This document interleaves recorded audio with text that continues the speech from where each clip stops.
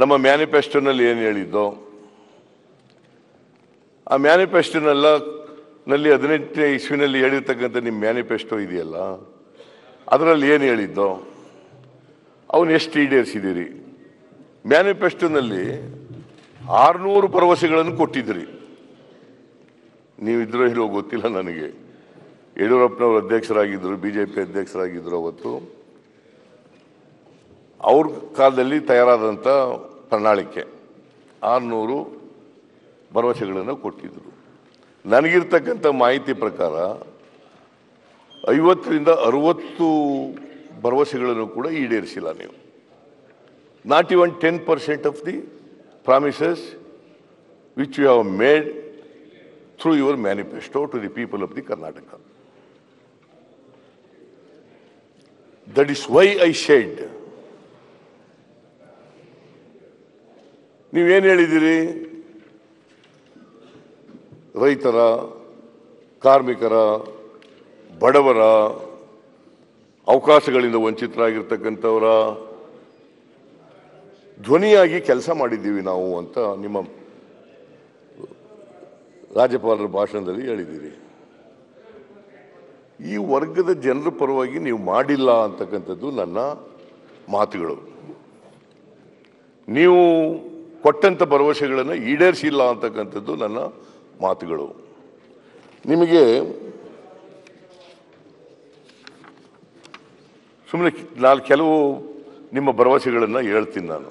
ರೈತರ ಬಗ್ಗೆ ಮಾತಾಡಿದ್ದೀವಿ. ನಿಮ್ಮ ಪ್ರಧಾನಮಂತ್ರಿಗಳು ಕೂಡ ಹೇಳಿದ್ದಾರೆ. ರೈತರ ಆದಾಯ ದುಪ್ಪಟ್ಟು ಮಾಡ್ತೀವಿ ಅಂತ ಹೇಳಿ. ರೈತರಿಗೆ ನಾವು ಅನೇಕ ಕಾರ್ಯಕ್ರಮಗಳನ್ನು ಮಾಡ್ತೀವಿ ಅಂತ ಹೇಳಿದ್ದೀರಿ. ರೈತರ ಧ್ವನಿಯಾಗಿ ಕೆಲಸ ಮಾಡಿದ್ದೀವಿ ಅಂತ ಹೇಳ್ತಾ ಇದ್ದೀರಿ. ನಾನು ಕೇಳ್ತೀನಿ, ನಿಮ್ಮ ಪ್ರಣಾಳಿಕೆ ಇದು. ನಮ್ಮ ಸರ್ಕಾರದ ಮೊದಲ ಸಚಿವ ಸಂಪುಟದ ಸಭೆಯಲ್ಲಿಯೇ ರಾಷ್ಟ್ರೀಕೃತ ಬ್ಯಾಂಕು ಮತ್ತು ಸಹಕಾರಿ ಸಂಘಗಳಲ್ಲಿ ಇರುವ ಒಂದು ಲಕ್ಷದವರೆಗೆ ರೈತರ ಬೆಳೆ ಸಾಲ ಮನ್ನಾ ಮಾಡಲಾಗುವುದು. ಇದು ಅಚೀವ್ ಆಗಿದೆಯಾ ಮತ್ತೆ ಯಾಕೆ ಹೇಳಿದ್ರಿ? ಅದೇನು ಮೊದಲನೇ ಸಂ ಸಚಿವ ಸಂಪುಟದಲ್ಲಿ ಎಷ್ಟು ಸಚಿವ ಸಂಪುಟಗಳು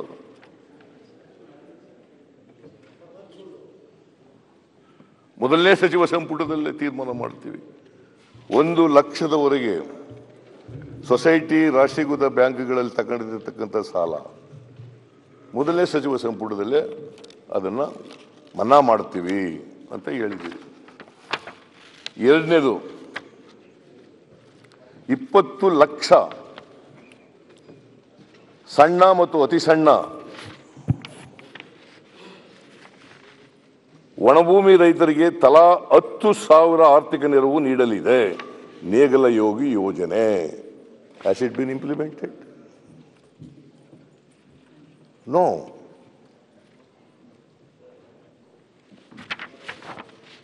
ಮತ್ತೆ ಸುಳ್ಳು ಅಂತ ಹೇಳಿದೆ ಇನ್ನೇನಂತ ಹೇಳಬೇಕು ನಾನು?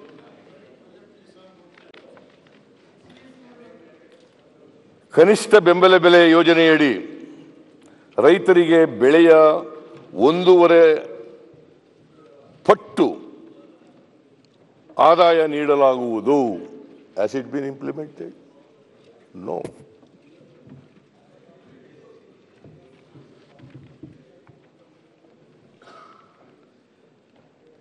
ಬೆಲೆ ವ್ಯತ್ಯಯದ ಸಂದರ್ಭದಲ್ಲಿ ರೈತರ ಬೆಂಬಲಕ್ಕಾಗಿ ಐದು ಸಾವಿರ ಕೋಟಿ ರೈತ ಬಂಧು ಆವರ್ತ ನಿಧಿಯನ್ನು ಸ್ಥಾಪನೆ ಮಾಡಲಾಗುವುದು.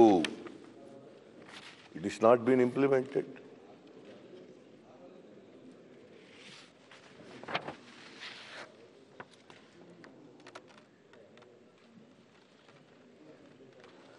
ಭೂರಹಿತ ಆ, ರೈತ ಸ್ನೇಹಿ ಯೋಜನೆಗಳ ಅನುಷ್ಠಾನದ ಸೂಕ್ತ ಮೇಲ್ವಿಚಾರಣೆಗಾಗಿ ಮುಖ್ಯಮಂತ್ರಿ ಕಚೇರಿಯಡಿ ರೈತ ಬಂಧು ವಿಭಾಗ. ತೆಗೆದಿದ್ದೀರಾ? ಇಲ್ಲ.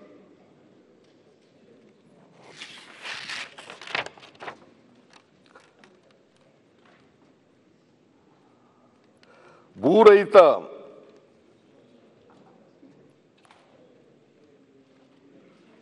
ಕೃಷಿ ಕಾರ್ಮಿಕರಿಗೆ ಮುಖ್ಯಮಂತ್ರಿ ರೈತ ಸುರಕ್ಷಾ ವಿಮೆ ಯೋಜನೆ ಉಚಿತ ಎರಡು ಲಕ್ಷದಷ್ಟು ಅಪಘಾತ ವಿಮೆ. Has it been implemented no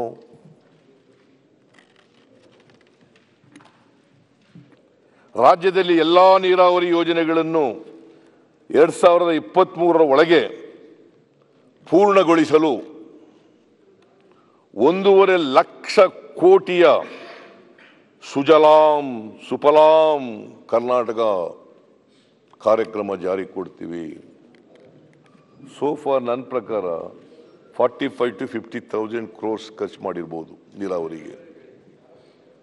ಇನ್ನೂ ಒಂದು ಲಕ್ಷ ಕೋಟಿ ಖರ್ಚು ಮಾಡಲಿಲ್ಲ. Why why you made this promise impractical promise why you made this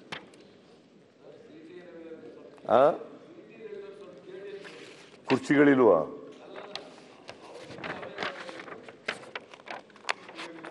ಏನು ಸರಿಯಾಗಿ ಕೇಳಿಸ್ತಾ ಇಲ್ಲ ನನಗೆ. ಅಲ್ಲ ಸರ್ ತಾವು ಇದು ಮಾಡಿದ ಸಿ ಟಿ ರವಿರಿಗೂ ಚೂರು ಕೇಳಿ ಅಂತ ಹೇಳ್ತಾ ಇದ್ದೀನಿ. ಯಡಿಯೂರಪ್ಪನವ್ರೆ ಸಿ ಟಿ ರವಿ ಮಾತಾಡುವಾಗ ಒಂದ್ ನಿಮಿಷ ಸರ್ ಸಿ ಟಿ ರವಿ ಹೆಂಗೆ ಅಂತಂದ್ರೆ? ಸಿದ್ದರಾಮಯ್ಯನವ್ರೆ ಒಂದ್ ನಿಮಿಷ ಅವ್ರಿ. ಒಂದ ಸಿ ಟಿ ರವಿ ಮಾತಾಡುವಾಗ್ಲೂ ತಾವು ಹೇಳಿರಿ. ಬನ್ನಿ ಗವರ್ನರ್ ಭಾಷಣಕ್ಕೆ ಅಂತ. ಸಿದ್ದರಾಮಯ್ಯನವ್ರಿಗೆ ಹೇಳಿ ಗವರ್ನರ್ ಭಾಷಣಕ್ಕೆ ಬರ್ರಿ ಬಿ ಜೆ ಪಿ ಮ್ಯಾನಿಫೆಸ್ಟೋ ಅಲ್ಲ, ಇಲ್ಲಿ ಚರ್ಚೆ ಆಗ್ತಿರೋದು ಅಂತ ಹೇಳಿ. ಇದರಲ್ಲಿ ಯಾವುದ್ರಲ್ಲಾರು ಗವರ್ನರ್ ಭಾಷಣದಲ್ಲಿ ನಾವು ಇವು ಮಾಡಿದೀವಿ ಅಂತ ಹೇಳಿ ಸುಳ್ಳಾಗಿದ್ರೆ ನಾವು ಒಪ್ಕೋತೀವಿ. ಮ್ಯಾನಿಫೆಸ್ಟೋ ಇಟ್ಕೊಂಬಿಟ್ಟು ನೀವು ಅವತ್ತು ಹಂಗೆ ಹೇಳಿದ್ರೆ ಗವರ್ನರ್ ಭಾಷಣದ ಬಗ್ಗೆ ಚರ್ಚೆ ಮಾಡಿ ಅಂತ ಹೇಳಿದ ಬಂಡಪ್ಪನವ್ರು ನಿನ್ನೆ, ಅವ್ರಿಗೆ ಯಾಕೆ ಕೇಳಲ್ಲ ಇವತ್ತು ಇಲ್ಲೇನು ಗವರ್ನರ್ ಭಾಷಣ ಅವ್ರ ಎತ್ತ ಹೇಳಿಲ್ಲ ಮ್ಯಾನಿಫೆಸ್ಟೋದಾಗೆ ಇಲ್ಲ ಅವ್ರಿಗೆ ಅವ್ರಿಗೆ ಅವ್ರಿಗೆ ಅವ್ರಿಗೆ. ಅವ್ರು ನಿನ್ನೆ ನಮ್ಗೆ ಹೇಳಿದ್ದಕ್ಕೆ ವಾಪಸ್ ಹೇಳ್ತಾ ಇದ್ವಿ. ಅಂತ ಇದೆಯಾ ಅಂತ ಗೊತ್ತು ನನಗೆ. Are very. Intelligent I know that Madhuswamy among all ministers in BJP government you are very intelligent you are a learned man also that is why I always say you are my learned friend ಬುದ್ಧಿವಂತ ಇದೆಯಾ ಅದ್ರ ಬಗ್ಗೆ ಎರಡನೇ ಮಾತಲ್ಲಿ ನಾನು I am also I am proud of you don't worry I am proud of you ನಮ್ಮ ಜೊತೆ ಇದ್ದವನು ನೀನು ಬುದ್ಧಿವಂತ ಇದೆಯಲ್ಲ ಅನ್ನೋದು ಖುಷಿಯಲ್ಲೋ ನಮಗೆ?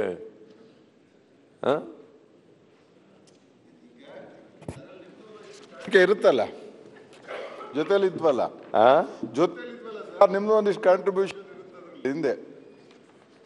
ಅದಕ್ಕೆಪ್ಪ ನಮ್ಮ ಅನುಭವದಲ್ಲಿ ನೀನ್ ಅಲ್ಲಿ ಆ ಸರ್ಕಾರದಲ್ಲಿ ಕಾಂಟ್ರಿಬ್ಯೂಟ್ ಮಾಡ್ತಾ ಇದೆಯಲ್ಲ? You are defending a wrong case and a good bad case and a good case that ಅದು ಅದೆಲ್ರಿಗೂ ಸಾಧ್ಯ ಆಗಲ್ಲ. ಓನ್ಲಿ ಇಂಟೆಲಿಜೆಂಟ್ ನಮ್ಮಲ್ಲಿ ಒಬ್ಬರು ಲಾಯರ್ ಇದ್ದರು ಆ ಲಾಯರು ಎಲ್ಲ ಲಾಯರ್ಗಳು ನಾವೇನು ಮಾಡ್ತಾ ಇದ್ದೋ ಅಂತಂದ್ರೆ, ಕೆಟ್ಟ ಕೇಸ್ ಇದ್ದರೆ ಅವ್ರು ಕಳಿಸ್ಬಿಡ್ತಿದ್ದೋ ಅತೆಗೆ ಅಪೀಲ್ ಹಾಕ್ರಪ್ಪ ಅವ್ರ ಕೈಲಿ ಹಾಕ್ಸಿ ಹೋಗಿ ಅತೆಗೆ ಅಂತ.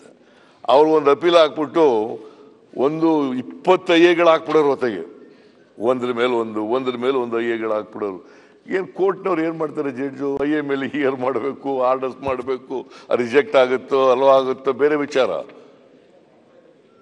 ಆದರೆ ಎಲ್ಲರೂ ಅವ್ರಿಗೆ ಕಳಿಸ್ಬಿಡೋರು. ನಮ್ಮ ಚಿಕ್ಕಬೋರಯ್ಯ ಅಂತ ನಮ್ಮ ಸೀನಿಯರ್ ಅಡ್ವೊಕೇಟ್ ಇದ್ರು.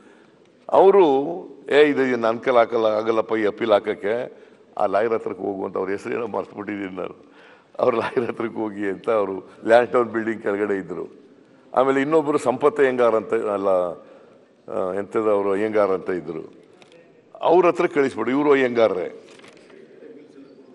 ಇವರಿಬ್ಬರಿಗೂ ಕಳಿಸ್ಬಿಡೋದು ಜೊತೆಗೆ ಇವರಿಬ್ಬರು ಹಾಕ್ಬಿಟ್ಟು ಏನು ಇಪ್ಪತ್ತು ವರ್ಷ, ಹತ್ತು ವರ್ಷ, ಹದಿನೈದು ವರ್ಷ ಸಿವಿಲ್ ಮ್ಯಾಟ್ರ್ಗಳನ್ನ ಎಳೆದು ಸುಸ್ತು ಮಾಡಿಬಿಟ್ಟು ಅವರಿಗೆ ಅದಕ್ಕೆ ನಾನು ಗಾದೆ ಇದೆಯಲ್ಲ, ಗೆದ್ದವನು ಸೋತ, ಸೋತವನು ಸತ್ತ. ಆ ಕೇಸ್ ನೋಡಿದ ಮೇಲೆ ನನಗೆ ಅನ್- ಅನ್ನಿಸ್ತು, ಇದು ಭಾಳ ಸತ್ಯವಾಗಿದೆ ಗಾದೆ ಗಾದೆ ಅಂತೇಳಿ ಇಪ್ಪತ್ತು ವರ್ಷ, ಮೂವತ್ತು ವರ್ಷ ಯಾವನ್ ಇರ್ತಾನೆ, ಎರಡೆರಡು ತಲೆಮಾರಾಗ್ಬಿಡೋದು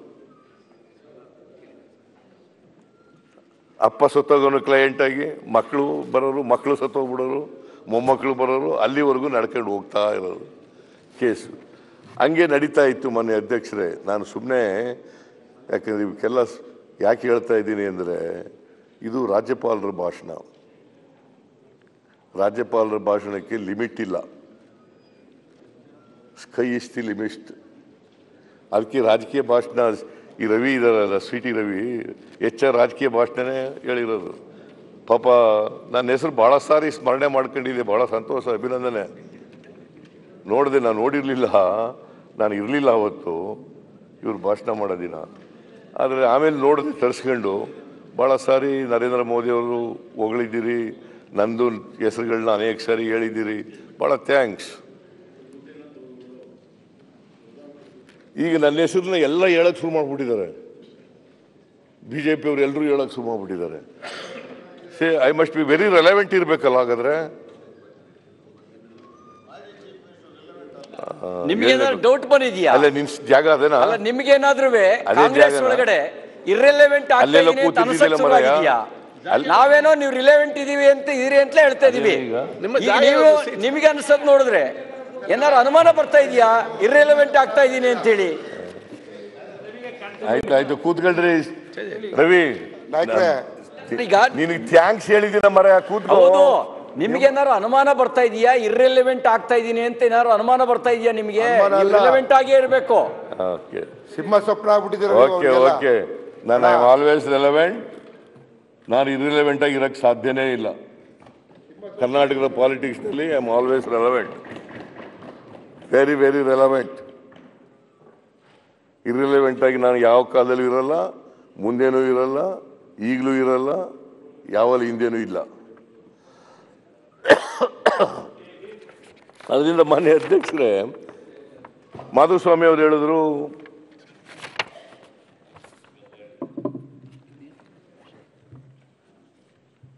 ರಾಜ್ಯ ಮ್ಯಾನಿಫೆಸ್ಟೋ ಹಿಡ್ಕ ಕೂತವ್ರೆ ರಾಜ್ಯಪಾಲರ ಭಾಷಣ. ಹಾಗಾದ್ರೆ ರಾಜ್ಯಪಾಲರ ಭಾಷಣ ಏನು ಬೇಕಾದ್ರೂ ಹೇಳ್ಬಿಡ್ಬೋದಾ? ಹಾಗಾದ್ರೆ ಇದನ್ನೆಲ್ಲ ಯಾಕೆ ಜನಗಳಿಗೆ ಹೇಳಿದ್ದೀರಿ ಇದ್ಯಾಕೆ ಇದ್ಯಾಕೆ ಹೇಳಿದ್ರಿ ಜನಗಳಿಗೆ? ಅವ್ರಿಗೆ ಹೇಳಿದ್ದ, ಓಕೆ. ಭಾಳ ಸಂತೋಷ, ಅವ್ರಿಗೆ ಅಷ್ಟಕ್ಕೆ ಸೀಮಿತ ಆದರೆ ಪರವಾಗಿಲ್ಲ. ರಾಜ್ಯಪಾಲರ ಭಾಷಣ ಅಂತಂದರೆ ಹಿನ್ನೋಟ, ಮುನ್ನೋಟ ಇರಬೇಕು. ಇದು ಕೊನೆಯ ಭಾಷಣ ನಿಮ್ಮದು ರಾಜ್ಯಪಾಲರ ಭಾಷಣ ಈ ಅವಧಿನಲ್ಲಿ ಲಾಸ್ಟ್ ಭಾಷಣ. ಇನ್ನು ಅಸೆಂಬ್ಲಿ ನಡೆಯಲ್ಲ, ಇದೇ ಲಾಸ್ಟ್ ಅಧಿವೇಶನ. ಚುನಾವಣೆ ಬರ್ತದೆ, ಮುಂದಿನ ತಿಂಗಳು ಅಥವಾ ಏಪ್ರಿಲ್ನಲ್ಲಿ ಚುನಾವಣೆ ನಡೀತದೆ. ಅದರಿಂದ ಇವರು ಅವಧಿ ಬಂದಿರಲ್ಲ, ಅಧಿಕಾರಕ್ಕೆ ಬಂದಿರಲ್ಲ. ವಾಮ ಮಾರ್ಗದಿಂದ ಅಧಿಕಾರಕ್ಕೆ ಬಂದಿರಲ್ಲ. ಅನೈತಿಕ ಸರ್ಕಾರ ರಚನೆ ಮಾಡ್ಕೊಂಡಿದಾರಲ್ಲ. ಹದಿನಾರು ಎಲ್ಲ ಹೇಳ್ಬೇಕಾಗಿತ್ತ ಅಲ್ಲಿಂದ. ಎರಡು ಸಾವಿರದ ಹದಿನೆಂಟರಲ್ಲಿ ನಾವು ಏನು ಹೇಳಿದ್ದೋ, ಏನು ಮಾಡಿದ್ದೀವಿ, ಏನು ಮಾಡೋಕ್ಕಾಗಿಲ್ಲ, ಯಾವ ಕಾರಣ ಏನು, ಸಕಾರಣಗಳೇನು. ಇವೆಲ್ಲ ಹೇಳ್ಬೇಕಾಗಿತ್ತಲ್ಲ. ಅದು ಹೇಳಿಲ್ಲ ಅಂತಕ್ಕಂಥದ್ದನ್ನು ನಿಮ್ಮ ಗಮನಕ್ಕೆ ತರ್ತಾ ಇದ್ದೀನಿ, ಸರ್ಕಾರದ ಗಮನಕ್ಕೆ ತರ್ತಾ ಇದ್ದೀನಿ. ಆಮೇಲೆ, ರಾಜ್ಯದಲ್ಲಿರುವ ಎಲ್ಲ ಕೆರೆಗಳ ಪುನಶ್ಚೇತನಕ್ಕಾಗಿ ಮಿಷನ್ ಕಲ್ಯಾಣಿ ಯೋಜನೆ. ಚರಂತಿ ಮಠ ನಿಮ್ಮ ಕಾನ್ಸ್ಟಿಟ್ಯೂನ್ಸಿಲಿ ಮಾಡಿದಾರ ಇದು? ಮಾಡಿದ್ರ? ಮಿಷನ್ ಕಲ್ಯಾಣಿ ಯೋಜನೆ. ಯಾವುದದು? ಅದ್ರ ಹೆಸರು ಹೇಳಿ ಸ್ವಲ್ಪ. ಯಾವ, ಎಲ್ಲಿ ಮಾಡಿದಾರೋ, ಯಾವ ಊರಿನಲ್ಲಿ ಮಾಡಿದಾರೋ ಅಂತ. ಅಲ್ಲಿ ಮಾತಾಡೋಗಿಲ್ಲ ನೀವು. ನಾನು ಕೇಳಬಾರ್ದಾಗಿತ್ತು ನೀವು ಅಲ್ಲಿ ಕೂತಿದ್ದೀರಿ ಪಪ್ಪ ಓಕೆ, ಅವ್ರ ಅದನ್ನೆಲ್ಲ ಕೇಳಬೇಕಾಗಿತ್ತು. ಮಿಷನ್ ಕಲ್ಯಾಣಿ ಯೋಜನೆ.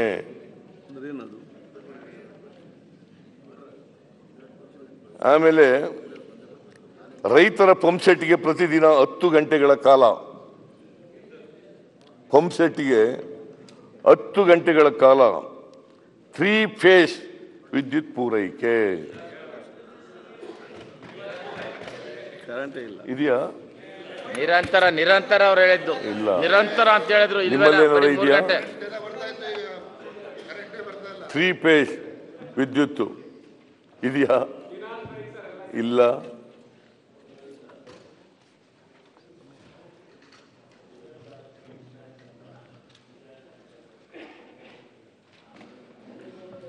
ಮುಖ್ಯಮಂತ್ರಿಗಳ ಕೃಷಿ ಫೆಲೋಶಿಪ್ ಅಡಿ ಕೃಷಿಯ ಅತ್ಯುತ್ತಮ ಪದ್ಧತಿಯ ಅರಿಯಲು ಪ್ರತಿ ವರ್ಷ ಒಂದು ಸಾವಿರ ರೈತರು ಇಸ್ರೇಲ್ ಮತ್ತು ಚೀನಾ ಭೇಟಿಗೆ ವ್ಯವಸ್ಥೆ. ಯಾರನ್ನಾರು ಕಳಿಸಿದ್ದೀರಾ? ಇಲ್ಲ. ಭತ್ತ, ಕಬ್ಬು, ತೆಂಗು, ಅಡಿಕೆ, ಕಾಫಿ ಸೇರಿದಂತೆ ರಾಜ್ಯದಲ್ಲಿ ವ್ಯಾಪಕವಾಗಿ ಬೆಳೆಯುವ ಎಲ್ಲ ಬೆಳೆಗಳಿಗೆ ನಿರ್ದಿಷ್ಟ ಕಾರ್ಯತಂತ್ರ ರಚಿಸಲಾಗುವುದು. ಯಾವ ತಂತ್ರ ಮಾಡಿದರೋ ಗೊತ್ತಿಲ್ಲ?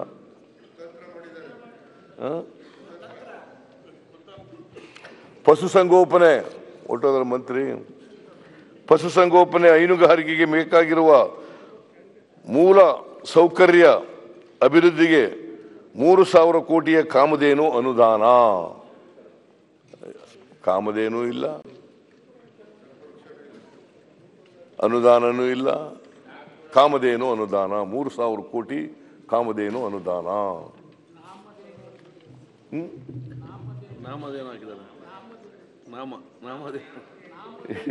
ಕಾಮಧೇನು ಇಲ್ಲ ಇದು. ನಾಮ ತಿರುಪ್ತಿ ತಿಮ್ಮಪ್ಪನ ನಾಮ. ಅದನ್ನು ಅದನ್ನು ಟೀಕೆ ಮಾಡಕ್ ಶುರು ಮಾಡುತ್ತೆ ತಿರುಪ್ತಿ ತಿಮ್ಮಪ್ಪನ ನಾಮ ಅಂದ್ಬಿಟ್ರಲ್ಲ ಸಿದ್ದರಾಮಯ್ಯ. ಅಲ್ಲಪ್ಪ, ನಾವು ಆಡು ಮಾತಿನಲ್ಲಿ ಹೇಳ್ತೀವಿ, ಹಳ್ಳಿಗಳಲ್ಲೆಲ್ಲ ಹೇಳ್ತೀವಿ. ಏನಪ್ಪ, ನಿನಗೆ ತಿರುಪ್ತಿ ತಿಮ್ಮಪ್ಪನ ನಾಮ ಹಾಕ್ಬಿಟ್ರು ಅಂತ ಹೇಳ್ತೀವಿ ನಾವು. ಅದನ್ನು ತೃಪ್ತಿ ತಿಮ್ಮಪ್ಪನಿಗೆ ಅವಮಾನ ಮಾಡ್ಬಿಟ್ರಲ್ಲ, ತಿಮ್ಮಪ್ಪನಿಗೆ ಅವಮಾನ ಮಾಡ್ಬಿಟ್ರಲ್ಲ ಅಂತ ಅದು ಬೇರೆ ಚರ್ಚೆ ಶುರು ಆಗ್ಬಿಡ್ತದೆ. ಅದು ಬೇರೆ ಚರ್ಚೆಗಳು ಶುರು ಆಗ್ಬಿಡ್ತದೆ. ನಮ್ಮ ಮಾಧ್ಯಮದವರು ಸುಮ್ಮನಿರಲ್ಲ ಅದನ್ನೇ ವಿವಾದದ ಹೇಳಿಕೆ ಅಂತ ಒಂದು ಸ್ಟೇಟ್ಮೆಂಟ್ ಕೊಟ್ಬಿಡ್ತಾರೆ ಈಗ. ವಿವಾದದ ಹೇಳಿಕೆ ಬ್ರೇಕಿಂಗ್ ನ್ಯೂಸ್ ವಿವಾದದ ಹೇಳಿಕೆ. ಈಗ ಇನ್ನೊಂದು ಬ್ರೇಕಿಂಗ್ ನ್ಯೂಸ್ ಆಗುತ್ತೆ. ಇಲ್ಲ ನಿಮ್ಮಲ್ಲಿ ನಿಮ್ ನಿಮ್ಮ ನೀವೇನ್ ಪಾಪ ಅವೆಲ್ಲ ಮಾಡಕ್ ಹೋಗಲ್ಲ. ಈಗ ಇನ್ನೊಂದು ಬ್ರೇಕಿಂಗ್ ನ್ಯೂಸ್ ಆಗುತ್ತೆ ಅಂತ ಈಗ ಇಷ್ಟ ಹೇಳಿರೋದು. ನಾನು ಸುಮ್ಮನೆ ಕೆಲವು ಹೇಳಿದೆ ಅಷ್ಟೇನೆ. ಈ ಥರ ನೋಡಿ ನಾನು ಇವೆಲ್ಲ ರೈತರಿಗೆ ಅಂತ ಸಂಬಂಧಪಟ್ಟಂಥ ಕೊಟ್ಟಿದ್ದಂಥ ಭರವಸೆಗಳು. ಒಂದೇ ಒಂದು ಭರವಸೆ ಏನಪ್ಪ ಇವರು ಈಡೇರಿಸಿದ್ದೀವಿ ಅಂತ ಹೇಳೋದು ರೈತ ಆ,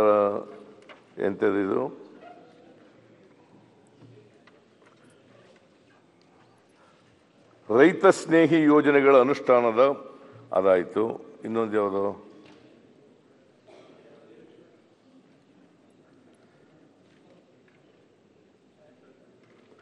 ಕೃಷಿ ಸಂಬಂಧಿತ ತರಬೇತಿ ಪಡೆಯುವ ರೈತರ ಮಕ್ಕಳಿಗಾಗಿ ನೂರು ಕೋಟಿ ಮೊತ್ತದ ರೈತ ಬಂಧು ವಿದ್ಯಾರ್ಥಿ ವೇತನ. ಕೃಷಿ ತರಬೇತಿ ಪಡೆಯೋರಿಗೆ. ಅದು ಜಾರಿ ಆಗಿಲ್ಲ ಮತ್ತೆ ಯಾವ್ದು ಜಾರಿ ಮಾಡಿದ್ರು ಇವರು? ಮತ್ತೆ ರೈತರ ಆದಾಯ ದುಪ್ಪಟ್ಟಾಗೋದು ಅಂತಂದ್ರೆ ಹೆಂಗೆ? ರೈತರಿಗೆ ಹೇಳಿದ, ರೈತರಿಗೋಸ್ಕರ ಏನು ಮಾಡ್ತೀವಿ ಅಂತ ಹೇಳಿದ್ದಂತ ಒಂದು ಭರವಸೆನೂ ಕೂಡ ಈಡೇರಿಸಿದ ಮೇಲೆ ಮಾತೆತ್ತಿದ್ರೆ ನಾವು ರೈತರ ಪರವಾಗಿ, ಕಾರ್ಮಿಕರ ಪರವಾಗಿ, ಬಡವರ ಪರವಾಗಿ, ದುರ್ಬಲ ವರ್ಗದ ಪರವಾಗಿ ಮತ್ತು ಅವಕಾಶ ವಂಚಿತರ ಕಲ್ಯಾಣ ಅಭಿವೃದ್ಧಿಗೆ ಬದ್ಧವಾಗಿದ್ದೇವೆ. ಈ ಜನರ ಅಭಿವೃದ್ಧಿಗೆ ಬದ್ಧವಾಗಿದ್ದೇವೆ. ಮತ್ತೆ ಇದು ಸುಳ್ಳಲ್ಲ, ಸುಳ್ಳ ನಿಜನ? ಅದಕ್ಕೆ ಸುಳ್ಳು ಅಂತ ಹೇಳಿದೆ ನಾನು. ಅದು ಅನ್ಪಾರ್ಲಿಮೆಂಟ್ರಿ ಆಗಿದ್ದರೆ ಸತ್ಯಕ್ಕೆ ದೂರವಾದದ್ದು ಅಂತ ಹೇಳ್ತಿದ್ದೆ.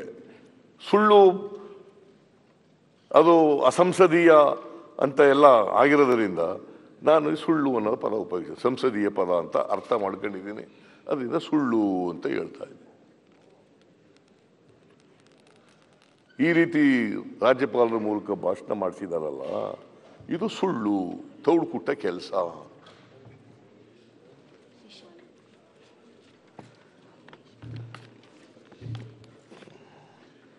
ಆಮೇಲೆ ರೈತರು ಸಾಲ ಮಾಡಿದಾರಲ್ಲ, ರೈತರು ಸಾಲ ಇವತ್ತಿನವರಿಗೆ ಒಂದು ರೂಪಾಯಿ ಸಾಲ ಸಾಲ ಮನ್ನಾ ಮಾಡ್ತಕ್ಕಂಥ ಕೆಲಸ ಮಾಡಿಲ್ಲ ಇವರು?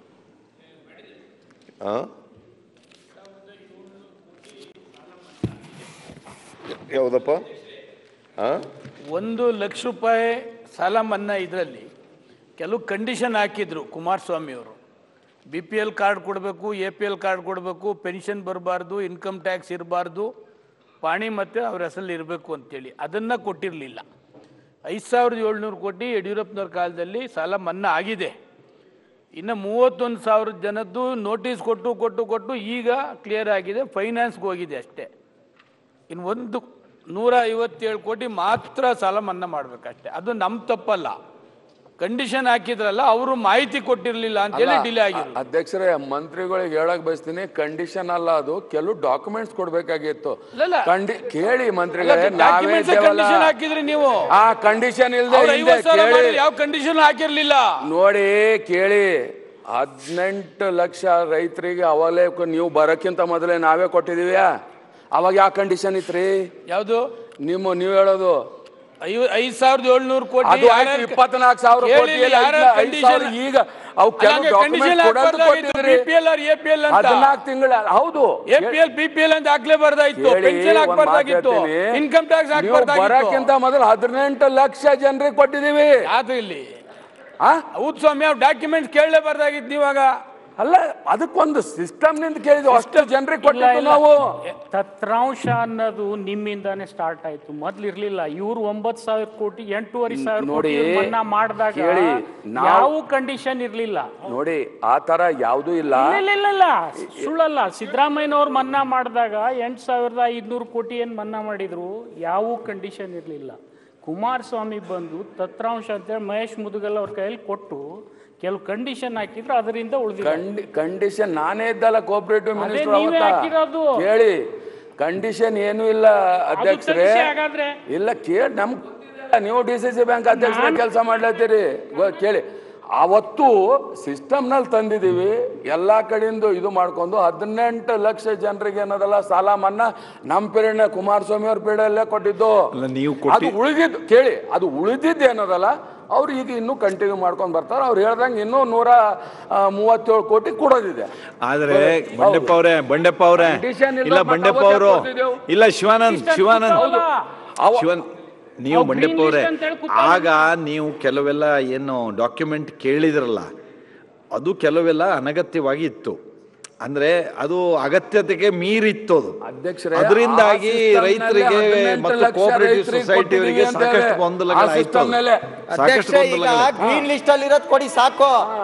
ನಾವು ಗ್ರೀನ್ ಲಿಸ್ಟ್ ಅಲ್ಲಿ ಇರೋದು ಕೊಡಿ ಅಂತ ಉಸ್ತುವಾರಿ. ಮಂತ್ರಿಗಳು ಕೇಳ್ತಾ ನೂರ ಐವತ್ತೇಳು ಕೋಟಿ ಕೊಡೋದಿದೆ ಅಂತ ಹೇಳಿದ್ರು ಇಲ್ಲ ಅನ್ನಿ.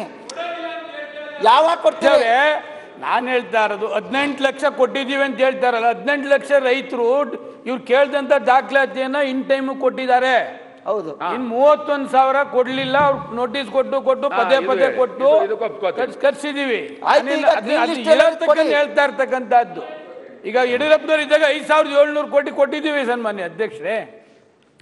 ಇನ್ ಮಿಕ್ಕದು ಸ್ವಲ್ಪ ಇದೆ ಈ ಗ್ರೀನ್ ಲಿಸ್ಟ್ ಕ್ಲಿಯರ್ ಆಗಿದೆ. ಈಗ ಹೇಳ್ಬಿಡಿ ಕೊಡ್ತೀವಿ ಅಂತ ಹೇಳ್ಬಿಡಿ ಅಷ್ಟೇ. ಆ ಗ್ರೀನ್ ಲಿಸ್ಟ್ ಅಲ್ಲಿ ಇರೋದ ಕೊಡ್ತೀವಿ ಅಂತ ಹೇಳ್ಬಿಡಿ. ಗ್ರೀನ್ ಲಿಸ್ಟ್ ಲಿಸ್ಟ್ನ ಫೈನಾನ್ಸ್ ಕಳ್ಸಿದೀವಿ. ಅವ್ರು ಯಾವಾಗ ಕ್ಲಿಯರ್ ಮಾಡ್ತಾರೆ ನಿಮಗೆ ಕೊಡ್ತೀವಿ. ನೀವು ಕೊಡಕ್ ರೆಡಿ ಇದ್ದೀರಿ ಮುಖ್ಯಮಂತ್ರಿ ಕೊಡ್ಬೇಕಲ್ಲ. ಕೊಡ್ತಾ ಇಲ್ಲ. ಅವರು ಡಿಫಾಲ್ಟ್ ಬಿಟ್ಟಾರೆ ಗ್ರೀನ್ ಲಿಸ್ಟ್ನಲ್ಲಿ ಇದಾರಲ್ಲ ಅವ್ರಿಗೆ ಹನ್ನೆರಡು ಪರ್ಸೆಂಟ್ ರೇಟ್ ಆಫ್ ಇಂಟ್ರೆಸ್ಟ್ ವಸೂಲ್ ಮಾಡಬೇಕು ಅಂಡ್ ಶೂನ್ಯ ಬಡ್ಡಿ ದರದಲ್ಲಿ ಕೊಡಬೇಕು. ಒನ್ ಡೇ ಡಿಲೇ ಆದ್ರೂ ಒನ್ ಡೇ ಡಿಲೇ ಆದ್ರೂ ಈಗ ಒಂದ್ ಲಕ್ಷ ಸಾಲ ಮನ್ನಾ ಮಾಡಿದ ಇಯರ್ ಯಾವುದು? ಅದು ಕಂಡೀಷನ್ ಅಂತ ನಾನು ಹೇಳ್ತಾ ಕಂಡೀಷನ್ ಅಂತಲ್ಲ ಈಗ ಹದಿನೆಂಟು ಲಕ್ಷ ರೈತರಿಗೆ ಏನೇನು ಇವರು ಫಾರ್ಮಾಲಿಟೀಸ್ ಹೇಳಿದ್ರು ಅದೆಲ್ಲ ಕಂಪ್ಲೀಟ್ ಕೊಟ್ಟಿದ್ದಾರೆ.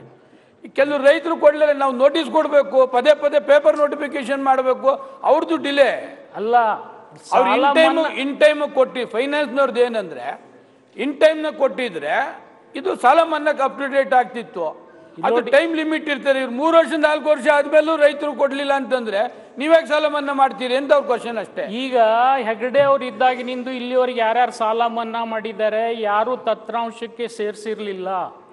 ಈವನ್ ಸಿದ್ದರಾಮಯ್ಯನವ್ರ ಸರ್ಕಾರವರೆಗೂ ಸೇರಿಸಿಲ್ಲ.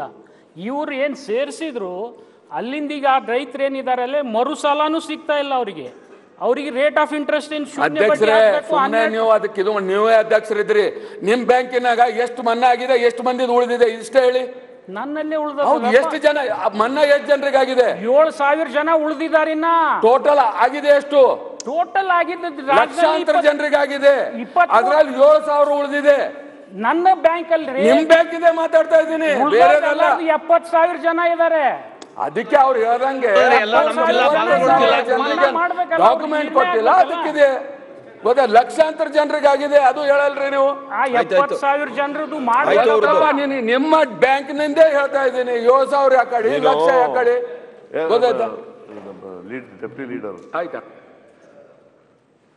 ನಾನು ಸಾಲ ನೀವು ಮನ್ನಾ ಮಾಡಿದ್ದು ನೀವು ಹೇಳಿರ್ತಕ್ಕಂಥ ಕಾರ್ಯಕ್ರಮ ಅಲ್ಲ ಅದು. ಸಮ್ಮಿಶ್ರ ಸರ್ಕಾರ ಹೇಳಿದಂಥ ಕಾರ್ಯಕ್ರಮ ಕುಮಾರಸ್ವಾಮಿ ಇದ್ದಾಗ ಸಾಲ ಮನ್ನಾ ಮಾಡ್ತೀವಿ ಅಂತ ಹೇಳಿದ್ದು ಏನು ಹೇಳ್ತೀವಿ ಸಮ್ಮಿಶ್ರ ನಾವು ಸಪೋರ್ಟ್ ಮಾಡಿದವ್ರಿ ನೀವು ಹೆಂಗ್ ಬರ್ತಿದ್ರಿ ಅಧಿಕಾರಕ್ಕೆ. ನೀವು ಹೇಳಿದ್ಕೆ ಖುಷಿ ಪಟ್ಟ ನೀವು ಹೇಳಿದ್ರಲ್ಲ ಅದಕ್ಕೆ ನಾವು support ಮಾಡಿದ್ರೆ ಕುಮಾರಸ್ವಾಮಿ ಅವ್ರ ಹೇಳಿದ್ರಲ್ಲ ಅಂತ ಖುಷಿ ಬೆಂತಟ್ಟೆ ಅದಕ್ಕೂ ಬೇಜಾರು ಮಾಡ್ಕೋತಿರಲ್ಲ. ಇರ್ಲಿ. ಸಮ್ಮಿಶ್ರ ಸರ್ಕಾರದಲ್ಲಿ ಮಾಡಿದ್ದದ್ದು of course it is a fact Kumaraswamy ಇದ್ದಾಗ ಮಾಡಿದ್ದದು. ಅದೇನ್ ಅದಕ್ಕೆ ತಟ್ಟದೆ ಅಂತದಯ್ಯ ಖುಷಿ ಪಟ್ಟ ಸರ್ ಹೇಳಿದ್ರಲ್ಲ ಸಾರಾ. ನಮ್ ಸರ್ಕಾರ ಅಂತ ಹೇಳಿದ್ರಲ್ಲ ಅಂತ. ನಾನು ನಾನು ಧಿಕ್ಕಾರಕ್ಕೆ ಹೋಗಿದ್ರೆ ಬೇಜಾರು ಮಾಡ್ಕೊಂಡು ಖುಷಿ ಪಡಿ ಸತ್ಯನ ಮರ್ಮಾಚಕ್ಕಾಗುತ್ತಾ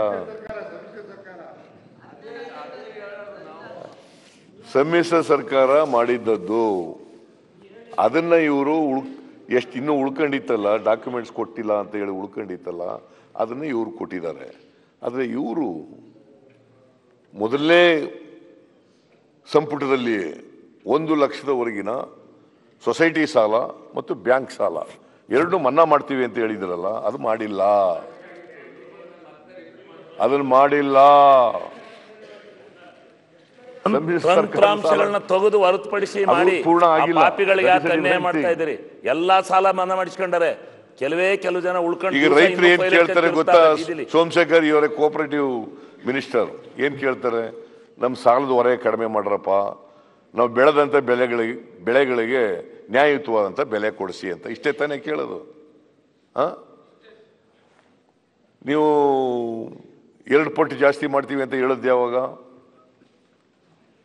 ನರೇಂದ್ರ ಮೋದಿ ಅವರು ಎರಡು ಪಟ್ಟು ರೈತರ ಆದಾಯ ಜಾಸ್ತಿ ಮಾಡ್ತೀವಿ ಅಂತ ಹೇಳದ್ ಯಾವಾಗ?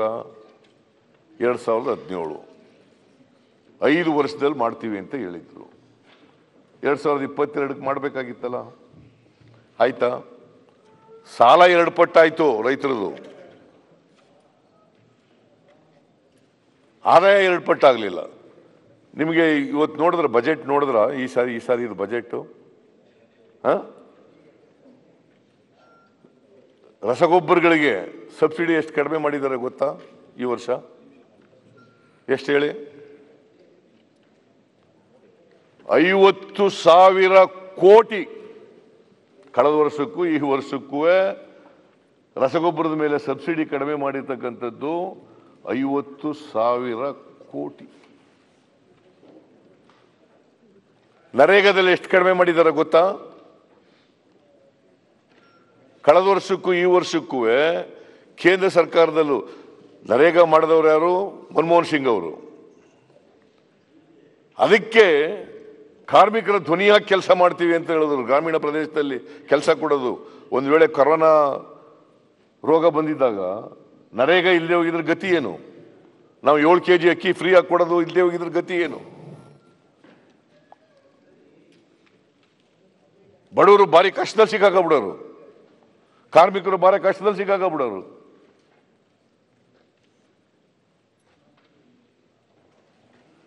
ಅದಕ್ಕೆ ನಾನು ಹೇಳಿದ್ದು ಗೊಬ್ಬರ ಇವತ್ತು ಜಾಸ್ತಿ ಮಾಡಿ.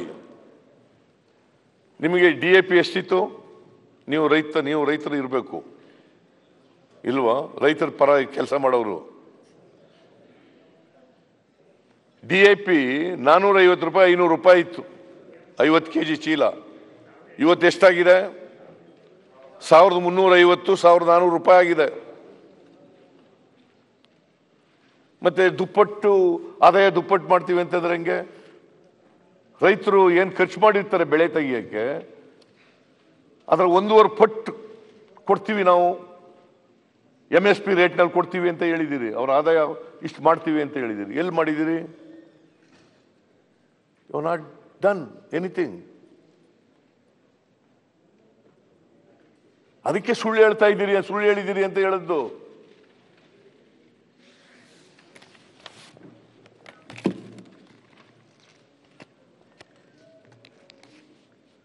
ಅವ್ರು ಏನು ಏನು ಹೇಳಿದಿರಿ? ರೈತರ ಮಕ್ಕಳಿಗೆ ವಿದ್ಯಾರ್ಥಿ ವೇತನ ಕೊಟ್ಟಿದ್ದೀವಿ. ಡೀಸೆಲ್ ಸಹಾಯಧನ ಕೊಟ್ಟಿದ್ದೀವಿ. ಸಸಿ ವಿತರಣೆ ಮಾಡಿದ್ದೀವಿ. ಗೋಹತ್ಯೆ ನಿಷೇಧ ಕಾಯ್ದೆ ತಗೊಬಂದಿದ್ದೀವಿ ಗೋಶಾಲೆಗಳನ್ನು ತೆಗೆದಿದ್ದೀವಿ. ಈ ಥರದ ಹೇಳಿದ್ದೀರಿ. ಬಟ್ ಇವಕ್ಕೆಲ್ಲ ಬರ್ತೀನಿ ನಾನು ಆಮೇಲೆ. ಇದ್ರ ಪರಿಣಾಮ ಏನಾಗಿದೆ ಅಂತ ಬರ್ತೀನಿ ನಾನು.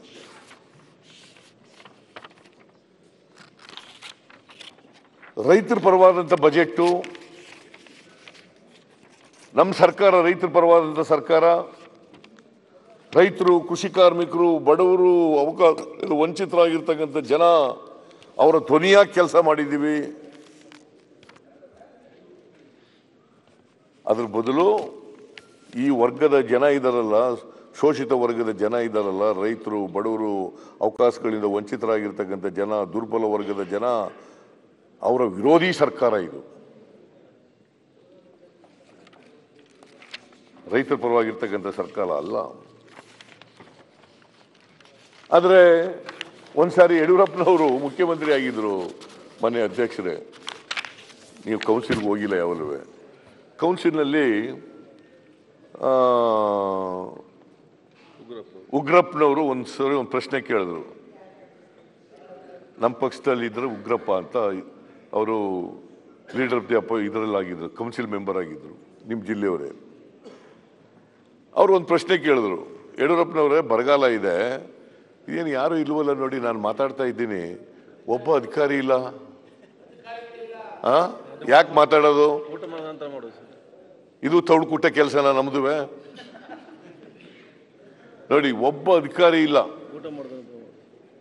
ಹ್ಮ್? ಏನು- ಹಿಂಗಾದ್ರೆ ಹೆಂಗೆ ಅಧ್ಯಕ್ಷರು, ಯಾಕೆ ಯಾಕೆ ಅಸೆಂಬ್ಲಿ ನಡೆಸ್ತಾರೆ? ಈ ಕಟಾಚಾರಕ್ಕೆ ಯಾಕೆ ನಡೆಸಬೇಕು ಅಧಿಕಾರಿ, ಅಧಿಕಾರಿಗಳು ಇಲ್ಲದ ಮೇಲೆ?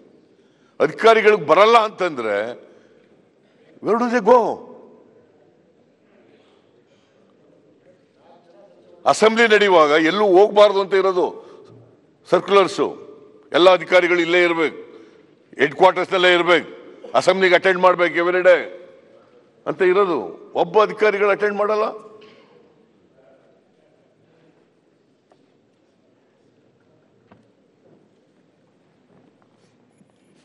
ಪ್ರಜಾಪ್ರಭುತ್ವದಲ್ಲಿ ಇವರಿಗೆ ನಂಬಿಕೆ ಇಲ್ಲ.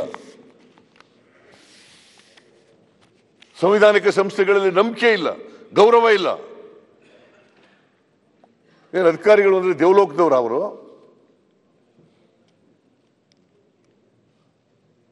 The secretaries are government secretaries secretary to the government, head of the department ಅವರೆಲ್ಲ ಇರಬೇಕು. ಮತ್ತೆ ನಾವೆಲ್ಲ ಇಲ್ಲಿ ಮತ್ತೆ ಭಾಷಣ ಮಾಡೋದು ಯಾತಕ್ಕೆ ಮತ್ತೆ? ಸುಮ್ಮನೆ ಇಲ್ಲಿ ರೆಕಾರ್ಡ್ಗೆ ಹೋಗ್ಲಿ ಅಂತ ಭಾಷಣ ಮಾಡೋದು? ನೋಡಿ ಯಾರಿದ್ದಾರೆ ನೋಡ್ಬಿಟ್ಟು ಬರಕ್ ಹೇಳಿ ಕನ್ಸರ್ನ್ ಇನ್ಕ್ಲೂಡಿಂಗ್ ಚೀಫ್ ಸೆಕ್ರೆಟರಿ ಇಲ್ಲಿ ಇರಬೇಕು. ಎಲ್ಲರಿಗೂ ಕೂಡ ಬರಕ್ಕೆ ಹೇಳಿ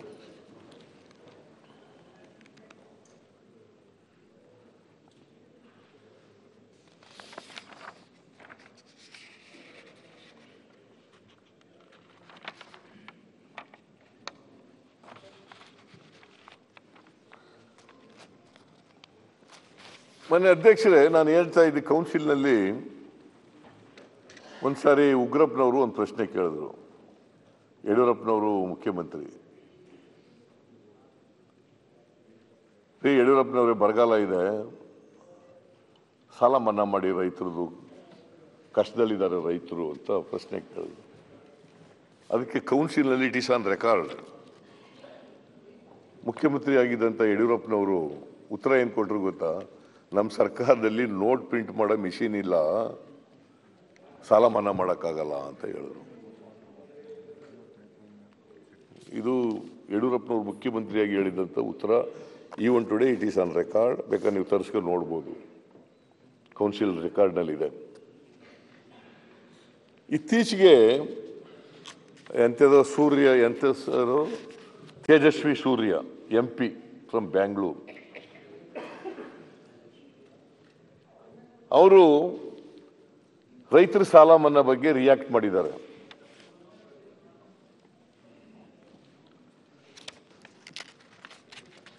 ಏನಂತ ಹೇಳಿದ್ದಾರೆ ಅಂದರೆ ರೈತರ ಸಾಲ ಮನ್ನಾ ಮಾಡುವುದರಿಂದ ದೇಶಕ್ಕೆ ಉಪಯೋಗ ಇಲ್ಲ. ಅವರು ಈಸೆ ನ್ಯಾಷನಲ್ ಯುವ ಮೋರ್ಚಾ ಅಧ್ಯಕ್ಷ and Lok Sabha member. He made statement recently ರೈತರ ಸಾಲ ಮನ್ನಾ ಮಾಡುವುದರಿಂದ ದೇಶಕ್ಕೆ ಒಳ್ಳೆಯದಲ್ಲ. ಹಾಗಾದರೆ ಉದ್ಯಮಿಗಳದು, ಬಂಡವಾಳಶಾಹಿಗಳದು ಅವ್ರದ್ದು more than twelve lakh crores ಸಾಲ ಮನ್ನಾ ಮಾಡಿದಾರಲ್ಲ ಯಾಕೆ? ಅದು ದೇಶಕ್ಕೆ ಒಳ್ಳೇದಾ? ರೈತ ಸಾಲ ಮನ್ನಾ ಮಾಡಿದ್ರೆ ದೇಶಕ್ಕೆ ಒಳ್ಳೇದಲ್ಲ. ಅಂಬಾನಿ ಅದಾನಿಗಳು ಈ ಥರದ ಉದ್ಯಮಿಗಳಿದ್ದಾರಲ್ಲ, ಇವ್ರ ಸಾಲನ ನಾನ್ ಪರ್ಫಾರ್ಮಿಂಗ್ ಅಸೆಟ್ ಅಂತ ಡಿಕ್ಲೇರ್ ಮಾಡಿ ಹನ್ನೆರಡು ಲಕ್ಷಕ್ಕೂ ಹೆಚ್ಚು ಕೋಟಿ ಸಾಲ ಮನ್ನಾ ಮಾಡಿದಾರಲ್ಲ ಅದು ದೇಶಕ್ಕೆ ಒಳ್ಳೇದಾ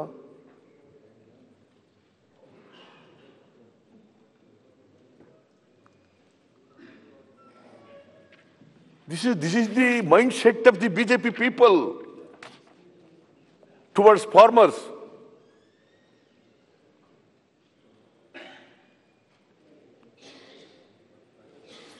ಹೇಳೋದೊಂದು ಮಾಡೋದೊಂದು ಅದು ಬೇಡಪ್ಪ ಅಂತ ಹೇಳೋದು ಅದೇ ಸುಳ್ಳು ಅಂತ ಹೇಳೋದು ನಾನು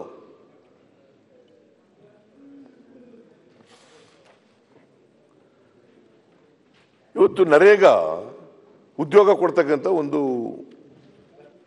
ಕಾರ್ಯಕ್ರಮ ಕಾರ್ಮಿಕರಿಗೆ. ಕರ್ನಾಟಕದಲ್ಲಿ ಸಂಘಟಿತ, ಅಸಂಘಟಿತ ಕಾರ್ಮಿಕರು ಎರಡು ಕೋಟಿ ಇದ್ದಾರೆ. ಎರಡು ಕೋಟಿ. ಅದು ನೂರು ದಿನ ಕೊಡ್ತೀವಿ ಅಷ್ಟೇ ಅವರಿಗೆ ಉದ್ಯೋಗ. ಒಂದು ವರ್ಷದಲ್ಲಿ ನೂರು ದಿನ ಕೊಡೋದು. ಅದನ್ನು ಕಡಿಮೆ ಮಾಡಿಬಿಟ್ರೆ ನೀವು ಇಪ್ಪತ್ತೊಂಬತ್ತು ಸಾವಿರ ಕೋಟಿ it's not a small amount. It's a very big amount. ಅಷ್ಟು ಕಡಿತ ಮಾಡಿಬಿಟ್ಟಿದ್ದಾರೆ.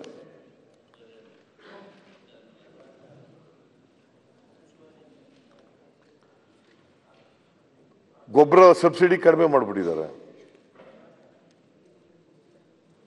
ಮತ್ತೆ ರೈತರ ಆದಾಯ ದುಪ್ಪಟ್ಟಾಗಬೇಕು ದುಪ್ಪಟ್ಟಾಗಬೇಕು ಅಂತ ಬರೀ ಬಾಯಿ ಮಾತಿನಲ್ಲಿ ಹೇಳಿದ್ರೆ ಹೆಂಗೆ ಆಗ್ತದೆ, ದುಪ್ಪಟ್ಟಾಗ್ತದೆ? ನಾವು ರೈತರು ಧ್ವನಿಯಾಗಿರ್ತೀವಿ ಅಂತ ಹೇಳಿದ್ರೆ ಹೆಂಗೆ ಧ್ವನಿಯಾಗಿರ್ತಾರೆ?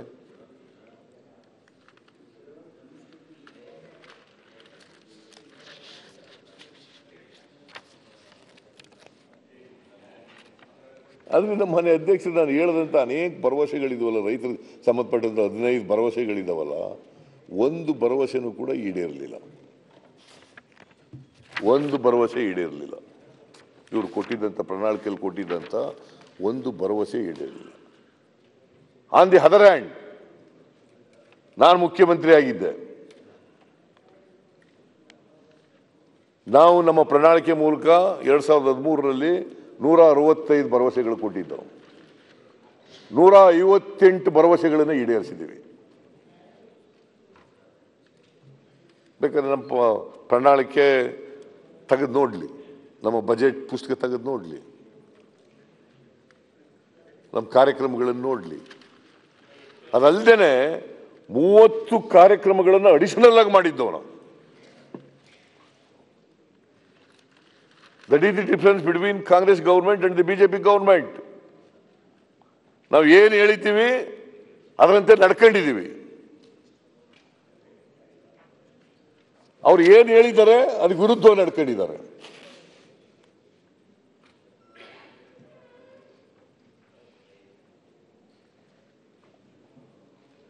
ಅದರಿಂದ ಬರೀ ಸುಳ್ಳು ಹಾಕಪ್ಪ ಹೇಳಿದ್ರಿ ಜನಗಳ ಮುಂದೆ?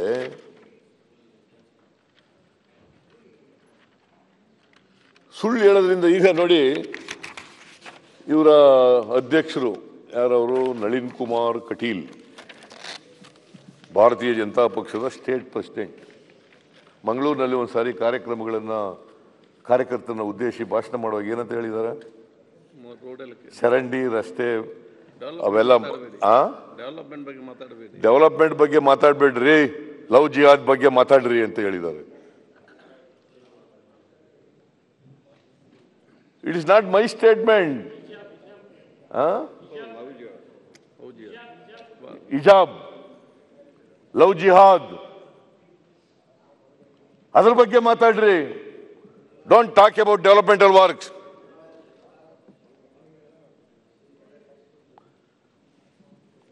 ನಾನು ನಳಿನ್ ಕುಮಾರ್ ಕಟೀಲ್ ಸಾಮಾನ್ಯವಾಗಿ ಉತ್ತರ ಕೊಡಕ್ಕೆ ಹೋಗಲ್ಲ. But is a president of the ruling party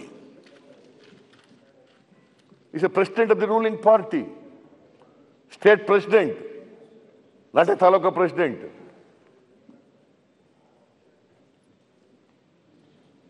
ಮೊನ್ನೆ ಅಮಿತ್ ಶಾ ಬಂದವ್ರೆ ಇಲ್ಲಿಗೆ. ಏನ್ ಭಾಷಣ ಮಾಡಿದ್ದಾರೆ? ಡೆವಲಪ್ಮೆಂಟಲ್ ವರ್ಕ್ಸ್ ಬಗ್ಗೆ ಮಾತಾಡಿದ್ರ?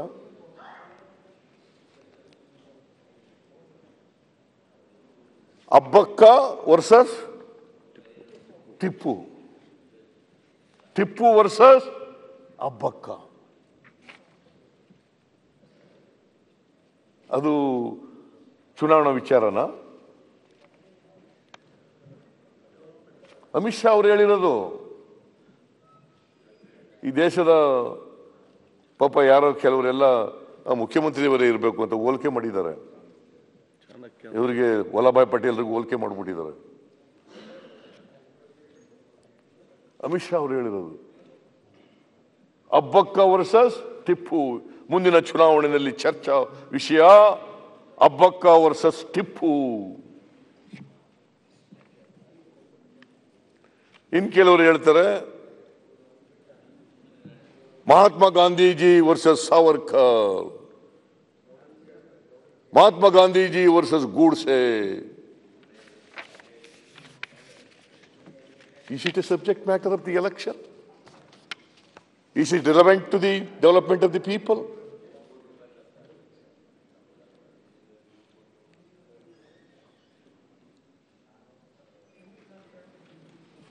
ಈ ಥರ ಉನ್ನತ ಸ್ಥಾನಗಳಿರ್ತಕ್ಕಂಥವರು, ದ್ವೇಷದ ರಾಜಕಾರಣ ಮಾಡ್ತಕ್ಕಂಥ ಕೆಲಸ, ದ್ವೇಷದ ಭಾವನೆಗಳನ್ನು ಹುಟ್ಟಾಕ್ತಕ್ಕಂಥ ಕೆಲಸ you speak about developmental works you speak about your achievements you speak about your promises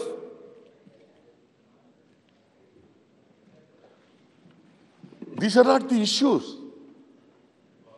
to be discussed before the people.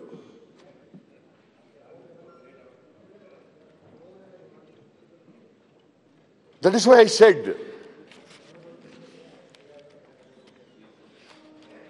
ಬರೀ ಸುಳ್ಳುಗಳನ್ನು ಹೇಳಿಸಿದ್ದಾರೆ ರಾಜ್ಯಪಾಲರ ಬಾಯಿಯಿಂದ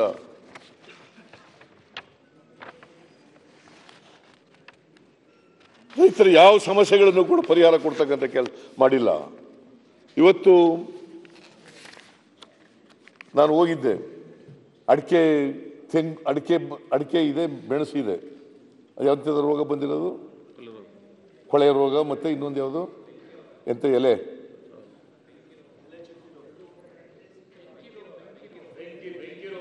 ಬೆಂಕಿ ರೋಗ ಅಲ್ಲ. ಅಲ್ಲ ಎಲೆ ಎಲೆ.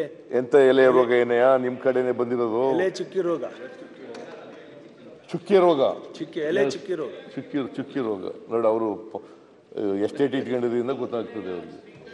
ಚುಕ್ಕಿ ರೋಗ ನಿಮಗ್ ಗೊತ್ತಿಲ್ಲ? ಎಲೆ ಚುಕ್ಕಿ ರೋಗ ಅಂತ ಹೇಳಿ ಚುಕ್ಕಿ ಚುಕ್ಕಿ. ಎಲೆ ಚುಕ್ಕಿ ರೋಗ ಬಂದಿದೆಯಲ್ಲ? ಅದನ್ನ ಹೋಗ್ಲಾಡಿಸಿದ್ರ ಓಲಿ? ತೊಗರಿಗೆ ನೆಟೆ ರೋಗ ಅಂತ ಬಂದ್ಬಿಟ್ಟದೆ. ನಾನು ಗುಲ್ಬರ್ಗ ಇದರಲ್ಲಿ ಹೋಗಿದ್ದೆ. ಗುಲ್ಬರ್ಗ ಬೀದರ್ ಯಾದಗಿರ್. ಆ ಭಾಗಕ್ಕೆ ಹೋಗಿದೆ. ಸುಮಾರು seventy percent of the crop loss ಆಗಿದೆ. Seventy percent of the crop loss ಆಗಿದೆ. ಒಬ್ಬ ನನ್ನ ಭೇಟಿ ಮಾಡಿದ ಮಣಿಕಂಠ ಅಂತ ಹೇಳಿ ಅವರು ಹತ್ತಿ ಗಿರಣಿ ಇಟ್ಕೊಂಡಿರ್ತಕ್ಕಂಥ ವ್ಯಕ್ತಿ. ನನಗೆ ಎಲ್ಲಿ ಶಾಪುರದಲ್ಲಿ ಭೇಟಿಯಾಗಿದ್ದ. ಅವನು ಹೇಳ್ದ, ಹತ್ತಿ ಹನ್ನೆರಡು ಸಾವಿರ ರೂಪಾಯಿ ಇತ್ತು, ಒಂದು ಕ್ವಿಂಟಾಲು. ಏಳುವರೆ ಸಾವಿರ ರೂಪಾಯಿ ಬಂದ್ಬಿಟ್ಟದೆ ಈಗ. ಎಂ ಎಸ್ ಪಿ ಆರು ಸಾವಿರದ ಮುನ್ನೂರ ಎಂಬತ್ತು ರೂಪಾಯಿ ಮಾಡಿದ್ದಾರೆ. ಮಾರುಕಟ್ಟೆ ಬೆಲೆಗಿಂತ ಕಡಿಮೆ ಇದೆ ಇದು? ಏನು ಮಾಡ್ಬೇಕು ಹೇಳಿ ನಮಗೆ ಈ ತರ ರೈತರಿಗೆ ಅನ್ಯಾಯ ಆಗ್ತಾ ಇದೆ? ಕನಿಷ್ಠ ಪಕ್ಷ ಹತ್ತು ಸಾವಿರ ರೂಪಾಯಿ ಇಲ್ಲದೆ ಹೋದರೆ ರೈತರು ಉಳಿಯಕ್ಕೆ ಸಾಧ್ಯ ಇಲ್ಲ ಹತ್ತಿ ಗಿರಣಿಗಳು ಉಳಿಯಕ್ಕೆ ಸಾಧ್ಯ ಇಲ್ಲ ಅಂತ ಹೇಳಿದ್ರು. ಸೆವೆಂಟಿ ಪರ್ಸೆಂಟ್ ತೊಗರಿ ಬೆಳೆ ಹಾಳಾಗಿದೆ. ಒಂದು ಒಂದೂವರೆ ಲಕ್ಷ ಹೆಕ್ಟೇರ್ ಪ್ರದೇಶದಲ್ಲಿ ತೊಗರಿ ನಾಶ ಆಗಿದೆ. ಇಲ್ಲಿ ಬಿ ಸಿ ಪಾಟೀಲ್ ಇಲ್ಲ ಕೃಷಿ ಮಂತ್ರಿಗಳು. ನಾನು ಕಳೆದ ಅಧಿವೇಶನದಲ್ಲಿ ಬೆಳಗಾಂನಲ್ಲಿ ಕೇಳಿದ್ದೆ. ಸ್ಪೆಷಲ್ ಪ್ಯಾಕೇಜ್ ಅಂತ ಕೇಳಿದ್ವಿ ನಾವು. ಮೊನ್ನೆ ಲಾಸ್ಟ್ ಅಧಿವೇಶನದಲ್ಲಿ ತೊಗರಿಗೋಸ್ಕರ ಒಂದು ಅಟ್ಲೀಸ್ಟ್ ಕನಿಷ್ಠ ಒಂದು ಐನೂರು ಕೋಟಿ ಸ್ಪೆಷಲ್ ಪ್ಯಾಕೇಜ್ ಕೊಡಬೇಕಂತ ಕೇಳಿದ್ವಿ. ಮತ್ತೆ ಪರಿಹಾರನು ಇಪ್ಪತ್ತೈದು ಸಾವಿರ ಎಕರೆ ಕೊಡ್ಬೇಕಂದ್ರೆ ಅವ್ರು ಕೇವಲ ನಾಲ್ಕು ಸಾವಿರ ಕೊಟ್ಟಿದ್ದಾರೆ. ಎದಕ್ಕೂ ಸಾಲಲ್ಲ ಅದು. ಏನ್ ಹೇಳಿದ್ರು ಅಂತಂದ್ರೆ ಪರಿಹಾರ ಕೊಡ್ತೀವಿ ಅಂತ ನಾನು ಕೇಳಿದೆ ಬಿ ಸಿ ಪಾಟೀಲ್ರಿಗೆ. ಬಿ ಸಿ ಪಾಟೀಲ್ರೆ ನೀವು ಯಾವಾಗಲಾರು ಆ ತೊಗರಿ ಬೆಳೆ ರೋಗ ಬಂದಿದೆ ನೆಟೆ ರೋಗ ಬಂದ್ಬಿಟ್ಟಿದೆ. ಆ ನೆಟೆ ರೋಗ ಬಂದು ಎಲ್ಲ ಬೆಳೆ ಎಲ್ಲ ಒಣಗೋಗ್ಬಿಟ್ಟು ಫಲ ಬಿಡದೇನೆ ಎಲ್ಲ ಒಣಗೋಗಿದೆ ಗಿಡ ಎಲ್ಲ ಒಣಗೋಗ್ಬಿಟ್ಟಿದೆ. ಬೇರೆ ಬಂದ್ಬಿಡ್ತದೆ ಅದು ರೋಗ, ನೆಟೆ ರೋಗ ಅನ್ನೋದು. ಅದೆಲ್ಲ ಬಂದು ಹೋಗ್ಬಿಟ್ಟದೆ, ಹಾಳಾಗ್ಬಿಟ್ಟದೆ, ಹತ್ತಿ ಬೆಲೆ ಎಲ್ಲ ಬಿದ್ದೋಗ್ಬಿಟ್ಟದೆ. ನೀವು ಹೋಗಿದ್ದೀರೇನ್ರಿ ಅಲ್ಲಿಗೆ? ಬೀದರ್ಗೆ, ಗುಲ್ಬರ್ಗಕ್ಕೆ? ಯಾದಗಿರಿಗೆ ಹೋಗಕ್ಕೆ ನೋಡಿ. ಇಲ್ಲ, ನನಗೆ ಹುಷಾರಿರಲಿಲ್ಲ, ಹೋಗೋಕ್ಕಾಗಲಿಲ್ಲ ಅಂತ ಹೇಳಿದ್ರು. ಓಕೆ, ಹುಷಾರಿರಲಿಲ್ಲ, ಹೋಗೋಕ್ಕಾಗಲಿಲ್ಲ. ಡಿಸ್ಟಿಕ್ ಇನ್ಚಾರ್ಜ್ ಮಿನಿಸ್ಟರ್ ಹೋಗ್ಬೇಕಲ್ಲ? ಚೀಫ್ ಮಿನಿಸ್ಟರ್ ಹೋಗ್ಬೇಕಲ್ಲ?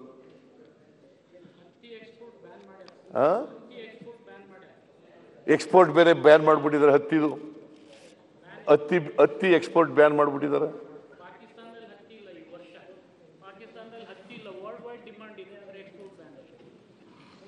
ಈಸ್ ಕರೆಕ್ಟ್ ಏನ್ ಮಾಡಬೇಕು ರೈತರು? ಇದಕ್ಕೆ ಎಲ್ಲೂ ಕೂಡ ಪ್ರಸ್ತಾಪ ಮಾಡಿಲ್ಲ. ಬೆಲೆ ಏರಿಕೆ ನಿರುದ್ಯೋಗ, ರೈತರ ಬಿಕ್ಕಟ್ಟುಗಳು, ರೈತರ ಸಮಸ್ಯೆಗಳು, ಇದ್ರ ಬಗ್ಗೆ ಎಲ್ಲೂ ಕೂಡ ಬಜೆಟ್ನಲ್ಲಿ ಪ್ರಸ್ತಾಪ ಐ ಮೀನ್ ರಾಜ್ಯಪಾಲರ ಭಾಷಣದಲ್ಲಿ ಪ್ರಸ್ತಾಪ ಮಾಡಿಲ್ಲ.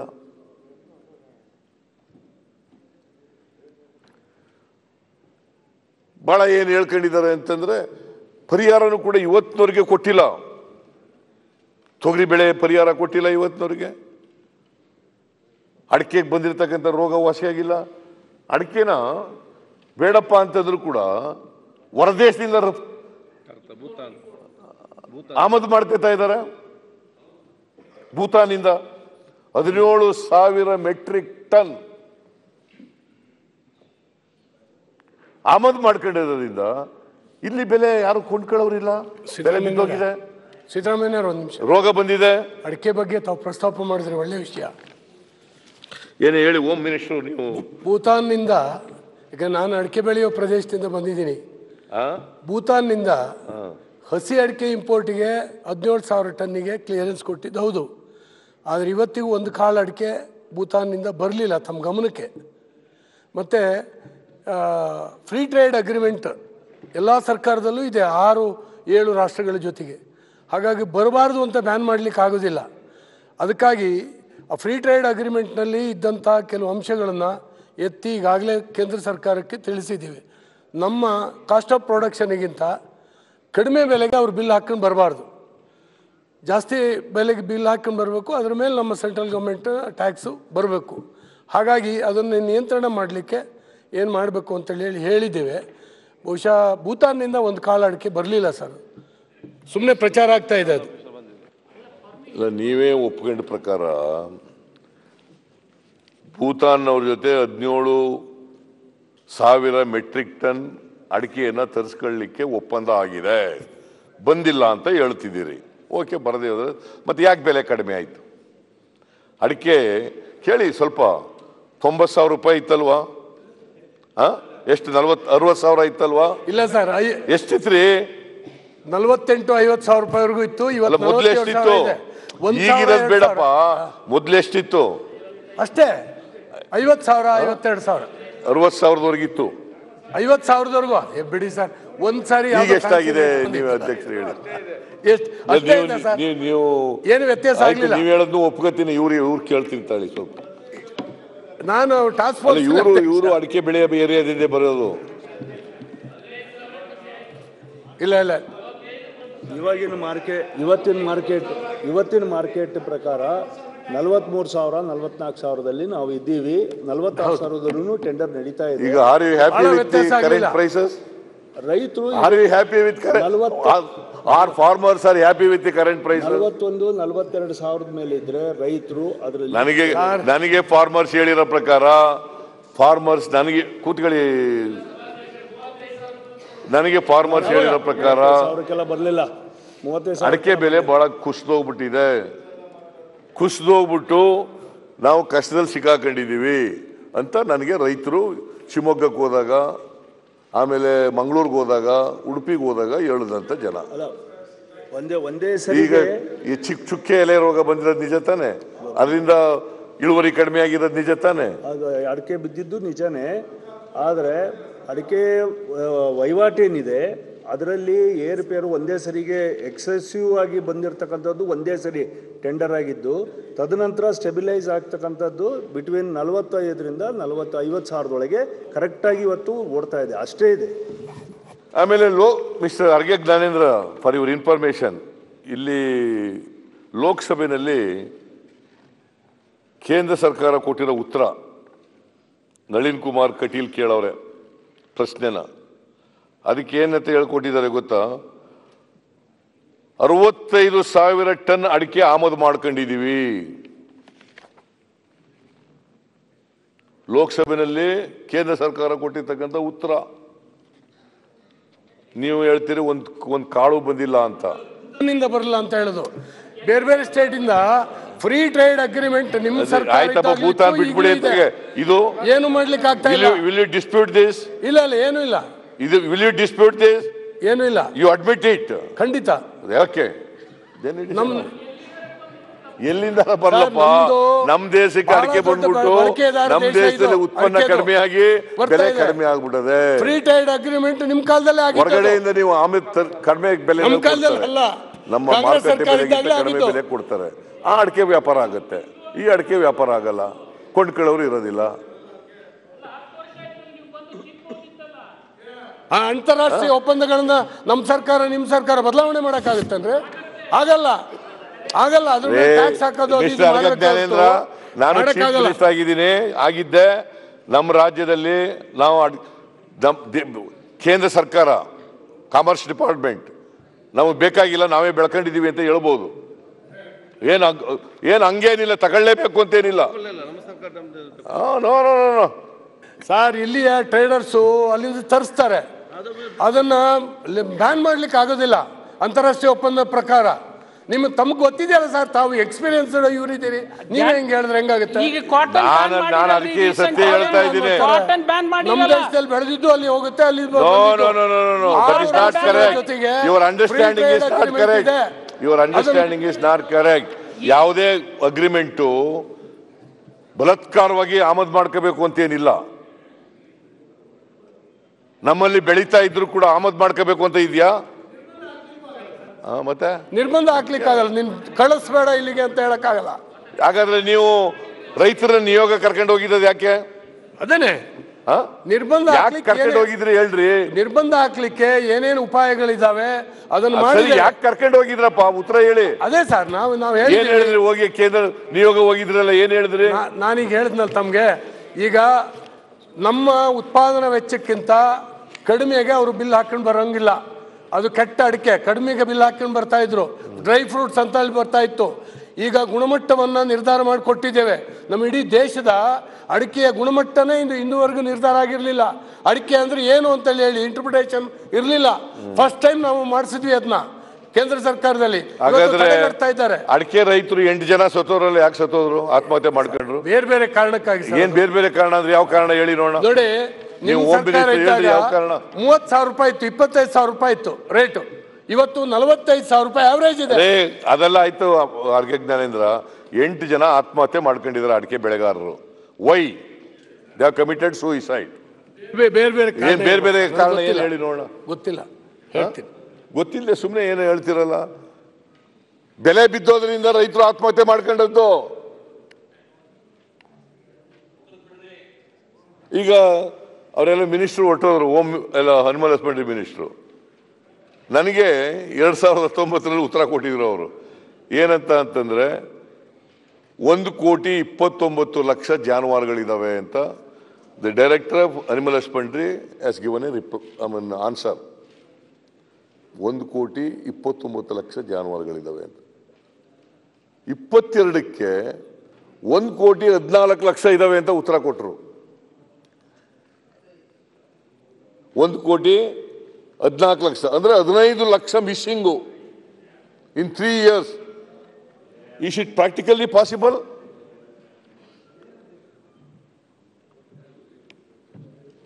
ನಾವು ಗೋಶಾಲೆಗಳು ತೆಗೆದುಬಿಟ್ಟಿದ್ದೀವಿ ದತ್ತು ತಗೊಳಕ್ಕೆ ಹೇಳ್ಬಿಟ್ಟಿದ್ದೀವಿ ಸರ್ಕಾರಿ ನೌಕರರೆಲ್ಲ ದತ್ತು ತಗೊಬಿಟ್ಟಿದ್ದಾರೆ. ಆಮೇಲೆ ಎಂಥದು ಆ, ಗೋಹತ್ಯೆ ನಿಷೇಧ ಕಾಯ್ದೆ ಜಾರಿಗೆ ತಂದ್ಬಿಟ್ಟಿದ್ದೀವಿ. ಆದ್ದರಿಂದ ಗೋ ಎಲ್ಲ ಅಭಿವೃದ್ಧಿ ಆಗ್ಬಿಟ್ಟಿದೆ. ಸಂಪತ್ತು ಅಭಿವೃದ್ಧಿ ಆಗ್ಬಿಟ್ಟಿದೆ. ಎಲ್ಲಪ್ಪ ಆಯ್ತು?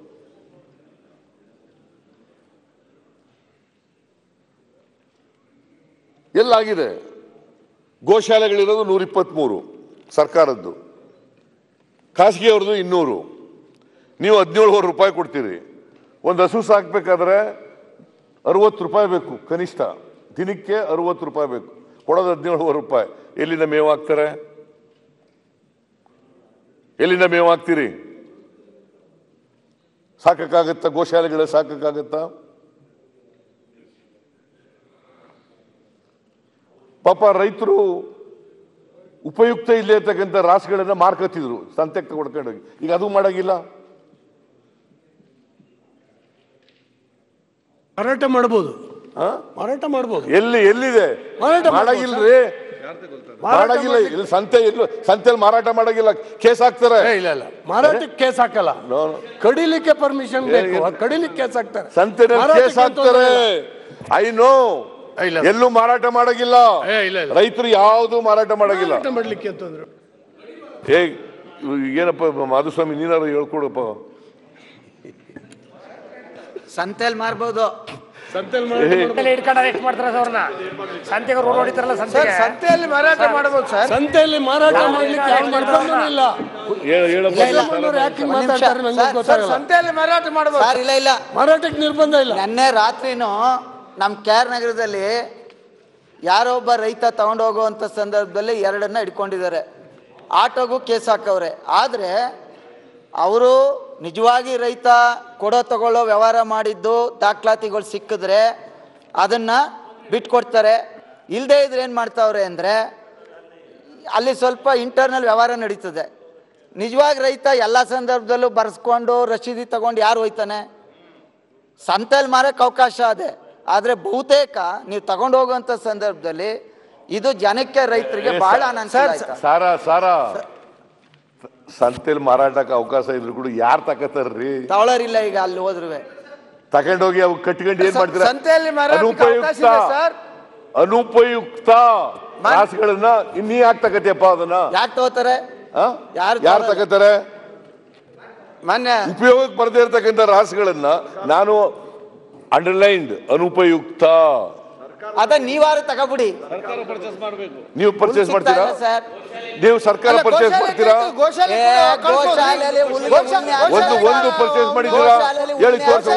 ರಸೀದಿ ತೋರಿಸಿ ಪರ್ಚೇಸ್ ಮಾಡಿದ್ರೆ ಉಲ್ನೆ ಹಾಕಲ್ಲ. ಗೋಶಾಲೆಯಲ್ಲಿ ಹಾಕಲ್ಲ ಸರ್. ನೀವು ರೈತರು ಹೆಂಗೆಲ್ಲ ಹಿಂಗೆಲ್ಲ ಯಾಕೆ ಹೇಳ್ತೀರಿ? ನೀವು ಉಪಯೋಗಕ್ಕೆ ಇಲ್ಲದೆ ಇರ್ತಕ್ಕಂಥ ರಾಸುಗಳನ್ನ ಸಂತೆ ಇದೆ. ತಗತ್ತೀರಾ ಸಂತೆ ಇದೆ ಅಮೀರ್ಗಢದಲ್ಲಿ ಸಂತೆ ಒಳ ಇದೆ. ಇದ್ದವನ್ನ ಹಾಲು ಸಲ ಇದ್ದವನ್ನ ಮುದಿಯಾಗಿರೋವನ್ನ ರೋಗ ಬಂದಿರೋವನ್ನ ತಗತ್ತೀರಾ ಸರ್ ಏನ್ ಮಾಡ್ಬೇಕು ಅಂತ ಜಾನುವಾರುಗಳ ಹೇಳ್ಬಿಡಿ ಆಗ್ತಾ ಇದೆ ಸರ್ ಪ್ರತಿ ವಾರ ಹೇಳಿ ಸರ್ ಏನ್ ಮಾಡ್ಬೇಕು ರೈತರು ಬರ್ತಾರೆ ರೈತರು ಮಾರಾಟ ಮಾಡ್ತಾರೆ ಏನಿಲ್ಲ ಕಾನೂನು ತಗದಾಕಿರಿ ಏನ್ ನಿಷೇಧ ಕಾಯ್ದೆ ಮಾಡಿದಿರಲ್ಲ ತಗಡಾಕಿ ಮೊದ್ಲಿದ್ದಾಗಿರ್ಲಿ ಮಾನ್ಯ ಮಾನ್ಯ ವಿರೋಧ ಪಕ್ಷದ ನಾಯಕರು ಮಾನ್ಯ ವಿರೋಧ ಮಾನ್ಯ ವಿರೋಧ ಪಕ್ಷದ ಸುಮ್ಮನೆ ಕೆಲಸ ಸಿ ಪ್ರಾಕ್ಟಿಕಲ್ ಇವ್ರು ಬಂದಿರೋದು ಯಾವುದು ಗೊತ್ತಾ? ಇದು ಇಡೋ ಇಡನ್ ಅಜೆಂಡಾ ಕೋಮುವಾದಿ ಅಜೆಂಡಾ. ಮನೆ ಅಧ್ಯಕ್ಷರೇ ನಾನು ಈ ಗೋಹತ್ಯೆ ನಿಷೇಧ ಕಾಯ್ದೆ ಬಗ್ಗೆ ಮಾತಾಡ್ತಾ ಇದ್ದೆ. ಅದು ಮಾಡೋದ್ರಿಂದ ಈ ದನ ಕರುಗಳನ್ನೆಲ್ಲ ಏನು ಮಾಡ್ತಾ ಇದ್ದಾರೆ ಗೊತ್ತಾ ಈಗ? ಇದೆಯಲ್ಲ ಬೆಟ್ಟ ಗುಡ್ಡಗಳು ಕರ್ಕೊಂಡು ಹೋಗಿಬಿಟ್ಟು ಘಾಟ್ ಸೆಕ್ಷನಲ್ಲಿ ತಗೊಂಡೋಗಿ ಅಂತ ಅವ್ರು ಯಾರು ಅನುಪಯುಕ್ತವಾದಂಥ ರಾಸುಗಳನ್ನ ಯಾರು ಕೊಂಡ್ಕೊಳ್ಳಲ್ಲ. ನೀವು ಈ ನಿಷೇಧ ಮಾಡಿದ್ರ ಮೇಲೆ ರೈತರಿಗೆ ತೊಂದರೆ ಆಗಿರ್ತಕ್ಕಂಥದ್ದು, ರೈತರಿಗೆ ನಷ್ಟ ಆಗಿರ್ತಕ್ಕಂಥದ್ದು. ರೈತರು ಏನು ಮಾಡ್ತಿದ್ರು? ಹಾಲು ಖರೀದಿ ಇರ್ತಕ್ಕಂಥ ರಾಸುಗಳನ್ನ ವಯಸ್ಸಾಗಿರ್ತಕ್ಕಂಥ ರಾಸುಗಳನ್ನ ಮತ್ತು ವ್ಯವಸಾಯಕ್ಕೆ ಯೋಗ್ಯ ಇಲ್ಲದಿರ್ತಕ್ಕಂಥ ರಾಸುಗಳನ್ನು, ಬರಡು ರಾಸುಗಳನ್ನು ಸಂತೆಗೆ ತಗೊಂಡು ಹೋಗಿ ಮಾರಾಟ ಮಾಡೋದು, ಬೇರೆಯವ್ರು ಯಾರೋ ತಗೊಂಡು ಹೋಗೋದು ಅಥವಾ ಕಸಾಯಿಖಾನೆಗಳಿಗೆ ತಗೊಂಡು ಹೋಗೋದು, ಏನೋ ಮಾಡ್ಕೊಂಡು ಹೋಗ್ತಾ ಇದ್ರು. ಈಗ ನಿಷೇಧ ಮಾಡಿದ್ರಿಂದ ಗೋಶಾಲೆಗಳು ಇಲ್ಲ, ನೀವು ಕೊಡೋದು ಹದಿನೇಳುವರೆ ರೂಪಾಯಿ. ಒಂದು ರಾಶಿ ಸಾಕ್ಬೇಕಾದ್ರೆ ಅರವತ್ತು ರೂಪಾಯಿ ಬೇಕು ಒಂದು ದಿನಕ್ಕೆ ಅಷ್ಟು ದುಡ್ಡು ಕೊಡಲ್ಲ ನೀವು. ಇನ್ನು ರೂ ನೂರು ತೆಗಿತೀವಿ ಅಂತಿದ್ರಿ ತೆಗೆದಿಲ್ಲ. ಸರ್ಕಾರದ ಗೋಶಾಲೆಗಳಿರೋದು ನೂರ ಇಪ್ಪತ್ತ್ಮೂರು ಇನ್ನೂರು ಪ್ರೈವೇಟ್ ಗೋಶಾಲೆಗಳಿದ್ದಾವೆ ಅವ್ರಿಗೇನಾಗಬೇಕು? ನೀವು ದುಡ್ಡು ಕೊಟ್ಟರೆ ಸಾಕ್ತಾರೆ, ದುಡ್ಡು ಕೊಡಿದ್ರೆ ಸಾಕಲ್ಲ. ನೀವು ಸರ್ಕಾರ ತಗೋಬೇಕಾಗ್ತದೆ. ಈಗ ನಾನು ರೈತ. ನಾನು ಸಂತೆಗೆ ತಗೊಂಡು ಮನ್ನ ಯಾರೂ ತಗೊಳ್ಳಲ್ಲ ತಗೊಂಡು ಹೋದ್ರೆ ಬೇರೆ ಯಾರೋ ತಗತಿದ್ರು. ಈಗ ಸರ್ಕಾರವನ್ನು ತಗೊಳ್ಳಲ್ಲ ಬೇರೆಯವರು ತಗೊಳ್ಳಲ್ಲ ಏನು ಮಾಡಬೇಕು ನಾನು? ನನಗೆ ನಷ್ಟ ಆಗುತ್ತೆ. ಆ ಬರ್ಡ್ ರಾಶನ್ನ, ಅನುಪಯುಕ್ತ ರಾಶನ್ನ ಸಾಕಬೇಕು ನಾನು. This is the position today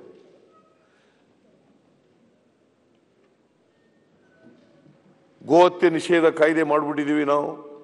ಅಂತ ಬೆನ್ ತಟ್ಟಿಗಳದು ಬೇರೆ. ಗೋ ರಕ್ಷಣೆ ಮಾಡಿಬಿಟ್ಟಿದ್ದೀವಿ ಅಂತಕ್ಕಂಥದ್ದು ಬೇರೆ. ಗೋಗಳನ್ನು ದತ್ತು ತಗೊಳ್ತಾರೆ ಅಂತಕ್ಕಂಥದ್ದು ಬೇರೆ. What is the truth what is the ground reality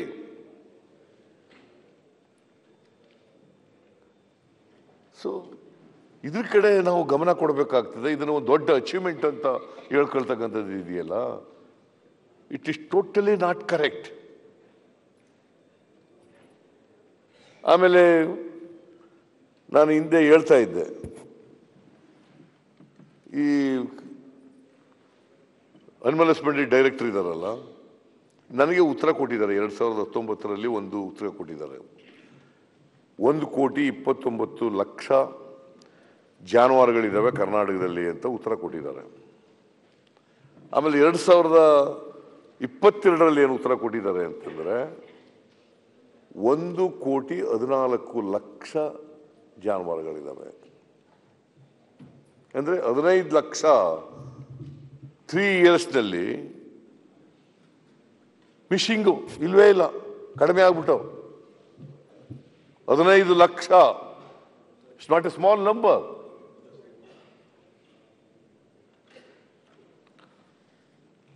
ಇದು ಜೊತೆಗೆ ಚರ್ಮ ಗಂಟು ರೋಗ ಬಂದ್ಬಿಟ್ಟದೆ.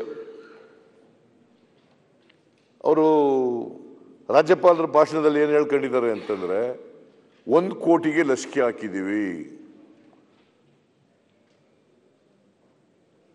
ಜನವರಿ ಒಳಗಡೆ ಲಸಿಕೆ ಹಾಕಿ ಮುಗಿಸ್ತೀವಿ ಅಂತ ಹೇಳಿದ್ದದು ಮಿನಿಸ್ಟ್ರು.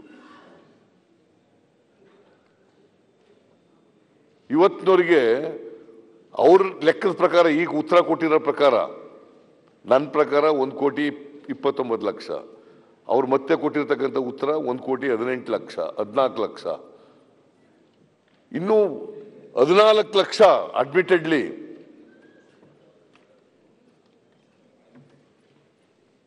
ಸಾವುಗಳಾಗಿದ್ದಾವೆ. ಪರಿಹಾರ ಕೊಡಕ್ಕಾಗಿಲ್ಲ ಅನೇಕ ರಾಸುಗಳು ಸತ್ತೋಗಿದ್ದಾವೆ. ಎತ್ತುಗಳು ಸತ್ತೋಗಿದ್ದಾವೆ, ಎಮ್ಮೆಗಳು ಸತ್ತೋಗಿದ್ದಾವೆ, ಹಸುಗಳು ಸತ್ತೋಗಿದ್ದಾವೆ. ಪರಿಹಾರ ಕೊಟ್ಟಿಲ್ಲ. ಇದು ಒಂದು. ಎರಡನೇದು, ಇದರಿಂದ ಗಂಟು ರೋಗ ಬಂದಿರೋದರಿಂದ ಹಾಲು ಉತ್ಪಾದನೆ ಕಡಿಮೆ ಆಗಿದೆ ನಂಬರ್ ಒನ್ ನಂಬರ್ ಟು ಗೋಹತ್ಯೆ ನಿಷೇಧ ಕಾಯ್ದೆ ಮಾಡಿರೋದ್ರಿಂದ ಮತ್ತೆ ಹಾಲು ಉತ್ಪಾದನೆ ಕಡಿಮೆ ಆಗಿದೆ. ನಿಮಗೆ ತೊಂಬತ್ನಾಲ್ಕು ಲಕ್ಷ ಲೀಟರ್ ಒಂದು ದಿನಕ್ಕೆ ಹಾಲು ಉತ್ಪಾದನೆ ಆಯ್ತಾ ಇತ್ತು. Ninety four lakh litres per day production ಇತ್ತು. ಐದಾರು ತಿಂಗಳ ಹಿಂದೆ. ಇವತ್ತು ಹಾಲಿನ ಉತ್ಪಾದನೆ ಇರತಕ್ಕಂಥದ್ದು ಎಪ್ಪತ್ತಾರು ಲಕ್ಷ ಲೀಟರ್. ಅಂದ್ರೆ ಹದಿನೆಂಟು ಲಕ್ಷ ಲೀಟರ್ ಹಾಲು ಕಡಿಮೆ ಆಯಿತು. ಗೋರಕ್ಷಣೆ ಮಾಡಿದ್ದೀವಿ ರೈತರಿಗೆ ಎಷ್ಟು ಕಡಿಮೆ ಆಯಿತು ಗೊತ್ತಾ? ಒಂದು ದಿನಕ್ಕೆ ಆದಾಯ ಆರು ಪಾಯಿಂಟ್ ಆರು ಆರು ಲಕ್ಷ. ಆರು ಕೋಟಿ ಅರವತ್ತಾರು ಲಕ್ಷ. ಒಂದು ದಿನಕ್ಕೆ ತಿಂಗಳಿಗಲ್ಲ, ವರ್ಷಕ್ಕಲ್ಲ, ಒಂದು ದಿನಕ್ಕೆ ಆರು ಲಕ್ಷದ ಅರವತ್ತಾರು ಸಾವಿರ ಕೋ, ಅರವತ್ತಾರು ಕೋಟಿ ಅರವತ್ತಾರು ಲಕ್ಷ ರೈತರಿಗೆ ಆಯ್ತು. ಯಾರು ಇದಕ್ಕೆ ಯಾರು ಜವಾಬ್ದಾರರು? ಏನು ಭಾಳ ಬೆಂತಟ್ಕೊಬಿಟ್ಟಿದ್ದೀರಲ್ಲ ಗೋರಕ್ಷಣೆ ಮಾಡಿಬಿಟ್ಟಿದ್ದೀವಿ. ಗೋಹತ್ಯೆ ನಿಷೇಧ ಕಾಯ್ದೆ ತಂದ್ಬಿಟ್ಟಿದ್ದೀವಿ. ಗೋಶಾಲೆಗಳನ್ನು ತೆಗೆದುಬಿಟ್ಟಿದ್ದೀವಿ. ದತ್ತು ತಗೊಳ್ಳೋಕೆ ಅವಕಾಶ ಮಾಡಿಕೊಟ್ಟಿದ್ದೀವಿ. ಹದಿನೆಂಟು ಲಕ್ಷ ಲೀಟರ್ ಹಾಲು ರೈತರು ಕಡಿಮೆ ಆಯ್ತಲ್ಲ? Who is responsible for this the government is responsible for this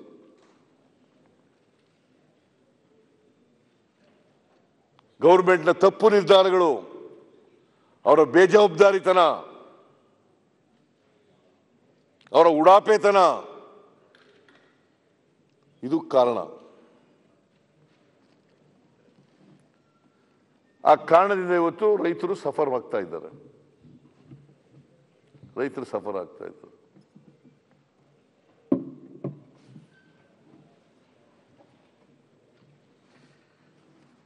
ಆಮೇಲೆ ಡೀಸೆಲ್ ಸಬ್ಸಿಡಿ ಕೊಡ್ತೀವಿ ಅಂತ ಹೇಳ್ತಾರೆ.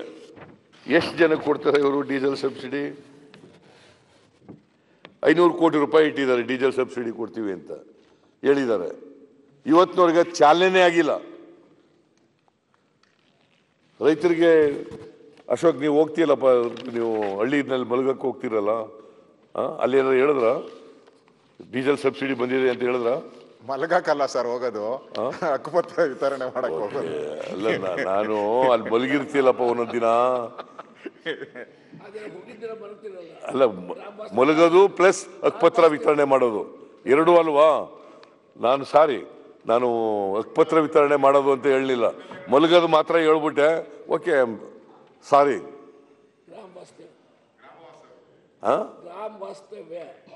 ವಸತಿ ಗ್ರಾಮ ವಾಸ್ತವ್ಯ ಗ್ರಾಮ ವಾಸ್ತವ್ಯ ಅಂದ್ರೆ ಮಲಗದು ಅಂತ? ಏನ್ ನಿದ್ದೆ ಎಚ್ಚರವಾಗಿ ಕೂತಿರ್ತೀಯಾ? ಹೇಳಪ್ಪ. ರಾತ್ರಿ ಎಚ್ಚರವಾಗಿ ಕೂತಿರ್ತಾರ.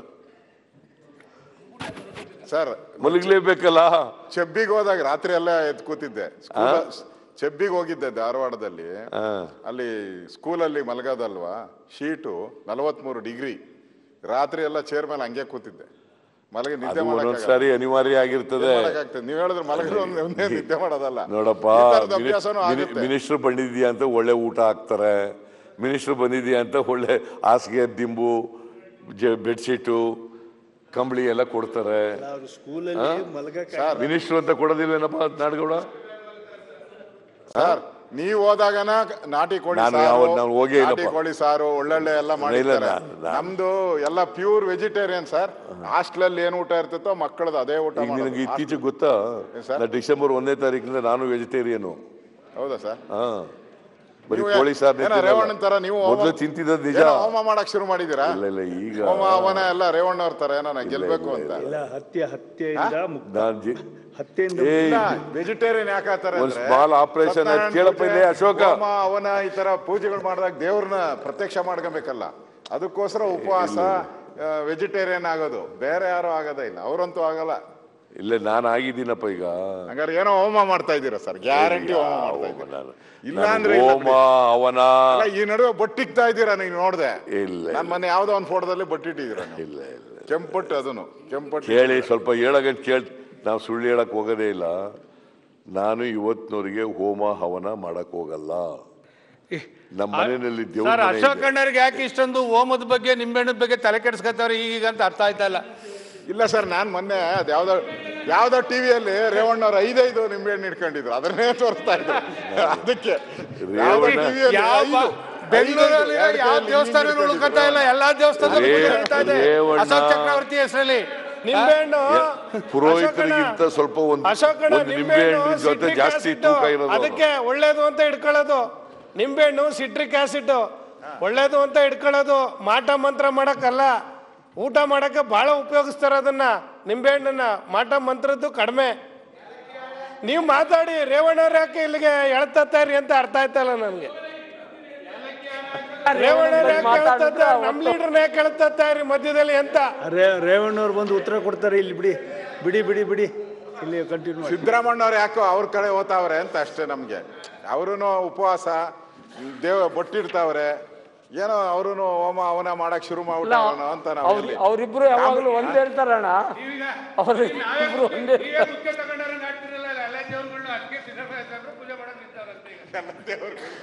ನೋಡಪ್ಪ ಪುಟ್ಟರಾಜ ನಾನು ದೇವರ ವಿರೋಧಿ ಅಲ್ಲ. ಹಿಂದೂ ಧರ್ಮದ ವಿರೋಧಿ ಅಲ್ಲ. ನಾನು I mean I am Hindu ನಾನು ಹಿಂದೂ. ಅಲ್ಲೇ ನಮ್ಮ ಅಪ್ಪ ಸಿದ್ದರಾಮಯ್ಯ ಅಂತ ಹೆಸರಕ್ಕೆ ಹೆಸರಕ್ಕೆ ಇಡ್ತಿದ್ರು. ನಮ್ಮ ತಾಯಿ ನನಗೆ ಯಾಕೆ ಸಿದ್ದರಾಮಯ್ಯ ಅಂತ ಹೆಸರು ಇಡ್ತಿದ್ರು. ಇವರು ಆಗದಿರೋದಕ್ಕೆ ಸಿದ್ದರಾಮಯ್ಯ ಹಿಂದೂ ವಿರೋಧಿ ಅಂತನದು. ಸಿದ್ದರಾಮಯ್ಯ ಹಿಂದೂ ಧರ್ಮದ ವಿರೋಧಿ ಅಂತ ಹೇಳೋದು. I am a Hindu Mahatma ಗಾಂಧಿಯವರು ಹಿಂದೂ ಅಲ್ವಾ? ವಿವೇಕಾನಂದರು ಹಿಂದೂ ಅಲ್ವಾ?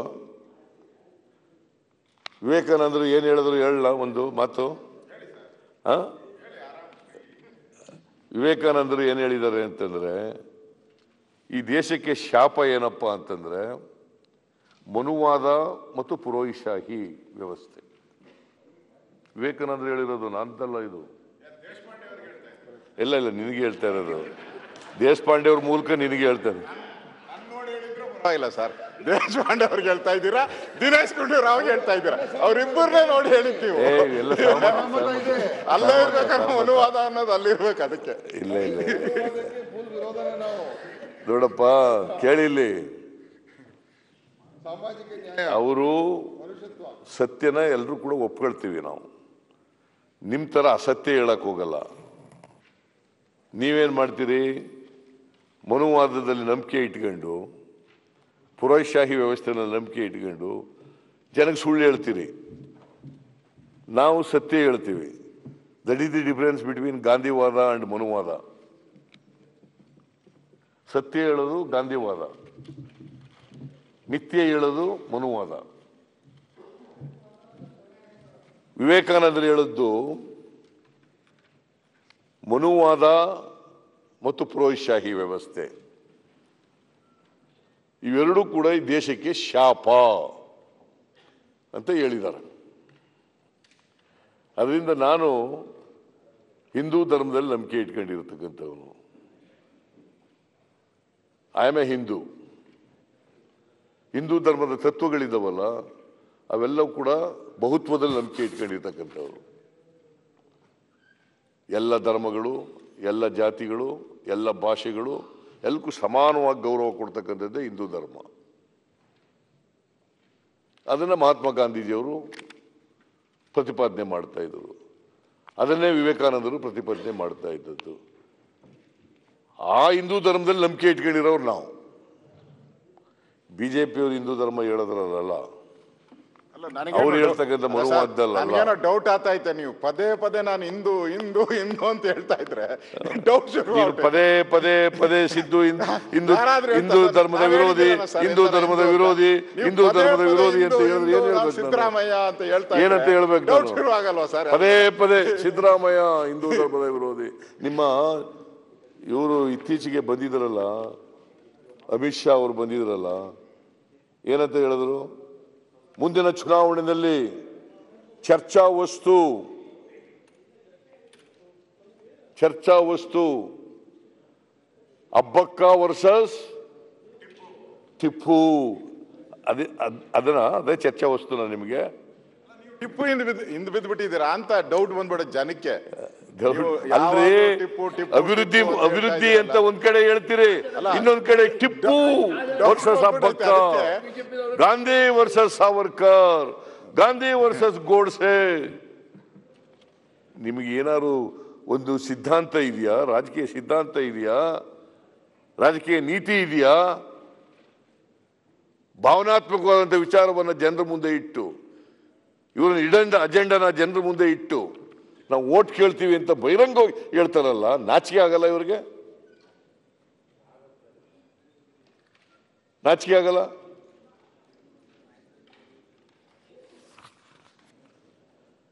ಆಮೇಲೆ ಈ ಡೀಸೆಲ್ ಸಬ್ಸಿಡಿ ಇದೆಯಲ್ಲ, ನೀವು ಬಜೆಟ್ ಪುಸ್ತಕದಲ್ಲಿ ಹೇಳಿದ್ದೀರಿ. ಏನಂತ ಹೇಳಿದ್ದೀರಿ?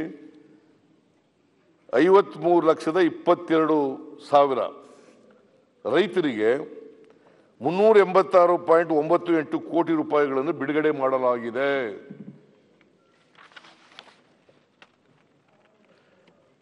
ಐನೂರು ಕೋಟಿ ರೂಪಾಯಿ ಬಜೆಟ್ನಲ್ಲಿ ಹೇಳಿದ್ದಾರೆ.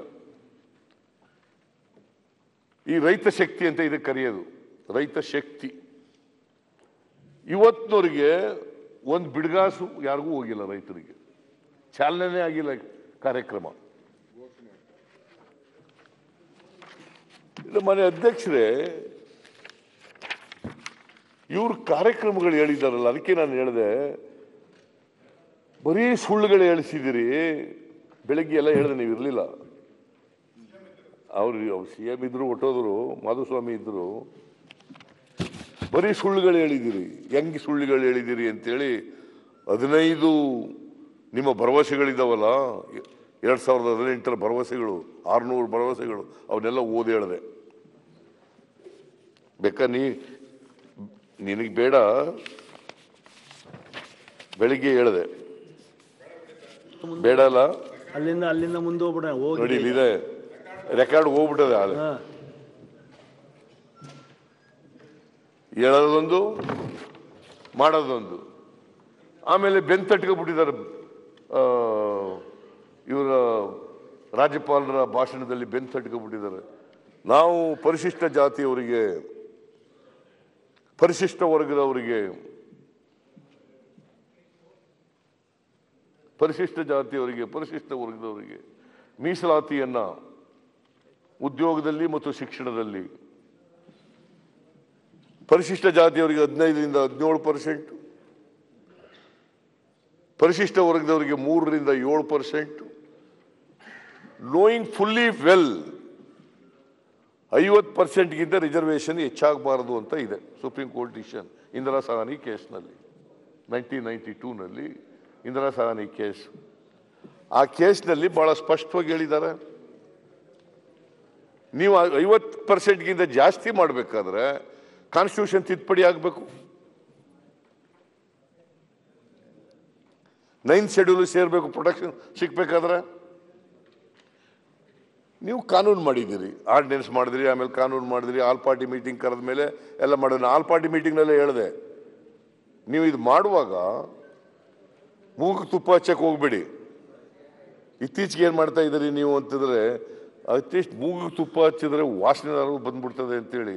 ಹಣೆಗೆ ತುಪ್ಪ ಹಚ್ಚಿಬಿಡ್ತಾರೆ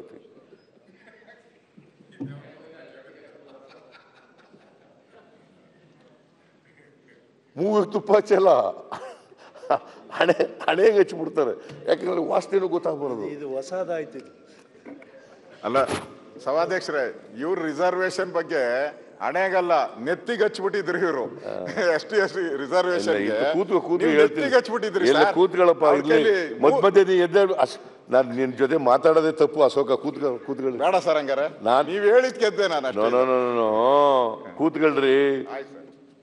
ಎಸ್ ಸಿ ಎಸ್ ಟಿ ರಿಸರ್ವೇಷನ್ಗೆ ನಾಗಮೋಹನ್ ದಾಸ್ ಅವರ ಆಯೋಗ ರಚನೆ ಮಾಡಲಿಕ್ಕೆ ಶಿಫಾರಸು ಮಾಡಿದವರು ಯಾರು? ನೋಡಲ್ಲಿ. ಅವರು. ಅವರು ಸಮ್ಮಿಶ್ರ ಸರ್ಕಾರದಲ್ಲಿ ಆದದ್ದು ಅವ್ರು ಸೋಷಿಯಲ್ ವೆಲ್ಫೇರ್ ಮಿನಿಸ್ಟ್ರು ಮುಖ್ಯಮಂತ್ರಿ ಅನುಮೋದನೆ ಕೊಟ್ಟಿದ್ ಕುಮಾರಸ್ವಾಮಿ ಏ ಅವರು. ಕೂತ್ಕೊಳ್ಳಪ್ಪ ಹೇಳ್ತೀನಿ ಇರೋದ್ ಹೇಳಿ ಸರ್. ಏ ಕೂತ್ಕೊಳ್ರಿ ಹೇಳ್ತೀನಿ. ಮುಖ್ಯಮಂತ್ರಿ ಅಂತ ತಾರಮಯ್ಯ ತಪ್ಪೇನದೆ? ಸರ್. ನೋಡಿ ಹಿಂಗಂದ್ರೆ ಸಿಟ್ಟು ಬರ್ತದೆ ಅವ್ರಿಗೆ. ಕ್ಯಾಬಿನೆಟ್ಗೆ ನೀವು- ಅವ್ರೇ ನೀವು ಹಿರಿಯರು, ಹಿಂಗ್ ಮಾಡ್ಬಾರ್ದು. ಕ್ಯಾಬಿನೆಟ್ಗೆ ಮುಖ್ಯಮಂತ್ರಿ ಅಡ್ಡ ಅಲ್ವಾ ಸರ್? ಅವ್ರು ಹಿರಿಯ ಅದೇ ಬಂದಿರೋದು ಅವರು ತಪ್ಪಿದ್ರೆ- ಕ್ಯಾಬಿನೆಟ್ಗೆ ಮುಖ್ಯಮಂತ್ರಿ ಏನ್ ಸರ್? ಪ್ರಪೋಸಲ್ ತರವ್ರು ಯಾರ್ರಿ? ಹೆಂಗಾಯ್ತದ? ಪ್ರಪೋಸಲ್ ತರವ್ರು ಯಾರು? ತರ್ಬೋ ಸರ್ ಯಾರು ಬೇಕಾದ್ರೂ ತರ ಯಾರು? ಇವ್ರು ಏನ್ ಮಾಡ್ಕೊಂಡಿದ್ದಾರೆ? ರೂಲ್ಸ್ ಆಫ್ ಬಿಸಿನೆಸ್ ಓದ್ಕೊಂಡಿಲ್ಲ? ದಟ್ ಇಸ್ ದಿ ಪ್ರಾಬ್ಲಮ್ ಹೇಳಿ ಸರ್. ಕ್ಯಾಬಿನೆಟ್ನಲ್ಲಿ. ಮಿನಿಸ್ಟ್ರಿಗಳ ಜವಾಬ್ದಾರಿ ಏನು? ಚೀಫ್ ಮಿನಿಸ್ಟರ್ ಜವಾಬ್ದಾರಿ ಏನು? ಸರ್ಕಾರದ ಜವಾಬ್ದಾರಿ ಏನು? ಅಧಿಕಾರಿಗಳ ಜವಾಬ್ದಾರಿ ಏನು ಅಂತ? ರೂಲ್ಸ್ ಆಫ್ ಬಿಸಿನೆಸ್ ಓದ್ಕೊಂಡಿಲ್ಲ ಇವರು. ಸುಮ್ನೆ ಉಡಾಪೆ ಹೊಡೆಯೋದು. ಹೇಳ್ತೀನಿ ಕೂತ್ಕೊಳ್ರಿ. ಸರ್ ಮಹೇಶ್ ಕೂತ್ಕೊಳ್ಳಿ ಇನ್ನು ಬಂದೇ ಇಲ್ಲ ಅಲ್ಲಿಗೆ ಕೂತ್ಕೊಳ್ರಿ.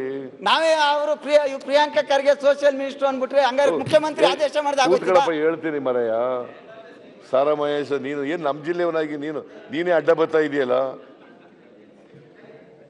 ಸಮ್ಮಿಶ್ರ ಸರ್ಕಾರದಲ್ಲಿ ಸಮ್ಮಿಶ್ರ ಸರ್ಕಾರ ಅಂತಂದ್ರೆ ನೀವು ಸೇರ್ಕೊಂಡು. ನಮ್ಮದೇ ಸಮ್ಮಿಶ್ರ ಸರ್ಕಾರ ಅಂತ ಇರಲ್ಲ. ಸಮ್ಮಿಶ್ರ ಸರ್ಕಾರದ ಕೋಆರ್ಡಿನೇಷನ್ ಕಮಿಟಿ ಚೇರ್ಮನ್ ತಾವಾಗಿದ್ರಿ ಸರ್? ಇಡೀ ಎರಡು ಸರ್ಕಾರಕ್ಕೆ ತಾವೇ ರೇ ಉಪನಾಯಕರೇ ರೇ ಉಪನಾಯಕರೇ ನಾವು ಅದನ್ನೇ ಹೇಳ್ತಾ ಇರೋದು. ಕುಮಾರಸ್ವಾಮಿ ಆದೇಶ ಮಾಡಿದ್ರು ಸೋಷಿಯಲ್ ಮಿನಿಸ್ಟರ್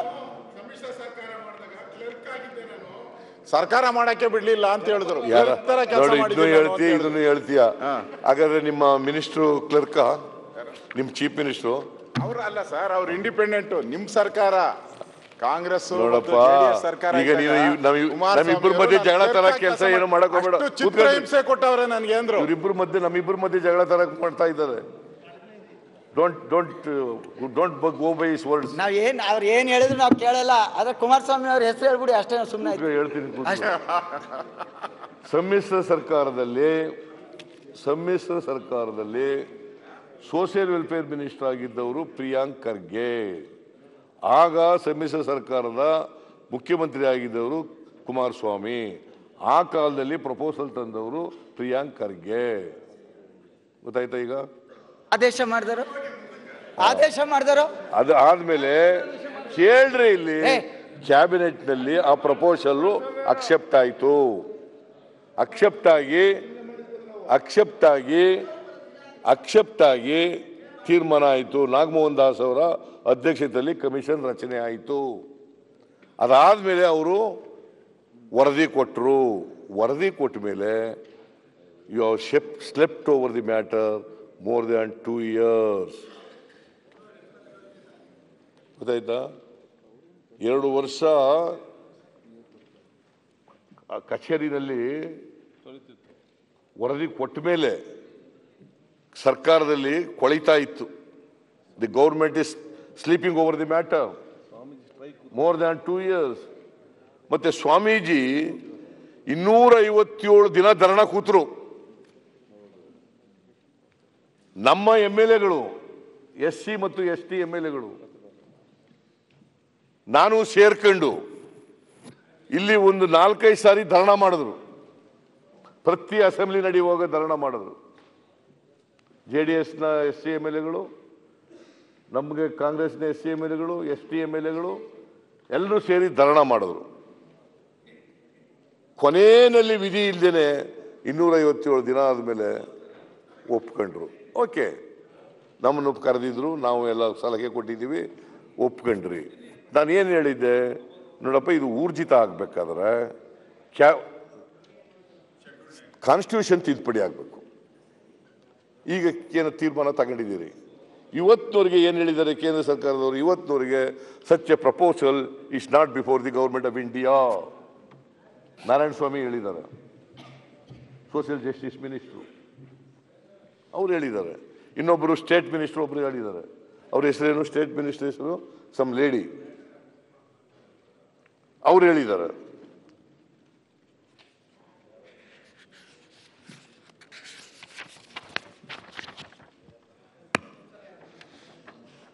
ಪ್ರತಿಮಾ ಪೌಲಿಕ್ ಅಂತ.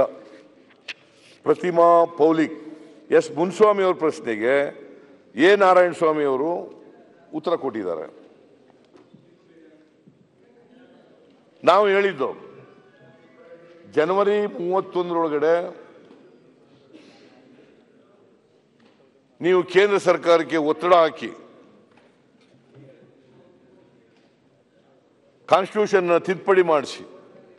ನೈನ್ತ್ ಶೆಡ್ಯೂಲ್ ಸೇರಿಸದೆ ಹೋದರೆ ನಾವು ಬೀದಿಗಿಳಿದು ಹೋರಾಟ ಮಾಡಬೇಕಾಗ್ತದೆ ಅಂತ ಕೂಡ ಹೇಳಿದ್ದು. ಇಲ್ಲಿ ಕೌನ್ಸಿಲ್ ಅಸೆಂಬ್ಲಿನಲ್ಲೂ ಕೂಡ ಅದನ್ನೇ ಪ್ರಸ್ತಾಪ ಮಾಡಿದ್ದು. ಈಗ ಇನ್ನೂರ ಐವತ್ತೇಳು ದಿನ ಸ್ವಾಮೀಜಿಯವರು, ವಾಲ್ಮೀಕಿ ಸ್ವಾಮೀಜಿ, ಪ್ರಸನ್ನಾನಂದ ಪುರಿ ಸ್ವಾ, ಪ್ರಸನ್ನಾನಂದ, ಪ್ರಸನ್ನ ಆನಂದ ಸ್ವಾಮೀಜಿಯವರು. ಅವರು ಇನ್ನೂರ ಐವತ್ತೇಳು ದನನ ಕೂತ್ಕೊಂಡ ಮೇಲೆ, ಒತ್ತಡ ಹಾಕಿದ ಮೇಲೆ ವಿಧಿ ಇಲ್ಲದೇನೆ ನೀವು ಒಪ್ಕೊಂಡು ಈಗ ಮಾಡಿದ್ದೀರಿ. ಈಗ ಅದಕ್ಕೆ ನಾನು ಏನು ಹೇಳ್ತೀನಿ? ಡಬಲ್ ಇಂಜಿನ್ ಸರ್ಕಾರ ಇದೆ ಅಂತ ಪದೇ ಪದೇ ಹೇಳ್ತೀರಿ. ಡಬಲ್ ಇಂಜಿನ್ ಸರ್ಕಾರ ಕರ್ನಾಟಕದ್ದು ಅಂತ. ಇವತ್ತವರೆಗೆ ಪ್ರಪೋಸಲೇ ಹೋಗಿಲ್ಲ ಅಂತಂದ್ರೆ ಪ್ರಪೋಸಲ್ ಕಳಿಸಿದ್ದೀರಾ? ಇಲ್ಲ. ಈಗ ಕಳಿಸ್ತೀವಿ ಅಂತ ಕ್ಯಾಬಿನೆಟ್ನಲ್ಲಿ ತೀರ್ಮಾನ ಮಾಡಿದ್ದೀರಿ. ನಾವು ಹೇಳಿದ್ರೆ ನೋಡಪ್ಪ, ನಾವು ಬೇಕಾದ್ರೆ ಬರ್ತೀವಿ. ಆಲ್ ಪಾರ್ಟಿ ಡೆಲಿಗೇಷನ್ ಕರ್ಕೊಂಡು ಹೋಗಿ. We are also coming along with you S C ಜನರಿಗೆ ಎಸ್ ಟಿ ಜನರಿಗೆ ರಿಸರ್ವೇಷನ್ ಅವ್ರ ಜನಸಂಖ್ಯೆಗೆ ಅನುಗುಣವಾಗಿ ಹೆಚ್ಚು ಮಾಡಬೇಕು ಅಂತಕ್ಕಂಥದ್ದು ನಮ್ಮ ವಾದನೂ ಕೂಡ ಇದೆ. ನಮ್ಮ ಬದ್ಧತೆನೂ ಕೂಡ ಇದೆ. ಅದಕ್ಕೋಸ್ಕರ ಕರ್ಕೊಂಡು ಹೋಗಿ ಅಂತ ಹೇಳಿದ್ರು ಇವತ್ತಿನವ್ರಿಗೆ ನೀವು ಏನು ಮಾಡಲಿಲ್ಲ, ಕರ್ಕೊಂಡು ಹೋಗಲಿಲ್ಲ. ಓಕೆ ನಮಗೆ ಕರ್ಕೊಂಡು ಹೋಗಿದ್ರು ಬೇಡ. ಹೋಗಿ ಕೇಂದ್ರ ಸರ್ಕಾರದ ಹತ್ರ ಕೂತ್ಕೊಂಡು ಪ್ರೈಮ್ ಮಿನಿಸ್ಟರ್ ಹತ್ರ ಕೂತ್ಕೊಂಡು ಇಪ್ಪತ್ತೈದು ಜನ ಎಂ ಎಲ್ ಎಗಳಿದ್ದಾರೆ ಆಮೇಲೆ ಎಂ ಪಿಗಳಿದ್ದಾರೆ.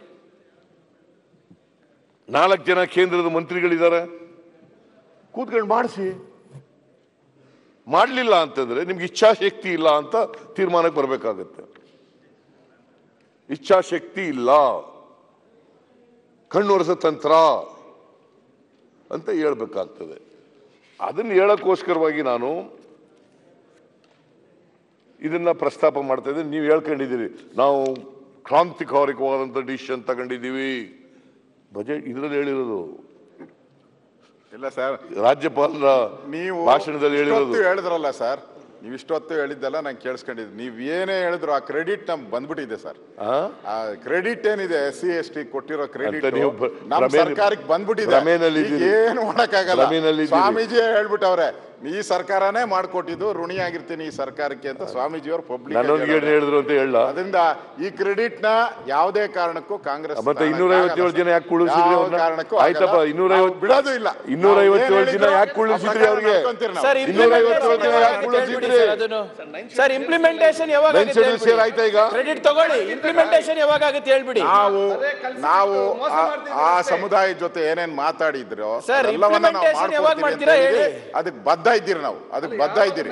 ನೀವು ನೈನ್ ಶೆಡ್ಯೂಲ್ ಸೇರ್ ಆಯ್ತಾ ಅದನ್ನ ಹೇಳಿದಿರಿ. ಮುಖ್ಯಮಂತ್ರಿಗಳು ಈಗಾಗಲೇ ಮಾತುಕತೆ ಮಾಡ್ತಾ ಇದ್ದಾರೆ. ಯಾರ ಜೊತೆ ಮಾತಾಡಿದ್ದೀರಿ ನೀವು? ಉತ್ತರ ಕೊಟ್ಟಿರೋ ನೋಡಿದ್ರೆ ನಾರಾಯಣಸ್ವಾಮಿ ಭಾಷಣ ಆದ್ಮೇಲೆ ನಮ್ಮ ಮುಖ್ಯಮಂತ್ರಿಗಳು ಅದಕ್ಕೂ ಉತ್ತರ ಕೊಡ್ತಾರೆ. ಅದಕ್ಕೂ ಉತ್ತರ ಕೊಡ್ತಾರೆ.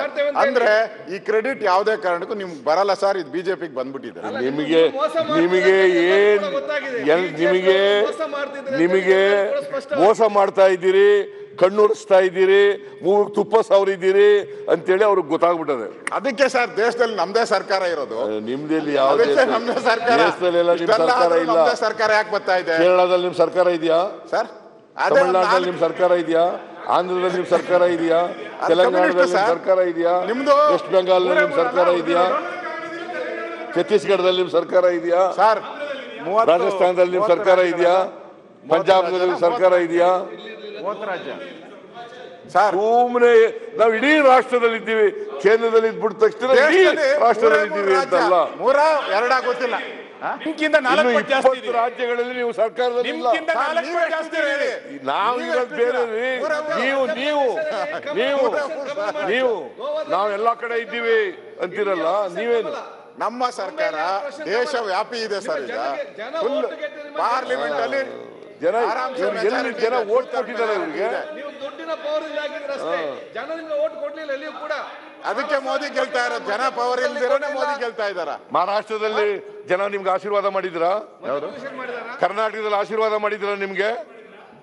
ಸರ್ ಕರ್ನಾಟಕದಲ್ಲಿ ಆಶೀರ್ವಾದ ಮಾಡಿದ್ರ ನಿಮ್ಗೆ? ಮಹಾರಾಷ್ಟ್ರ ಮಹಾರಾಷ್ಟ್ರದಲ್ಲಿ ಬಿಜೆಪಿ ಸರ್ಕಾರಕ್ಕೆ ಆಶೀರ್ವಾದ ಮಾಡಿದ್ದು. ಏನ್ ಏನ್ ಯಾವ ಸರ್ಕಾರ ಸರ್ಕಾರಕ್ಕೂ ಆಮೇಲೆ ಮಾಡಿಲ್ಲ. ಅವ್ರು ಕಿತ್ತೋಗಿದ್ರು. ಕರ್ನಾಟಕದಲ್ಲೂ ಕೂಡ ಮಾಡಿಲ್ಲ. ಅಕ್ರಮವಾಗಿ ಕಿತ್ತೋದ್ರು. ನೀವು ಅದಕ್ಕೆ ಜನ ಬುದ್ಧಿ ಎರಡ್ ಸಾವಿರದ ಶಿವಸೇನೆನ ಭಾಗ ಎಂಟರಲ್ಲೂ ಆಗೋಯ್ತು. ಕೂಡ ಇವ್ರಿಗೆ ಆಶೀರ್ವಾದ ಮಾಡಿಲ್ಲ. ಎರಡ್ ಸಾವಿರದ ಹದಿನೆಂಟರಲ್ಲೂ ಇವ್ರಿಗೆ ಆ- ಆಶೀರ್ವಾದ ಮಾಡಿಲ್ಲ.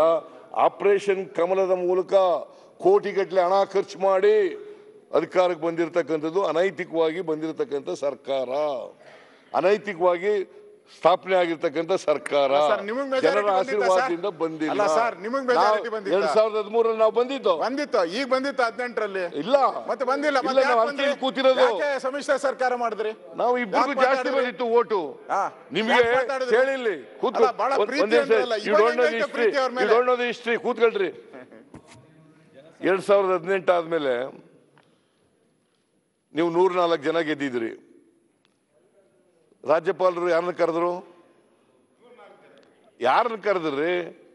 ಯಡಿಯೂರಪ್ಪನವರು ಕರೆದ್ರು. ಯಡಿಯೂರಪ್ಪನವ್ರಿಗೆ ಏನು ಹೇಳಿದರು? ನೀವು ಸಾಬೀತು ಮಾಡ್ರಿ ಅಸೆಂಬ್ಲಿನಲ್ಲಿ ಅಂತ ಹೇಳಿದರು. ಸಾಬೀತು ಮಾಡಿದ್ರ ಅಸೆಂಬ್ಲಿನಲ್ಲಿ? ಹಾಂ? ಯಾಕೆ ಮಾಡೋಕ್ಕಾಗಲಿಲ್ಲ ನಿಮ್ಮ ಕೈಲಿ? ಆಮೇಲೆ ಬೇರೆ ರೀ. ಎರಡು ಸಾವಿರದ ಹದಿನೆಂಟರಲ್ಲಿ ಮಾಡಿದ್ರಾ? ಯಡಿಯೂರಪ್ಪನವರು ಸಾಬೀತು ಮಾಡಕ್ಕೆ ಹೋಗಲಿಲ್ಲ. ರಾಜೀನಾಮೆ ಕೊಟ್ಬಿಟ್ಟು ಮನೆಗೆ ಹೋದರು ಮೂರೇ ದಿನಕ್ಕೆ. He could not prove the majority on the floor of the House. He failed to prove. Since he has no majority, yes, he is unable to see face the assembly. You don't know the history ಹತ್ತೊಂಬತ್ತರಲ್ಲಿ ನೀವು prove ಮಾಡಕ್ ಆಗ್ಲಿಲ್ಲಲ್ಲ ಎಲ್ಲಿ? ಸಾವಿರದ ಹತ್ತೊಂಬತ್ತರಲ್ಲಿ ನೀವೇ prove ಮಾಡಕ್ ಆಗ್ಲಿಲ್ಲಲ್ಲ ನಿಮ್ದೇ ಸರ್ಕಾರ ಇತ್ತಲ್ಲ. ನಾವು ಅದಕ್ಕೆ ಬಿಟ್ಬಿಟ್ವಲ್ಲಪ್ಪ. ಎಲ್ಲಿ ಬಿಟ್ರಿ ಸರ್? ನೀವು ಬಿಡ್ಲಿಲ್ಲ ಹದಿನಾಲ್ಕು ಜನ ಹದಿನಾಲ್ಕು ಜನ ಎಂ ಎಲ್ ಎಗಳನ್ನ ಹೇಳ್ಕಂದ್ರಿ ಅವ್ರು ಮೂರ್ ಜನ ಎಂ ಎಲ್ ಎಗಳು ಹೇಳ್ಕೊಂಡ್ರಿ ಹದಿನೇಳು ಜನ ಹೇಳ್ಕೊಂಡ್ರಿ. ಕೋಟಿ ಗಟ್ಟಲೆ ಗಟ್ಲೆ ದುಡ್ಡು ಖರ್ಚು ಮಾಡಿದ್ರಿ. ಎಲ್ಲಿಂದ? ಬಂತು ದುಡ್ಡು ಅದು? ಲೆಕ್ಕ ಕೊಡ್ತೀರಾ? ಅವರೇ ಬಂದಿದ್ದು. ಲೆಕ್ಕ ಕೊಡ್ತೀರಾ? ಓ. ಅವರೇ ಬರ್ತಾರೆ. ಯಾರಿಗೂ ಯಾರಿಗೂ ಹೇಳ್ತಾ ಇರೋದು? ಎಲ್ಲ ಹೇಳ. ಎಂ ಟಿ ಬಿ ನಾಗರಾಜನ್ ಕರ್ಕ ಹೋದವ್ರು ಯಾರ ನೀವೇ ಅಲ್ವಾ? ಹೌದು ಸರ್ ಮತ್ತೆ ಸುಮ್ನೆ ಇವೆಲ್ಲ ಕತೆ ಎಲ್ಲ ಹೇಳಕ್ ಹೋಗ್ಬಾರ್ದು. Sir M T B Nagaraj ದುಡ್ಡುಗೋಸ್ಕರ Nagaraj ಕರ್ಕೊಂಡು ಬಾಂಬೆ ಕರ್ಕೊಂಡು ಅವ್ರದ್ದು ಸಾವಿರದ ಐನೂರು ಕೋಟಿ ಐತೆ. ಅವ್ರ ದುಡ್ಡುಗೋಸ್ಕರ ಬರೋರಲ್ಲ ಬಿ ನಾಗರಾಜ್. ಆ ತರದ ವ್ಯಕ್ತಿನೇ ಅಲ್ಲ. ರಾಜ್ಪಾಲ್ರಿಗೆ ಬಂದ್ಬಿಡೋಣ. ಇದು ಅವ್ರು ಹೇಳೋದು ಹೊತ್ತಿಗೆ ಹೇಳ್ತಾ ಇದ್ದೀನಿ. ಅವ್ರು ಹೇಳಿ ಮತ್ತೆ. ಎಲ್ಲ ಹೇಳಿದ್ರು. ರಾಜ್ಯಪಾಲರ ಭಾಷಣ JDS ಜೊತೆ ಯಾಕೆ ಬಿಟ್ರಿ ಅಂತ ಹೇಳಿಲ್ಲ. ಹೇಳಿ ಗೌಡ್ರೆ. ಜೆಡಿಎಸ್ ಜೊತೆ ಯಾಕೆ ಬಿಟ್ರು ಈಗ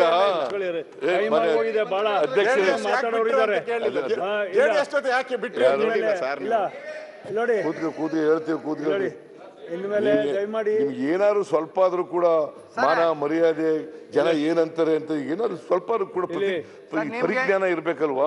ಅಲ್ಲ ಸರ್ ನಿಮಗೆ ಹೇಳದೆ ಬರ್ತಾರ ಅವರು ನೀವೇ ಪರಿಜ್ಞಾನ ಇರ್ಬೇಕಲ್ವಾ? ನಾಯಕ್ರೆ. ಏನ್ ಅನ್ಕೋತಾರೆ ಜನ ಅಂತಾರು ಪರಿಜ್ಞಾನ ಇರ್ಬೇಕಲ್ಲ ಅವ್ರಿಗೆ ಸಿದ್ದರಾಮಯ್ಯನವ್ರು.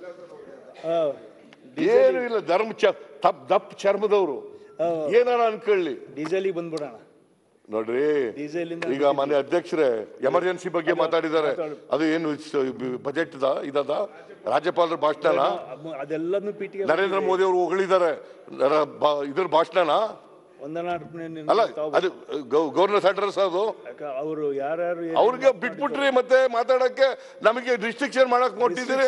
ಮಾತಾಡ್ಲಿಲ್ಲ. ಸಬ್ಜೆಕ್ಟ್ ಡೀಸೆಲ್ ನಾನು ಮಾತಾಡೋದಿಲ್ಲ ನಾನು ಡೀಸೆಲ್ ಡೀಸೆಲ್ ಮೇಲೆ ಮಾತಾಡಲ್ಲ ಡೀಸೆಲ್ ಮೇಲೆ ಮಾತಾಡ್ತಾ this is a governor's address you can't restrict me I never restrict you can't restrict me but diesel it's a governor's address diesel diesel ಮೇಲೆ ಬರ್ತಾ ಇದ್ರಿ ಮಾತನಾಡಿ. ಡಿಸ್ಟರ್ಬ್ ಮಾಡಬೇಡಿ ಯಾಕಂದ್ರೆ ಟೈಮ್ ಜಾಸ್ತಿ ಹೋಗಿದೆ. ಇನ್ನು ಹನ್ನೆರಡು ಜನ ಮಾತನಾಡೋರು ಇದ್ದಾರೆ. ಹನ್ನೆರಡು ಜನ ಮಾತಾಡೋರು ಇದ್ದಾರೆ. ದಯಮಾಡಿ ಯಾರು ನೋಡಿ ನೋಡಿ ಸ್ವಾಮಿ ಡಿಸ್ಟರ್ಬ್ ಮಾಡಬೇಡಿ ಹಿಂಗೆ ವಿರೋಧ ಪಕ್ಷದ ಅಧ್ಯಕ್ಷ ನಾಯಕರಿಗೆ ಈ ತರ ಗವರ್ನರ್ಸ್ ಅಡ್ರೆಸ್ ಮೇಲೆ ಮಾತಾಡುವಾಗ ರಿಸ್ಟ್ರಿಕ್ಷನ್ ಹಾಕೋದು ಅವರಿಗೆ ಅವ್ರಿಗೆ ಡಿಸ್ಟರ್ಬ್ ಮಾಡಬೇಡಿ ಎಂದೆ ನಾನು. ಹಾ ಅವ್ರಿಗೆ ಹೇಳಿ ಅವ್ರಿಗೆ ಹೇಳಿ. ಅವರಿಗೆ ಡಿಸ್ಟರ್ಬ್ ಮಾಡ್ಬೇಡಿ. ಅವ್ರು ಹೇಳ್ತಾ ಇದ್ದಾರೆ. ಡಿಸ್ಟರ್ಬ್ ಮಾಡಬೇಡ.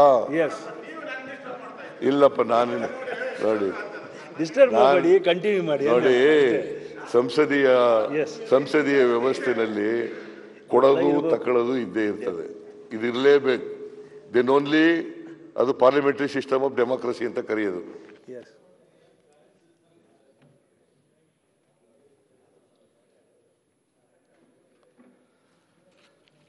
ಸೊ ಮೊನ್ನೆ ಅಧ್ಯಕ್ಷರೇ ನಾನು ಏನು ಸಲಹೆ ಕೊಡ್ತಾ ಇದ್ದೀನಿ ಅಂದರೆ ನಮ್ಮನ್ನು ಕರೆದ್ರೆ ಬರೆದ್ರೆ ಬರ್ತೀವಪ್ಪ. ನಾವು ಕರೆದ್ರೆ ಬರ್ತೀವಿ. ಬಟ್ ಒಟ್ಟಾರೆಯಾಗಿ ಎಸ್ ಸಿ ಜನರಿಗೆ ಮೀಸಲಾತಿ ಸಿಗ್ಬೇಕು. ಹದಿನೈದರಿಂದ ಹದಿನೇಳು ಪರ್ಸೆಂಟ್ ಸಿಗಬೇಕು. ಮೂರರಿಂದ ಆರು ಪರ್ಸೆಂಟ್ ಎಸ್ ಟಿ ಜನರಿಗೆ ಸಿಗಬೇಕು. ನಾಲ್ಕು ಇವತ್ತೇನು ನೀವು ಕಾನೂನು ಮಾಡಿದ್ದೀರಿ, ಆ ಕಾನೂನು ಊರ್ಜಿತ ಆಗಬೇಕು. ಸಂವಿಧಾನ ತಿದ್ದುಪಡಿ ಆಗಬೇಕು, ಸಂವಿಧಾನ ತಿದ್ದುಪಡಿ ಮಾಡಬೇಕು ನೈನ್ತ್ ಶೆಡ್ಯೂಲ್ಗೆ ಸೇರಿಸಬೇಕು. ದಟ್ ಈಸ್ ಅವರ್ ಡಿಮ್ಯಾಂಡ್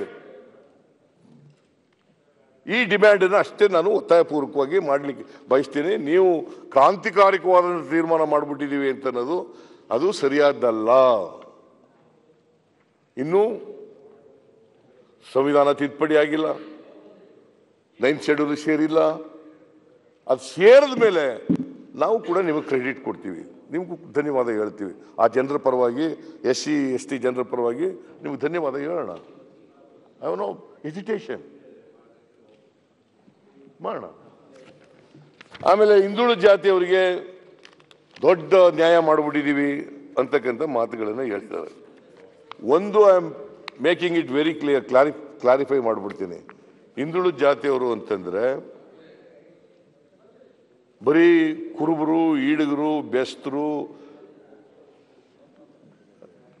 ಗೊಲ್ಲರು ಮಡಿವಾಳರು, ಅವರೇ ಅಲ್ಲ.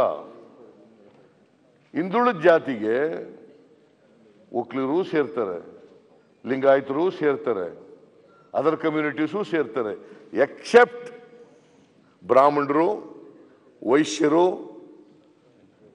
ನಗರತರು ಮೊದಲಿಯಾರು. ಇವ್ರು ಬಿಟ್ಟರೆ ಇನ್ನು ಬಾಕಿಯವರೆಲ್ಲ ಹಿಂದುಳಿದ ಜಾತಿಗಳಲ್ಲೇ ಬರ್ತಾರೆ. ಹಿಂದುಳಿದ ಜಾತಿಯವರಿಗೆ ಏನೇನು ಫೆಸಿಲಿಟೀಸ್ ಇದೆ?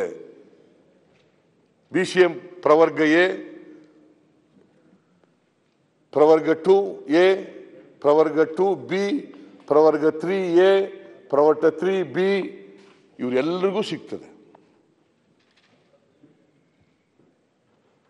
ಆಮೇಲೆ ಮಂಡಲ್ ಕಮಿಷನ್ ವರದಿನಲ್ಲಿ ಬರೀ ಇವರೇ ಹಿಂದುಳಿದ ಜಾತಿಗಳವರಲ್ಲ, rural Okkaligars are also coming coming under the backward list backward class list under Mandal commission.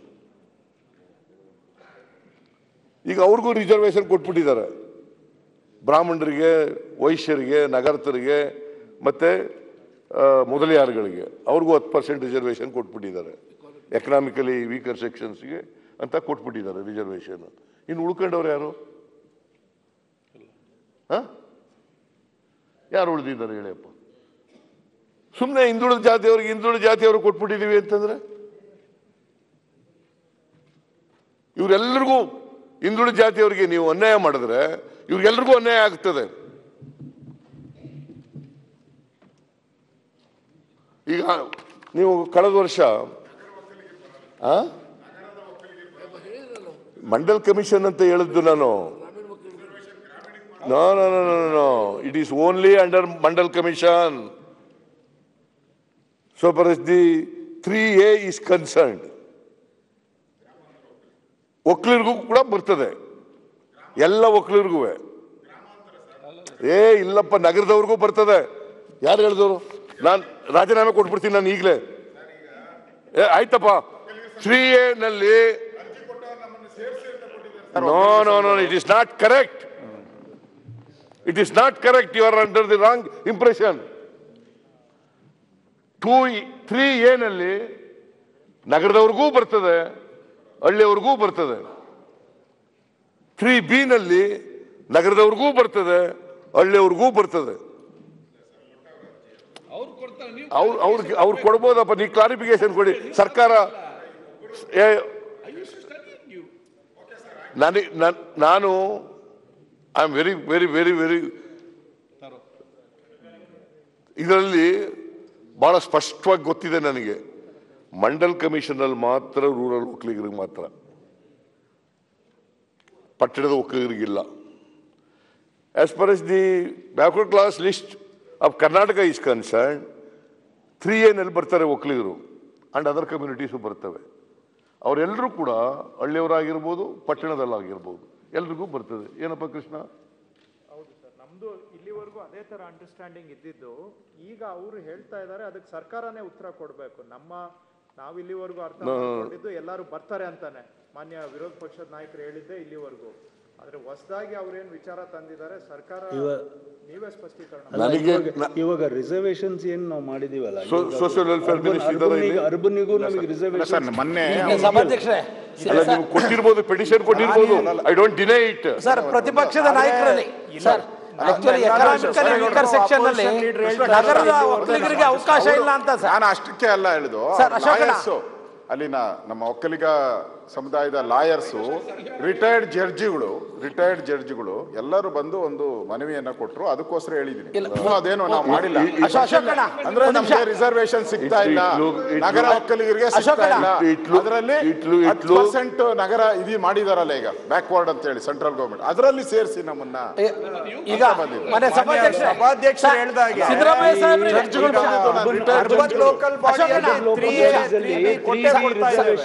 Siddaramaiah ಸಾಹೇಬ್ರಿಗೆ ಒಂದು ನಿಮಿಷ.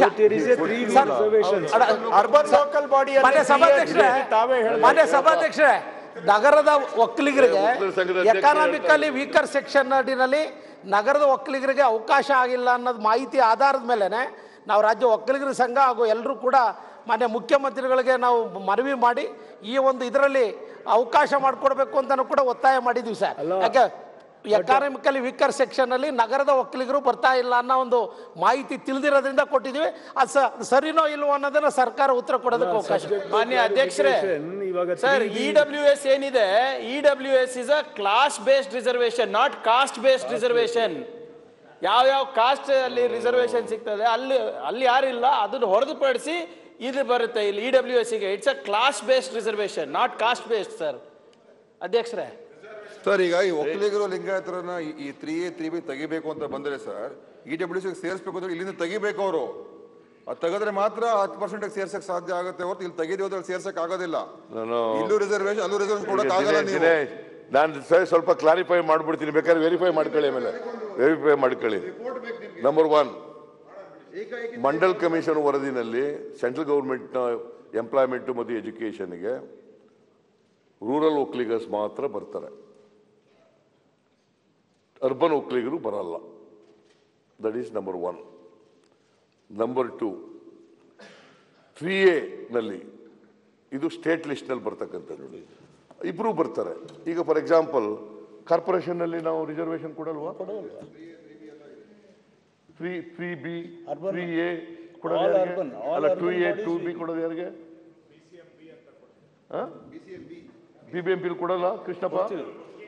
ಮತ್ತೆ? ಅಂಡರ್ ತ್ರೀ ಬಿ ನೀನು ಸಿಟಿ ಅವನು Ashok. Ashok C T City three A three B three B two A two B ಕೊಡ್ತೀವಲ್ಲ? ಕೊಡ್ತೀವಿ. ಅದು ಗ್ರಾಮೀಣ ಪಟ್ಟಣದವ್ರಿಗೂ ಕೊಡ್ತೀವಲ್ವಾ? ನಗರಸಭೆ ಕಾರ್ಪೊರೇಷನ್ ಕೊಡ್ತೀವಲ್ಲ? ಹಾ ಬಿ ಸಿ ಎಂ ಟೂ ಬಿನಲ್ಲಿ ಬರ್ತಾರಲ್ಲ? ಒಕ್ಲೀರು ಬರ್ತಾರಲ್ಲ ಅದರಲ್ಲಿ? ಮತ್ತೆ ಹೆಂಗೆ ಒಕ್ಲೀರು ಸಿಟಿ ಅವ್ರು ಬರ್ದೇ ಹೆಂಗೆ ಹೆಂಗ್ ಬರ್ತಾರೆ ಅವರು? ಸೊ ಇದು ಒಂದು. ಎರಡನೇದು ಎಕನಾಮಿಕಲಿ ವೀಕರ್ ಸೆಕ್ಷನ್ಸ್ ಅಂತ. ಅದು ಹತ್ತು ಪರ್ಸೆಂಟ್ ಕೊಟ್ಟಿದ್ದಾರಲ್ಲ ಅದು ವೈಶ್ಯರಿಗೆ ಬ್ರಾಹ್ಮಣರಿಗೆ ನಗರತರಿಗೆ ನಗರಸ್ಥರಿಗೆ ಅರಸಿಗೆ ಹತ್ತು ಪರ್ಸೆಂಟು ಕರ್ನಾಟಕದಲ್ಲಿ ಸಿಕ್ಕದು. ಯಾಕಂದರೆ ರಜಪೂತರು ಕೂಡ ಇಲ್ಲಿ ಬಂದ್ಬಿಡ್ತಾರೆ. ತ್ರೀ ಬಿನಲ್ಲಿ ಬಂದ್ಬಿಡ್ತಾರೆ. ಬಿ ನಲ್ಲಿ ಬರ್ತಾರೆ. ಬಂದ್ಬಿಡ್ತಾರೆ. ಅವ್ರು ಅಷ್ಟು ಮಾತ್ರ ಬರೋದು. ಅವ್ರು ಏನು ಹೇಳಿದ್ದಾರೆ ಅದು ಹೇಳುವಾಗ ಬೇರೆ ರಿಸರ್ವೇಷನ್ ಅಲ್ಲಿ ಬರ್ತಕ್ಕಂಥವ್ರು ಯಾರು ಇರ್ ಬರಲ್ಲ. ಸ್ಪೆಷಲ್ ಈ ಎಕನಾಮಿಕಲಿ ವೀಕರ್ ಸೆಕ್ಷನ್ಸ್ ಇದಾರಲ್ಲ ಅವ್ರಿಗೆ ಬರಲ್ಲ ಅಂತ ಹೇಳಿದ್ದಾರೆ so this is the clarification and this is a fact ಅದರಿಂದ ಕನ್ಫ್ಯೂಸ್ ಮಾಡ್ಕೊಳ್ಳೋದು ಬೇಡ. ನಾನು ಅದನ್ನು ತರೋ ಓದಿದ್ದೀನಿ, ಎಲ್ಲನೂ ಓದ್ಕೊಂಡು ಬಂದು ಓದ್ಕೊಂಡೇ ಇರೋದು. ಯಾಕೆ ನಾನು ಬ್ಯಾಗೋ ಕ್ಲಾಸ್ನಿಂದ ಬಂದಿರೋನಲ್ಲ, ಇನ್ನೊಬ್ರಿಗೆ ಹೇಳ್ಬೇಕಾದ್ರೆ ನನಗೆ ಗೊತ್ತಿರಬೇಕಲ್ಲ, ಗೊತ್ತಿಲ್ಲ ಹೆಂಗೆ ಹೇಳೋಕ್ಕಾಗತ್ತೆ. ಸೊ ಅದರಿಂದ ಮಾನ್ಯ ಅಧ್ಯಕ್ಷರೇ, ಹಿಂದುಳಿದ ಜಾತಿಗಳು ಅಂತಂದ್ರೆ ಬೇರೆ ಬೇರೆ ಕೆಟಗರಿ ಮಾಡಿದ್ದಾರೆ ಅಷ್ಟೇ. ಕ್ಲಾಸ್ ಒನ್ ಕೆಟಗರಿ ಒನ್ ಮಾಡಿದ್ದಾರೆ. ಕೆಟಗರಿ ಟೂ ಎ ಮಾಡಿದ್ದಾರೆ ಕೆಟಗರಿ ಟೂ ಬಿ ಮಾಡಿದ್ದಾರೆ ಕೆಟಗರಿ ತ್ರೀ ಎ ಮಾಡಿದ್ದಾರೆ ಕೆಟಗರಿ ತ್ರೀ ಬಿ ಮಾಡಿದ್ದಾರೆ. But all are eligible hostel facilities ತಗೊಳ್ಳಿಕ್ಕೆ ಸ್ಕಾಲರ್ಶಿಪ್ ತಗೊಳ್ಳಿಕ್ಕೆ ಎಲ್ರಿಗೂ ಎಲಿಜಿಬಿಲಿಟಿ ಇದೆ. ಬಟ್ ಇವ್ರು ಏನ್ ಮಾಡಿದ್ದಾರೆ? ಇವರು ಬಿಜೆಪಿ ಸರ್ಕಾರ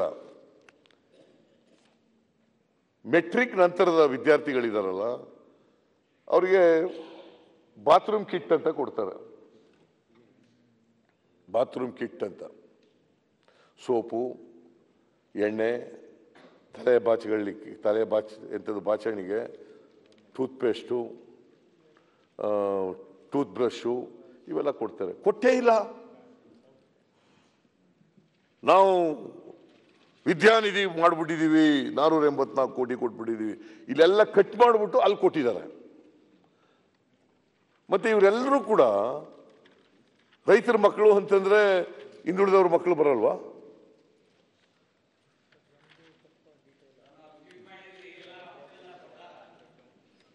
ಟು ಎ ಟು ಬಿ ಅಲ್ಲ ಇವರೆಲ್ಲ class one class two A class two B ಇವರೆಲ್ಲ ಬರಲ್ವಾ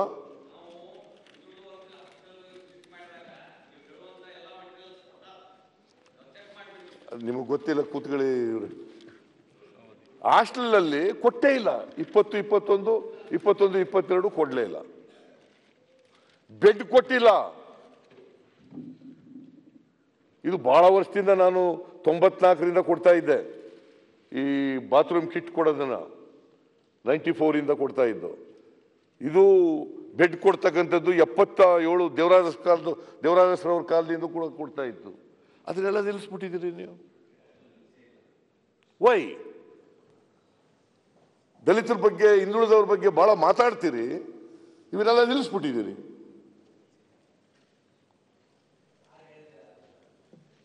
Can we call your government as pro backward communities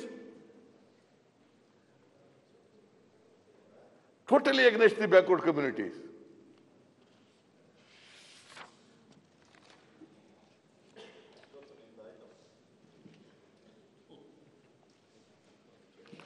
ಇಪ್ಪತ್ತೆರಡು, ಇಪ್ಪತ್ಮೂರು ಈ ವರ್ಷ ಕೆಲವು ಜಿಲ್ಲೆಗಳಲ್ಲಿ ವಿಟ್ ಮಾಡಿದ್ದಾರೆ. ಇನ್ ಕೆಲವು ಜಿಲ್ಲೆಗಳಲ್ಲಿ ಮಾಡೇ ಇಲ್ಲ. ಇಪ್ಪತ್ತೊಂದು, ಇಪ್ಪತ್ತೆರಡರಲ್ಲಿ ಎಷ್ಟು ವಿದ್ಯಾರ್ಥಿಗಳಿದ್ರು ಗೊತ್ತಾ? ಅವ್ರು ಯಾಕೆ ಅವ್ರನ್ನ ಯಾಕೆ ಮಾತಾಡ್ತೀನಿ ನಿನಗೆ ಮಾತಾಡಪ್ಪ. ಎಂಬತ್ತೆಂಟು ಸಾವಿರದ ಐನೂರ ಅರವತ್ಮೂರು ವಿದ್ಯಾರ್ಥಿಗಳು. ಎಂಬತ್ತೆಂಟು ಸಾವಿರದ ಐನೂರ ಅರವತ್ಮೂರು ವಿದ್ಯಾರ್ಥಿಗಳಿಗೆ ಅವರೆಲ್ಲ ವಂಚಿತರಾದರು. ಇವರೆಲ್ಲರೂ ಬರ್ತಾರೆ. ಒಕ್ಲಿರು ಬರ್ತಾರೆ, ಲಿಂಗಾಯತರು ಬರ್ತಾರೆ, ಕುರುಬರು ಬರ್ತಾರೆ, ಈಡಿಗರು ಬರ್ತಾರೆ, ಬೆಸ್ತರು ಬರ್ತಾರೆ, ಮಡಿವಾಳರು ಬರ್ತಾರೆ ಗೊಲ್ಲರು ಬರ್ತಾರೆ. ಎಲ್ಲ ಜಾತಿಯವರು ಬರ್ತಾರೆ. ಎಂಬತ್ತೆಂಟು ಸಾವಿರದ ಐನೂರ ಅರವತ್ಮೂರು ಒ ಬಿ ಸಿ ವಿದ್ಯಾರ್ಥಿಗಳಿಗೆ ಸಿಕ್ಕಲಿಲ್ಲ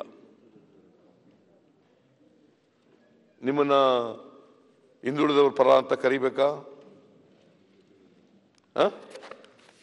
ಹೇಳಿ ನೀವೇ. ಆಮೇಲೆ ನಾನು ಇಂಜಿನಿಯರಿಂಗ್ ಮೆಡಿಕಲ್ ಕಾಲೇಜು ನಲ್ಲಿ ಇಂಜಿನಿಯರಿಂಗ್ ಕಾಲೇಜ್ನಲ್ಲಿ ಓದೋರಿಗೆ ಮೆಡಿಕಲ್ ಕಾಲೇಜ್ನವರು ಓದೋರಿಗೆ ಒ ಬಿ ಸಿ ವಿದ್ಯಾರ್ಥಿಗಳಿಗೆ ಎರಡು ಪರ್ಸೆಂಟ್ನಲ್ಲಿ ಸಾಲ ಕೊಡೋದು ಮಾಡಿದ್ದು. ಎರಡು ಪರ್ಸೆಂಟ್ನಲ್ಲಿ ಸಾಲ.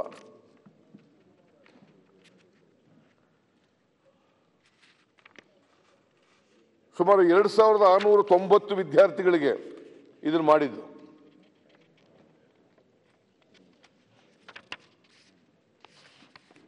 ನೀವು ಅದನ್ನು ಕಡಿಮೆ ದುಡ್ಡು ಕೊಟ್ಬಿಟ್ಟಿದ್ದೀರಿ ಈ ಸಾರಿ. ಇಪ್ಪತ್ತೆಂಟು ಕೋಟಿ ಇರೋದು, ಹದಿನೆಂಟು ಕೋಟಿ ಮಾಡಿಬಿಟ್ಟಿದ್ದೀರಿ. ವೈ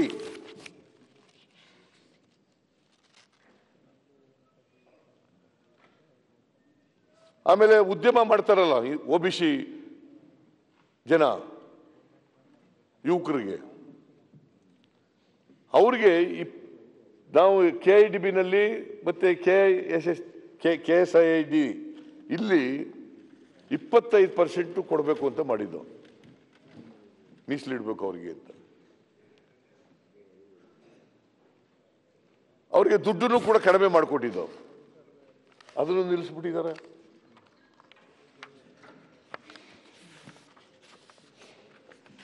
ಸೊ ಹಾಗಾಗಿ ಇವತ್ತು ಇವ್ರು ಹೇಳಿರ್ತಕ್ಕಂಥದ್ದು ಹಿಂದುಳಿದ ಜಾತಿಯವರಿಗೆ ನಾವು ಹಂಗೆ ಮಾಡಿದ್ದೀವಿ, ಹಿಂಗೆ ಮಾಡಿದ್ದೀವಿ ಅವರನ್ನ ಮೇಲಕ್ಕೆ ತಗೊಂಡೋಗಿದ್ದೀವಿ ಅಂತ ಹೇಳೋದಿದೆಯಲ್ಲ, ಅದು ಶುದ್ಧ ಸುಳ್ಳು. ಈ ವರ್ಗದ ಜನರಿಗೆ ಅನ್ಯಾಯ ಆಗಿದೆ.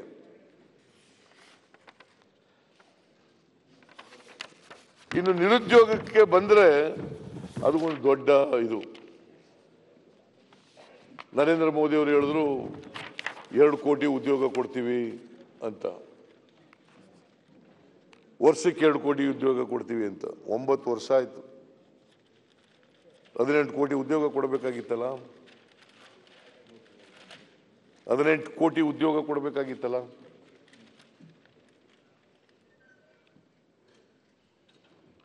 ಇವತ್ತು ಕಳೆದ ನಾಲ್ಕು ವರ್ಷಗಳಲ್ಲಿ ರಾಜ್ಯದಲ್ಲಿ ನಿರುದ್ಯೋಗದ ಸಮಸ್ಯೆ ಬೃಹದಾಕಾರವಾಗಿ ಬೆಳೆದಿದೆ.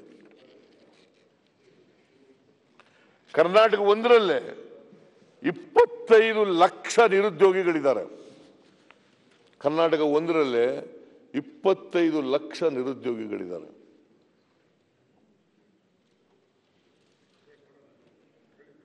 ಉದ್ಯೋಗನೂ ಕೊಡ್ತಾ ಇಲ್ಲ, ಉದ್ಯೋಗ ಸೃಷ್ಟಿ ಆಯ್ತಾ ಇಲ್ಲ.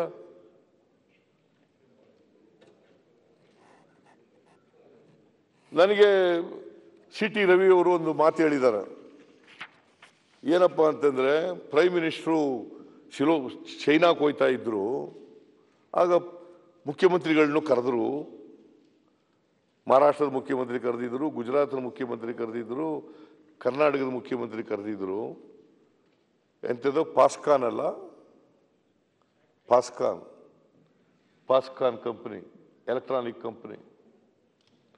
ಅವರು ಐವತ್ತು ಸಾವಿರ ಉದ್ಯೋಗ ಕೊಡ್ತಾ ಇದ್ರು. ಸಿದ್ದರಾಮಯ್ಯನವರು ಹೋಗಿದ್ರೆ ಅಲ್ಲಿಗೆ, ಚೈನಾಕ್ಕೆ. ಯಾಕೆ? ಪ್ರಧಾನಮಂತ್ರಿಗಳೇ ತಗೊಬರೋಕೆ ಬೇಡ ಅಂದ್ಬಿಟ್ರ? ಏ, ಸಿದ್ದರಾಮಯ್ಯನವ್ರು ಬಂದಿಲ್ಲ, ಕೊಡ್, ಬರ್, ಬರಬೇಡ್ರಿ ಕರ್ನಾಟಕಕ್ಕೆ ಅಂತ ಹೇಳ್ಬಿಟ್ರ? ನಾನು ಪ್ರೈಮ್ ಮಿನಿಸ್ಟರ್ ಪ್ರೈಮ್ ಮಿನಿಸ್ಟರ್ ಜೊತೆಲೇ ಹೋಗ್ಬೇಕು ಅಂತ ಎಲ್ಲಿದೆ? ಪ್ರೈಮ್ ಮಿನಿಸ್ಟರ್ ಕರೆದ್ರು ಅಂದ ತಕ್ಷಣ ಹೋಗ್ಬೇಕು ಅಂತ ಏನು ನೀ ಕಾನ್ಸ್ಟಿಟ್ಯೂಷನಲ್ಲಿ ನಿಯಮಾವಳಿನ? ನಾನು ಪ್ರೈಮ್ ಮಿನಿಸ್ಟರ್ ಬರೆದಿದ್ದೆ, ನನಗೆ ಬೇರೆ ಕೆಲಸ ಇದೆ, ಬರೋಕ್ಕಾಗಲ್ಲ ಅಂತ. ಅವ್ರು ಇನ್ವೆಸ್ಟ್ ಮಾಡೋರು, ಇಲ್ಲಿ ಬರಬೇಕಾಗಿತ್ತು. ಅದೇ ಪಾಸ್ಕಾನ್ ಕಂಪ್ನಿ ಇದೆಯಲ್ಲ, ಮಹಾರಾಷ್ಟ್ರದಲ್ಲಿ ಇಂಡಸ್ಟ್ರಿ ಮಿನಿಟ್ ಉತ್ತರ ಕೊಟ್ಟಿದ್ದಾರೆ. ಫಡ್ನವೀಸ್ ಹೇಳಿದ್ರು, ಬರ್ತದೆ ಇಲ್ಲಿಗೆ ಅಂತ. ಈಗ ಬರಲ್ಲ ಅಂತ ಉತ್ತರ ಕೊಟ್ಟಿದ್ದಾರೆ. ಆಂಧ್ರಕ್ಕೆ ಹೋಗಲಿಲ್ಲ ಅವರು. ತೆಲ ತೆಲಂಗಾಣಕ್ಕೆ ಹೋಗಲಿಲ್ಲ. ಕರ್ನಾಟಕಕ್ಕೆ ನನ್ನಿಂದ ಬರಲಿಲ್ಲ. ಐವತ್ತು ಸಾವಿರ ಉದ್ಯೋಗ ಹೋಯಿತು. Totally false wrong message would go to the people of Karnataka ಅಧ್ಯಕ್ಷರೇ ಮೊನ್ನೆ ರವಿ ಸಾಹೇಬ್ರು ಹೇಳ್ತಾ ಇದ್ರು ಫಾಕ್ಸ್ಕಾನ್ ಬಂದಿಲ್ಲ ಅಂತ. ಅದು ಸತ್ಯ, ಕರ್ನಾಟಕಕ್ಕೆ ಬಂದಿಲ್ಲ. Apple iPhone manufacturing unit first establish ಆಗಿದ್ದು ಇಡೀ ಇಂಡಿಯಾನಲ್ಲಿ ಬೆಂಗಳೂರಿನಲ್ಲಿ ವಿಸ್ಟ್ರಾನ್ ಕಂಪನಿ ಇನ್ನೂ ಒಂದು ಒ ಇ ಎಂ ಇದೆ. ಮಹಾರಾಷ್ಟ್ರದ ಮುಖ್ಯಮಂತ್ರಿ ಆದ ಫಡ್ನವೀಸ್ ಅವರು ಆ್ಯಪಲ್ ಮ್ಯಾನುಫ್ಯಾಕ್ಚರಿಂಗ್ ಐಫೋನ್ ಮ್ಯಾನುಫ್ಯಾಕ್ಚರಿಂಗು ಮಹಾರಾಷ್ಟ್ರದಲ್ಲಿ ಬರುತ್ತೆ ಅಂತ ಸ್ಟೇಟ್ಮೆಂಟ್ ಕೊಟ್ಟರು ಪ್ರೈಮ್ ಮಿನಿಸ್ಟರ್ ಆಫೀಸಿಂದ ಗುಜರಾತಿಗೆ ತೊಗೊಂಡೋಗಕ್ಕೆ ಪ್ರಯತ್ನ ಮಾಡಿದ್ರು. ತೆಲಂಗಾಣನಲ್ಲಿ ಕೆ ಟಿ ಆರ್ ಅವರು, ಕೆ ಸಿ ಆರ್ ಅವರು ಹೋಗಿ ಅಮೇರಿಕಾನಲ್ಲಿ ಕೂತಿದ್ರು. ಚಂದ್ರಬಾಬು ನಾಯ್ಡು ಅವರು ಕೂಪರ್ಟಿನೋಗಿ ವಿಸಿಟ್ ಮಾಡಿದ್ರು. ಅಲ್ಲಿ ಬರುತ್ತೆ ಎ ಪಿನಲ್ಲಿ ಬರುತ್ತೆ ಅಂತ. ತಮಿಳ್ನಾಡುದವರು, ಇಲ್ಲ, ಚೆನ್ನೈಗೆ ಬರುತ್ತೆ ಅಂತ ಹೇಳಿದ್ರು. ಆದರೆ, ಮಾನ್ಯ ದೇಶಪಾಂಡೆ ಸಾಹೇಬ್ರ ಅವರ ಸಹಕಾರದಿಂದ ಮತ್ತು ಅಂದಿನ ಸರ್ಕಾರ ಅಂದಿನ ಮುಖ್ಯಮಂತ್ರಿ ಆದಂಥ ಸಿದ್ದರಾಮಯ್ಯ ಸಾಹೇಬ್ರ ಒಂದು ಶ್ರಮದಿಂದ, ಸರ್, ರಾತ್ರಿ ಹನ್ನೆರಡುವರೆಗೆ ವಿಕಾಸ್ ಸೌಧ ತೆಗೆದು ನಾವು ನಮ್ಮ ಅಧಿಕಾರಿಗಳು ಆ್ಯಸ್ ಐ ಟಿ ಮಿನಿಸ್ಟರ್ ಹನ್ನೆರಡೂವರೆ ರಾತ್ರಿಗೆ ವಿಕಾಸ್ ಸೌಧದಲ್ಲಿ ಕೂಪರ್ಟಿನೋ ಆ್ಯಪಲ್ ಕಂಪನಿಗೆ ಪ್ರೆಸೆಂಟೇಷನ್ ಕೊಟ್ಟಿದ್ದೀವಿ. Why Bangalore is the best destination for investment ಅಂತ. ಅವರು ಅದನ್ನು ನೋಡಿ ಕನ್ವಿನ್ಸ್ ಆಗಿ the Apple manufacturing started in Bangalore sir for your kind information Wistron ಅದನ್ನು ಪೀಣ್ಯನಲ್ಲಿ ಪ್ರಾರಂಭ ಮಾಡಿ, ಅದು ವಿಸ್ತರಣೆ ಮಾಡಿ ಇವಾಗ ಕೋಲಾರ ನಮ್ಮ ನರಸಾಪುರದಲ್ಲಿದೆ. ನಮಗೇನು ಫಸ್ಟ್ ಮೂವರ್ ಅಡ್ವಾಂಟೇಜ್ ಇತ್ತು ಅಧ್ಯಕ್ಷರೇ, ಅದು ನಾವು ಇವಾಗ ಕಳ್ಕೊಂಡಿದ್ದೀವಿ ಫಾಕ್ಸ್ಕಾನ್ ಯಾಕೆ ಬಂದಿಲ್ಲ ಅಂತ ಈ ಸರ್ಕಾರ ಉತ್ತರ ಕೊಡಬೇಕು. ನಾವು ತಂದಿವಲ್ವ ವಿಸ್ಟ್ರಾನಿಗೆ ಅದಾದ್ಮೇಲೆ why we are not able to get the other OEMs why we are not able to convince the others ಇದೇ ಫಾಕ್ಸ್ಕಾನ್ ಅವರು ನಮ್ಮ ಜೊತೆ ಚರ್ಚೆನಲ್ಲಿದ್ದರು ಟಾಟಾ ಅವರು ಫಾಕ್ಸ್ಕಾನ್ ಜೊತೆ ಟೈ ಅಪ್ ಮಾಡಿ, ಇವಾಗ ಕರ್ನಾಟಕಕ್ಕೆ ಬಂದಿಲ್ಲ. Already we have one O M here it would been easy to convince Apple ಇರ್ಬೋದು ಅಥವಾ O ಎಮ್ಗಳಿಗಿರ್ಬೋದು to come to Karnataka but ಅವ್ರು ಬಂದಿಲ್ಲ. ತಮಿಳ್ನಾಡುಗೆ ಹೋಗಿದ್ದಾರೆ. ಎಲ್ಲ ಆಕ್ಸೆಸರೀಸು ಸರ್ ಇವಾಗ ನಮ್ಮ ಹೊಸೂರಿನಲ್ಲಿ ಈ ನಮ್ಮ ಬಾರ್ಡರ್ ಆದ ಮೇಲೆ ಹೊಸೂರಿನಲ್ಲಿ ಇವತ್ತು ಮ್ಯಾನುಫ್ಯಾಕ್ಚರ್ ಆಗ್ತಾ ಇದೆ. ಟಾಟಾ ಫಾಕ್ಸ್ಕಾನ್ ಅವ್ರ ಜೊತೆ. ಅದೇ ಇನ್ನೂ ಒಂದು ಒ ಎಮ್ಮು ಚೆನ್ನೈಗೆ ಹೋಗಿದೆ.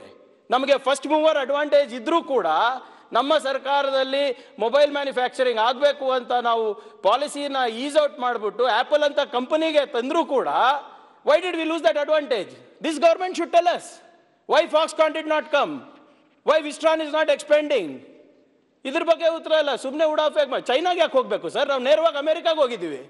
We have gone directly to Cupertino we have spoken to the Apple company itself ಅದಕ್ಕೆ ಸಾಕ್ಷಿ ಇವತ್ತಿದೆ ಇಲ್ಲಿ. ಫಾಕ್ಸ್ಕಾನ್ ಕೈ ತಪ್ಪಿದ್ದು ನಿಮ್ಮಿಂದ ನಿಮ್ಮ ನಲ್ವತ್ತು ಪರ್ಸೆಂಟಿಂದ ಹೊರತು ಕಾಂಗ್ರೆಸ್ ಗ ಗೌರ್ಮೆಂಟಿಂದ ಅಲ್ಲ. ನಾಲ್ಕು ವರ್ಷ ಏನು ಮಾಡ್ತಾ ಇದ್ರಿ ಮತ್ತೆ? Why you are not able to convince ಇಲ್ಲಿ ಮಾನ್ಯ ವಿರೋಧ ಪಕ್ಷದ ನಾಯಕರು ವಿರೋಧ ಪಕ್ಷದ ನಾಯಕರು. ಈಗ ಮಾನ್ಯ ಅಧ್ಯಕ್ಷರೇ ಈಗ ಪ್ರಿಯಾಂಕ್ ಖರ್ಗೆ ಅವರು ಹೇಳಿದ ರೀತಿಯಲ್ಲಿ ನಾವು ಯಾವುದೇ ಕಂಪನಿನ ರಾಜ್ಯದಲ್ಲಿ ಇನ್ವೆಸ್ಟ್ ಮಾಡಲಿಕ್ಕೆ ಅದಕ್ಕೆ ಬೇಕಾದಂಥ ವಾತಾವರಣವನ್ನು ಮಾಡಿಕೊಟ್ಟಿದ್ದೀವಿ. ವಿಶೇಷ ಸವಲತ್ತುಗಳನ್ನು ಕೂಡ ಒದಗಿಸ್ಕೊಟ್ಟಿದ್ದೀವಿ. ನಮ್ಮ ಸರ್ಕಾರ ಇದ್ದಾಗ ನಾವು ಗ್ಲೋಬಲ್ ಇನ್ವೆಸ್ಟರ್ಸ್ ಮೀಟ್ ಎಲ್ಲ ಮಾಡಿದ್ದೆವು. ನಮ್ಮ ಸರ್ಕಾರ, ಕರ್ನಾಟಕದಲ್ಲಿ ಆಗ ನಮ್ಮ ಸರ್ಕಾರ ಇದ್ದಾಗ ನಂಬರ್ ಒನ್ ಸ್ಥಾನಕ್ಕೆ ಬಂದಿದ್ದು ನಾವು. ಏನಪ್ಪ, ನೀನೇ ಇಂಡಸ್ಟ್ರೀಸ್ ಮಿನಿಸ್ಟರ್ ಆಗಿದ್ದು. ನಂಬರ್ ಒನ್ ಸ್ಥಾನದಲ್ಲಿದ್ದು ನಾವು. ಕರ್ನಾಟಕದಲ್ಲಿ ಇನ್ವೆಸ್ಟರ್ಸ್ ಎನ್ವೈರನ್ಮೆಂಟು ಇತ್ತು ಇಲ್ಲಿ ಕರ್ನಾಟಕದಲ್ಲಿ.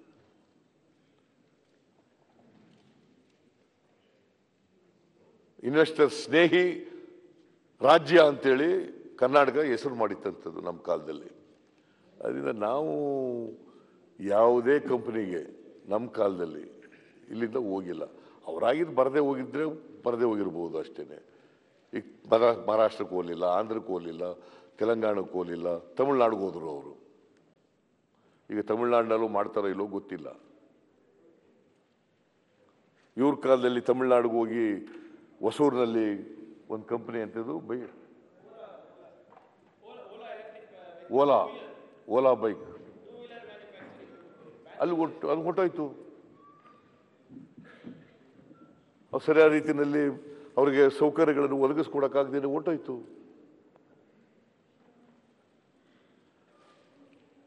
ನಮ್ಮ ಮನೆ ಅಧ್ಯಕ್ಷರೇ sorry world's biggest two wheeler electric vehicle manufacturing company based company sir ಬ್ಯಾಂಗ್ಳೂರ್ನಲ್ಲಿ ಹುಟ್ಟಾಕಿರುವಂಥ ಯೂನಿಕಾನ್ ನಿನ್ನೆ ಹೇಳ್ತಾ ಇದ್ರಲ್ಲ ಯೂನಿಕಾನ್ ಯೂನಿಕಾನ್ ಅಂತ. ಬ್ಯಾಂಗ್ಳೂರ್ ಬೇಸ್ಡ್ ಯೂನಿಕಾನ್ ಇವತ್ತು ತಮಿಳ್ನಾಡಿಗೆ ಹೋಗ್ತಾ ಇದೆ ಅಂದರೆ ಹತ್ತು ಸಾವಿರ ಮಹಿಳೆಯರು ಕೆಲಸ ಮಾಡ್ತಾರೆ ಸರ್ ಆ ಯೂನಿಟ್ನಲ್ಲಿ ಯಾಕೋಯ್ತು ಹೇಗೋಯ್ತು ಅದಕ್ಕೆ ಉತ್ತರ ಕೊಡಲಿ. ಯೂನಿಕಾನ್ ಯೂನಿಕಾನ್ ಅಂತ ಹೇಳ್ತಾ ಇದ್ರಲ್ಲ why are unicorns leaving Bangalore why are unicorns leaving Karnataka so ಅದರಿಂದ ಈ ಆರೋಪ ಇದೆಯಲ್ಲ? ಸುಳ್ಳು ಆರೋಪ. ನಾನು ವಸತಿನಲ್ಲಿ ಏನು ಹೇಳಿದ್ದಾರೆ ಅಂತಂದ್ರೆ, ಎರಡು ಸಾವಿರದ ಹತ್ತೊಂಬತ್ತರಿಂದ ಇವರು ಅಧಿಕಾರಕ್ಕೆ ಬಂತವಿಂದ ಏಳು ಸಾವಿರದ ಐನೂರು ಕೋಟಿ ಖರ್ಚು ಮಾಡಿ ನಾಲ್ಕು ಲಕ್ಷದ ತೊಂಬತ್ಮೂರು ಸಾವಿರ ಮನೆಗಳನ್ನು ಕಟ್ಟಿದ್ದೀವಿ. ನಾಲ್ಕು ಸಾವಿರದ ನಾಲ್ಕು ಲಕ್ಷದ ತೊಂಬತ್ಮೂರು ಸಾವಿರ ಮನೆಗಳನ್ನು ಕಟ್ಟಿದ್ದೀವಿ ಅಂತ ಹೇಳಿದ್ದಾರೆ. ವಸತಿ ಮಂತ್ರಿಯಾಗಿದ್ದರು ಕೃಷ್ಣಪ್ಪ. ನಾವು ಐದು ವರ್ಷದಲ್ಲಿ ಹದಿನಾಲ್ಕು ಲಕ್ಷದ ಹದಿನಾಲ್ಕು ಲಕ್ಷದ ನಲವತ್ತು ಸಾವಿರ ಮನೆಗಳನ್ನು ಕಟ್ಟಿದ್ದು. ಪ್ರತಿ ವರ್ಷ ಮೂರು ಲಕ್ಷ ಮನೆ ಕಟ್ತೀವಿ ಅಂತ ಹೇಳಿದ್ದು. ಹದಿನೇಳು ಸಾವಿರ ಹದಿನೇಳು ಸಾವಿರ ಕೋಟಿ ಇದರಲ್ಲಿ ಹದಿನಾಲ್ಕು ಲಕ್ಷದ ಐವತ್ನಾಲ್ಕು ಲಕ್ಷ ಮನೆಗಳನ್ನು ಕಟ್ಟಿದ್ದು.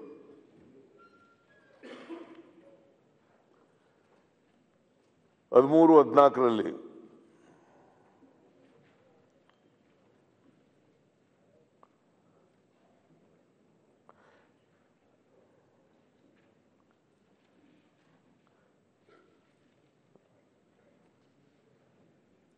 ಮೂರು ಲಕ್ಷದ ಹದಿನೇಳು ಸಾವಿರದ ನಾನ್ನೂರ ಎಂಬತ್ತೈದು ಮನೆಗಳು. ಹದಿನಾಲ್ಕು, ಹದಿನೈದರಲ್ಲಿ ಮೂರು ಲಕ್ಷದ ಎರಡು ಸಾವಿರದ ನೂರ ಅರವತ್ತೆರಡು ಮನೆಗಳು. ಹದಿನೈದು, ಹದಿನಾರರಲ್ಲಿ ಎರಡು ಲಕ್ಷದ ಇಪ್ಪತ್ತೊಂಬತ್ತು ಸಾವಿರದ ಎಂಟುನೂರ ಏಳು ಮನೆಗಳು. ಹದಿನಾರು, ಹದಿನೇಳರಲ್ಲಿ ಎರಡು ಲಕ್ಷದ ಐವತ್ತೇಳು ಸಾವಿರದ ಎಪ್ಪತ್ತೈದು ಮನೆಗಳು. ಹದಿನೇಳು, ಹದಿನೆಂಟರಲ್ಲಿ ಮೂರು ಲಕ್ಷದ ನಲವತ್ತೆಂಟು ಸಾವಿರದ ನೂರ ಮೂವತ್ತ್ನಾಲ್ಕು ಮನೆಗಳು. ಒಟ್ಟು ಒಂದು ಹದಿನಾಲ್ಕು ಲಕ್ಷದ ಐವತ್ನಾಲ್ಕು ಸಾವಿರದ ಆರುನೂರ ಅರವತ್ತ್ಮೂರು ಮನೆ ಕಟ್ಟಿದ್ದು.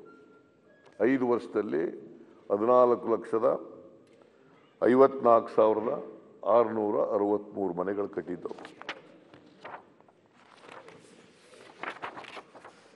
ಒಟ್ಟು ಅನುದಾನ ಒದಗಿಸಿದ್ದದು ಹದಿನೇಳು ಸಾವಿರದ ನಾಲ್ಕುನೂರ ನಾಲ್ಕು ಪಾಯಿಂಟ್ ಎಂಟು ಏಳು ಕೋಟಿ. ಹದಿನೇಳು ಲಕ್ಷದ ನಾನ್ನೂರ ನಾಲ್ಕು ಪಾಯಿಂಟ್ ಎಂಟು ಏಳು ಕೋಟಿ. ಬಿಡುಗಡೆ ಮಾಡಿದ್ದು ಹದಿನಾರು ಸಾವಿರದ ಆರು ಮುನ್ನೂರ ತೊಂಬತ್ನಾಲ್ಕು ಪಾಯಿಂಟ್ ಜೀರೋ ತ್ರೀ ಕ್ರೋರ್ಸ್. ಖರ್ಚಾಗಿದ್ದದ್ದು ಹದಿನಾರು ಲಕ್ಷದ ಏಳ್ನೂರ ಎಪ್ಪತ್ತೈದು ಪಾಯಿಂಟ್ ಐದು ಮೂರು ಕೋಟಿ. ನಾವು ಐದು ವರ್ಷದಲ್ಲಿ ಮಾಡಿರ್ತಕ್ಕಂಥದ್ದು. ಇವ್ರು ಮಾಡಿರ್ತಕ್ಕಂಥದ್ದು ಸಾಧನೆ ಎಷ್ಟು ಅಂದರೆ ಹೊಸ್ದಾಗಿ ಮನೆ ಮಂಜೂರು ಮಾಡಲಿಲ್ಲ ಇವರು. ನಾವು ಆನ್ಗೋಯಿಂಗ್ ಮನೆಗಳಿದ್ವಲ್ಲ ಆ ಆನ್ಗೋಯಿಂಗ್ ಮನೆಗಳು ಕಟ್ಟಿರೋದೇ ನಾಲ್ಕು ಲಕ್ಷದ ತೊಂಬತ್ಮೂರು ಸಾವಿರ. ನೀವು ಬೇಕಾದ್ರೆ ನಿಮ್ಮ ನೀವು ಎಂ ಎಲ್ ಎ ಇದ್ದೀರಲ್ಲ ನೀವು ಕೇಳಿ ನಿಮ್ಮ ಕ್ಷೇತ್ರದಲ್ಲಿ ಹೊಸ್ದಾಗಿ ಮನೆ ಮಂಜೂರು ಮಾಡಿದ್ದಾರ? ಹಾ ಅದೇ ಕೇಳಿ. ಈಗ ಕೊಟ್ಟದಿದ್ದಾರೆ. ಈಗ ಒಂದು ಐದಾರು ತಿಂಗಳಲ್ಲಿ ಈ ವರ್ಷ ಈ ವರ್ಷ ಈಗ ಐದಾರು ತಿಂಗಳಲ್ಲಿ ಕೊಟ್ಟಿದ್ದಾರೆ. ಮೂರು ವರ್ಷ ಏನು ಕೊಡಲೇ ಇಲ್ಲ. ಇವ್ರು also aware of it I am also aware of it every M L A is aware of it ಗ್ರಾಮ ಸಭೆಗಳೇ ಮನೆ ಮನೆಗಳನ್ನ ಬೆನಿಫಿಷರೀಸ್ನ ಐಡೆಂಟಿಫೈ ಮಾಡಿದ್ರು ಕೂಡ ಎಂ ಎಲ್ ಎಗಳಿಗೆ ಗೊತ್ತಿರ್ತದೆ. ನಾಲ್ಕು ಲಕ್ಷದ ತೊಂಬತ್ಮೂರು ಸಾವಿರ ಕಟ್ಟಿರೋದು ನಾಲ್ಕು ವರ್ಷದಲ್ಲಿ. ಇದನ್ನೇ ದೊಡ್ಡ ಸಾಧನೆ ನಾವು ಮಾಡಿದ್ದೀವಿ. ಮನೆ ಇಲ್ಲದವ್ರಿಗೆಲ್ಲ ಮನೆ ಕೊಟ್ಬಿಟ್ಟಿದ್ದೀವಿ. ವಸತಿಹೀನರಿಗೆ ಸೂರು ಕೊಟ್ಬಿಟ್ಟಿದ್ದೀವಿ. ಸೈಟ್ ಕೊಟ್ಬಿಟ್ಟಿದ್ದೀವಿ. ಎಲ್ಲಿ? ಕೃಷ್ಣಪ್ಪನವ್ರ ಕಾಲದಲ್ಲಿ ಬೆಂಗಳೂರು ನಗರಕ್ಕೆ ನಾವೆಲ್ಲ ಜಮೀನೆಲ್ಲ ಕೊಟ್ಟು ಒಂದು ಲಕ್ಷ ಮನೆ ಕಟ್ಕೊಡ್ಬೇಕು ಅಂತ ಆದೇಶ ಎಲ್ಲ ಆದೇಶಗಳೆಲ್ಲ ಕೊಟ್ಟಿದ್ದರು. ಇವತ್ತಿನವ್ರಿಗೆ ಆಗಲಿಲ್ಲ. ಯಾರಿಗೂ ಮನೆ ಸಿಕ್ಕಲಿಲ್ಲ ಎಲ್ಲಿ ಮಾಡಿದ್ದೀರಿ?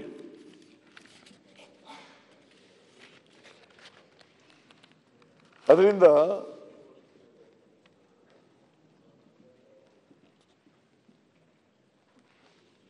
ಇವರು ಮನೆ ಕಟ್ಟಲೇ ಇಲ್ಲ. ನೀವು ಬೇಕಾದ್ರೆ ನಾನು ಸಾರ್ವಜನಿಕ ಸಭೆಯಲ್ಲಿ ಪ್ರಶ್ನೆ ಕೇಳ್ತೀನಿ, ಪಂಚಾಯತಿ, ಗ್ರಾಮ ಪಂಚಾಯತಿ ಮೆಂಬರ್ಗಳಿಗೆ. ಏನಪ್ಪ ನೀವು ಮನೆ ಕೊಟ್ಟಿದ್ದಾರೇನೆ ಅಂತ ಕೇಳಿದ್ರೆ, ಎಲ್ಲ ಇಲ್ಲ ಅಂತ ಹೇಳ್ತಾರೆ.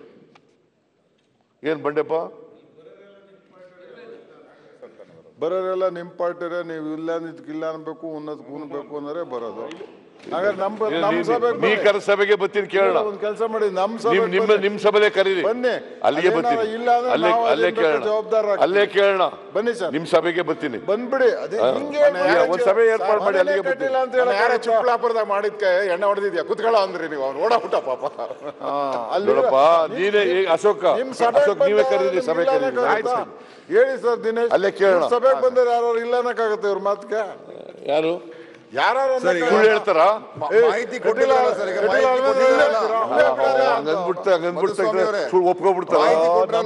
ಸರ್ ನೀವು ಇಲ್ಲೇ ಬಿಡಲ್ಲ ಏ ನಿಂಗೆ ಗೊತ್ತಾಗಲ್ಲ ಸುಮ್ಮನೆ ಕೂತ್ಕೊಳ್ಳೋ ಅಂತ ತಕ್ಷಣ ಟಕ್ಕಂತ ಕೂತ್ಕೊಂಡ್ಬಿಡ್ತಾರೆ ಜೂನಿಯರ್ ಹುಡುಗರು ಎಂ ಎಲ್ ಎ ಮಾತಾಡ್ತಾ ಇದ್ಯಾ ಕೂತ್ಕೊಳ್ಳಿ. ಇದೆಲ್ಲ ಏನಪ್ಪ ಶಿವಾನಂದ? ಅವ್ರು ಇನ್ನಂಗಿಲ್ಲ ಅಂತಾನೆ.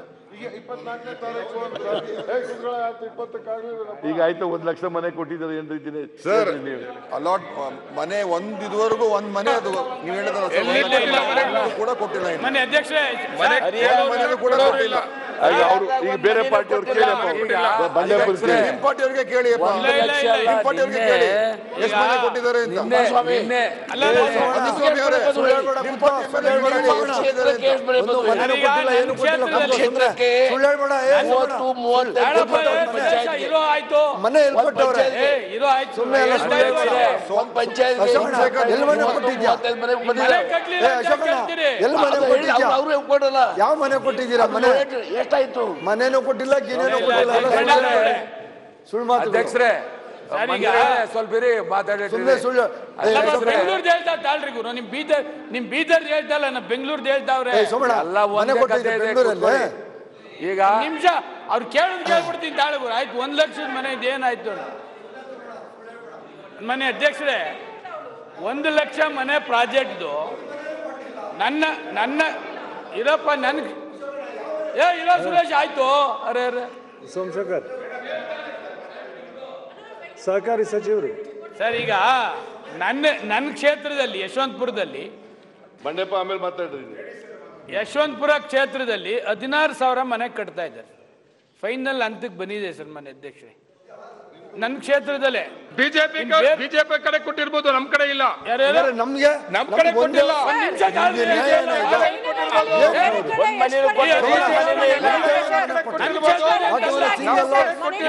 ಕ್ಷೇತ್ರ ಯಾರು ಬೇಕಾದ್ರೂ ಅಪ್ಲೈ ಮಾಡ್ಬೋದು.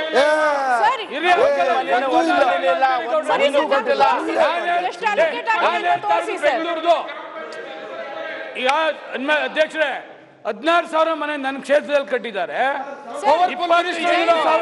ಇಪ್ಪತ್ತೈದು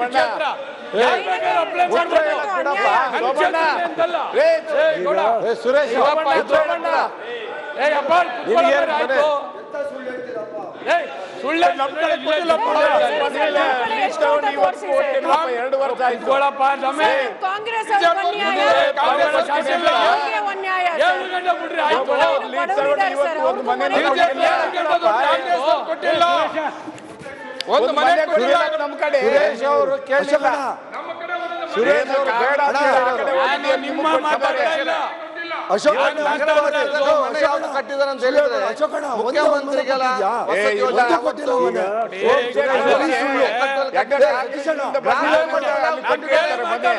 ಬೇರೆಯವ್ರು ಬೆಂಗಳೂರು ಹೇಳ್ತಾ ಇದ್ದೀನಿ. ಹೇಳ್ತೀರಿ? ಬೆಂಗಳೂರಲ್ಲಿ ಬೆಂಗಳೂರ್ದು ಹೇಳ್ತಾ ಇದ್ದೀನಿ ನನ್ನ ಕ್ಷೇತ್ರ ನನ್ನ ಕ್ಷೇತ್ರದಲ್ಲಿ ನೀನು ಬೇಡ ಕಟ್ಟಿದ್ದು ಹದಿನಾರು ಸಾವಿರ ಮನೆ ಇಪ್ಪತ್ತೆಂಟು ಕ್ಷೇತ್ರದ ಯಾರು ಬೇಕಾದ್ರೂ ಅಪ್ಲೈ ಮಾಡ್ಬೋದು ನಮಗೆ ಇವ- ಒಂದು ಐನೂರು ಮನೆ ಇವ- ಕೊಡು ಸಾಕು ನೋಡೋಣ. ಅಂತಲ್ಲ. ಅಶೋಕಣ್ಣ ಕೈಗೆ ಹೇಳ್ಸು ಕಟ್ಲಿಲ್ಲ, ಕಟ್ಲಿಲ್ಲ, ಉಸ್ತುವಾರಿ ಕಟ್ಲಿಲ್ಲ ಅಂತಂದ್ರೆ? ಆಯ್ತು ಉಸ್ತುವಾರಿ ಅಶೋಕಣ್ಣ ಕೈಗೆ ಹೇಳ್ಸು ಇವಾಗ ನಾಳೆನೇ ಕೊಡ್ತೀವಿ ಇಲ್ಲ, Application. ಸೋಮಶೇಖರ್ ಅವರೇ. ಹದಿನಾರು ಸಾವಿರ ಬೇಡ ಇದು ಹದಿನಾರು ನೀವು ಮನೆ ಹೇಳ್ತಾ ಇರೋದು ಯಾವ್ದು ಸಾಕು. ಅಂತ ಹೇಳಿದ್ರೆ ಮುಖ್ಯಮಂತ್ರಿಗಳ ನಗರ ಇಲ್ಲ, ಯೋಜನೆ ಸುಳ್ಳು ಹೇಳ್ಬೇಡ. ಅದು ಬರೀ ಸುಳ್ಳು. ಇದ್ದಾಗ ಪ್ರಾರಂಭ ಆಯ್ತು ಅದನ್ನೇ ಆದಾಗ ಒಂದು ಲಕ್ಷ ಮನೆ ಹೇಳ್ತಾರೆ ನಾಲ್ಕು ಐದು ವರ್ಷ ಆಗ್ತಾ ಇದೆ ಐದು ವರ್ಷ ಆದ್ರೂ ಕೂಡ ಇನ್ನೂ ಅವ್ರ ಮನೆ ಕಟ್ಟಿ ಅಲಾಟೆ ಮಾಡಿರಲ್ಲ ರೀ ಈ ಮೂವತ್ತೊಂದನೇ ತಾರೀಕು ಅದೇ ಮೊನ್ನೆ ಇಷ್ಟು ವರ್ಷ ಆಯ್ತು. ಮೂವತ್ತೊಂದನೇ ತಾರೀಕು ಏ, ಯಲಹಂಕದಲ್ಲಿ ಅಣ್ಣ, ಇಷ್ಟು ಐದು ಫಂಕ್ಷನ್ ವರ್ಷ ಮಾಡಿ ಆಯ್ತು. ಬಂದಾಗ ಹೇಳ್ತಾರೆ ಕರೆಕ್ಟ್ ಆಗಿ ಅವ್ರು ಐದು ವರ್ಷ ಹೇಳ್ತಾ ಆಯ್ತು ಇರೋದು. ಅಲಾಟ್ಮೆಂಟ್ ಮಾಡ್ಲಿಲ್ಲಲ್ಲ ಮೂವತ್ತೊಂದನೇ ತಾರೀಕು ಮೊನ್ನೆ First information ಅವ್ರ ಹತ್ರ ಜನವರಿ ಏನಿದೆ ಅದು ಹೇಳ್ತಾರೆ ಮೂವತ್ತೊಂದಕ್ಕೆ ಕೇಳ್ಕೊ. ಯಲಹಂಕದಲ್ಲಿ ಫಂಕ್ಷನ್ ಮಾಡಿ ಯಾರು ಎಲಿಜಿಬಿಲಿಟಿ ಇರ್ತದೆ ಅವ್ರನ್ನ ಮನೆ ಅಲಾಟ್ಮೆಂಟ್ ಮಾಡಿದ್ದಾರೆ ಚಾಲು ಮಾಡಿದ್ದಾರೆ. ಸುರೇಶ್ ಬೇಡ ಬಿಡಿ ಸರ್. ಆಯ್ತು. ಸುರೇಶ್ ಬೇಡ ಅಂತ ಬಿಡಿ. ನಮಗ್ ಬೇಕು ಸರ್. ಅಶೋಕ್ ಸರ್ ನೀವು ನಮ್ಮ ಪಕ್ಕದ ಕಾನ್ಸ್ಟಿಟ್ಯೂನ್ಸಿ ಇಷ್ಟ ಎಷ್ಟಾಗಿದೆ ಹೇಳಿ ಸರ್. ನೀನು ಬೇಡ ತಾನೆ. ನೀನು ಬೇಡ ತಾನೆ ಮನೆ. ಆನ್ಲೈನ್ ಅಪ್ಲಿಕೇಶನ್ ಸರ್ ಬಡವರಿಗೆ ಅನ್ಯಾಯ ಆಗ್ತಿದೆ ಸರ್. ಅವ್ರು ಸೌಮ್ಯ ಅವರು ಏನೋ ಒಂಚೂರು ಹೇಳ್ಬೇಕಂತ.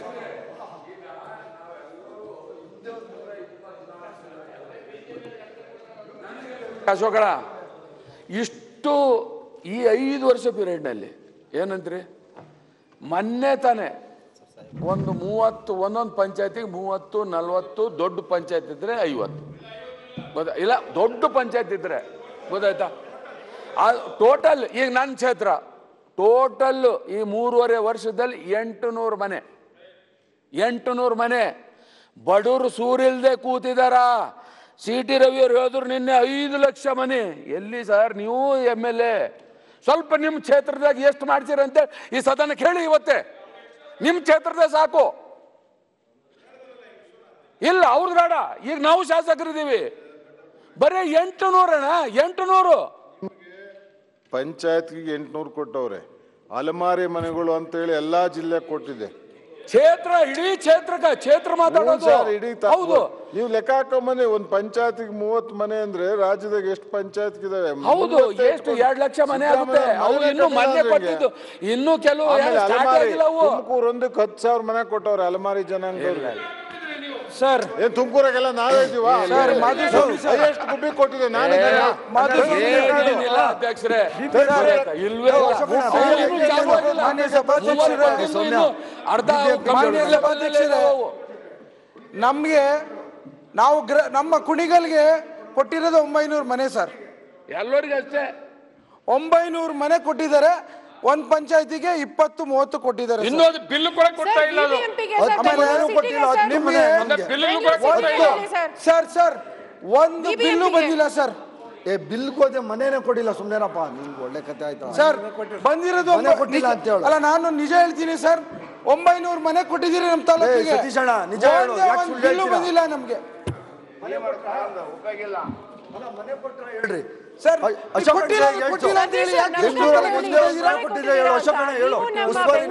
ಹೇಳ್ಬೇಡ ಹತ್ತು ಮನೆ ಹತ್ತು ಹತ್ತು ಮನೆ ಮನೆ. ಕೊಟ್ಟಿದ್ದೀರಿ ಸರ್? ಹೇಳೋಣ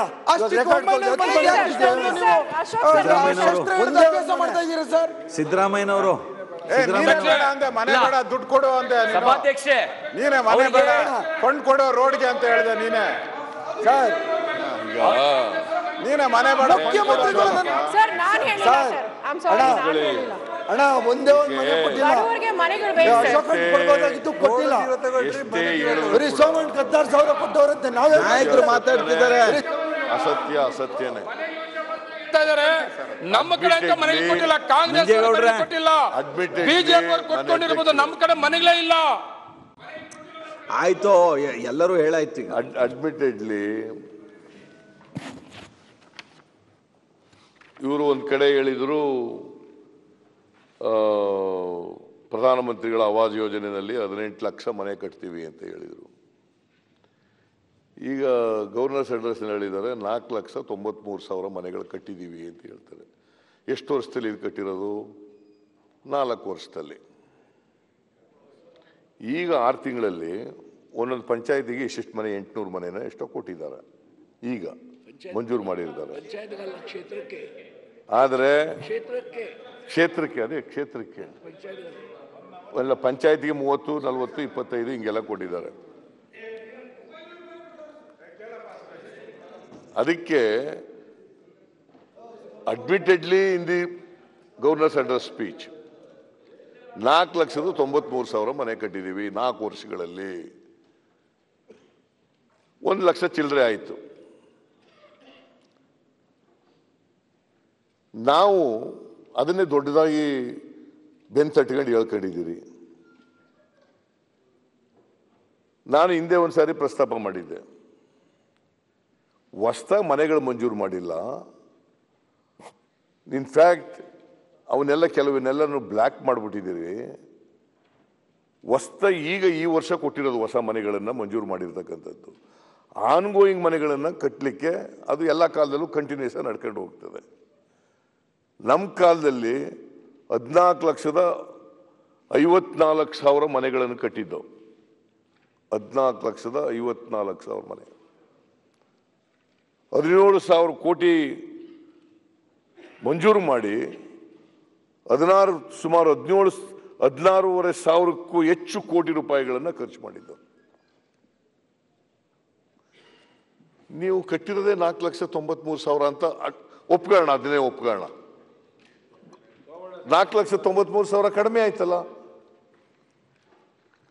ಇವತ್ತು ಇಪ್ಪತ್ತೈದು ಮೂವತ್ತು ಲಕ್ಷ ಜನ ಸೂರ್ಯದೇದವರಿದ್ದಾರೆ ಸನ್ಮಾನ್ಯ ಅಧ್ಯಕ್ಷೆ ಒಂದು ಒಂದು ಐದು ಆಮೇಲೆ ಆಮೇಲೆ ಸೋಮಣ್ಣ ಆಮೇಲೆ ಮಾತಾಡಿ. ನಿಮಿಷ ನಾನು ಆಮೇಲೆ ಆಮೇಲೆ ಉತ್ತರ ಕೊಡುವಾಗ ಮಾತಾಡಿ ಆಮೇಲೆ. ಇಲ್ಲ ಉತ್ತರ ಉತ್ತರ ಕೊಡುವಾಗ ಮಧ್ಯ ಮಧ್ಯೆ ಏನು ಉತ್ತರ ಕೊಡ್ಬೇಕಾಗತ್ತೆ? ನೋಡಿ ಸರ್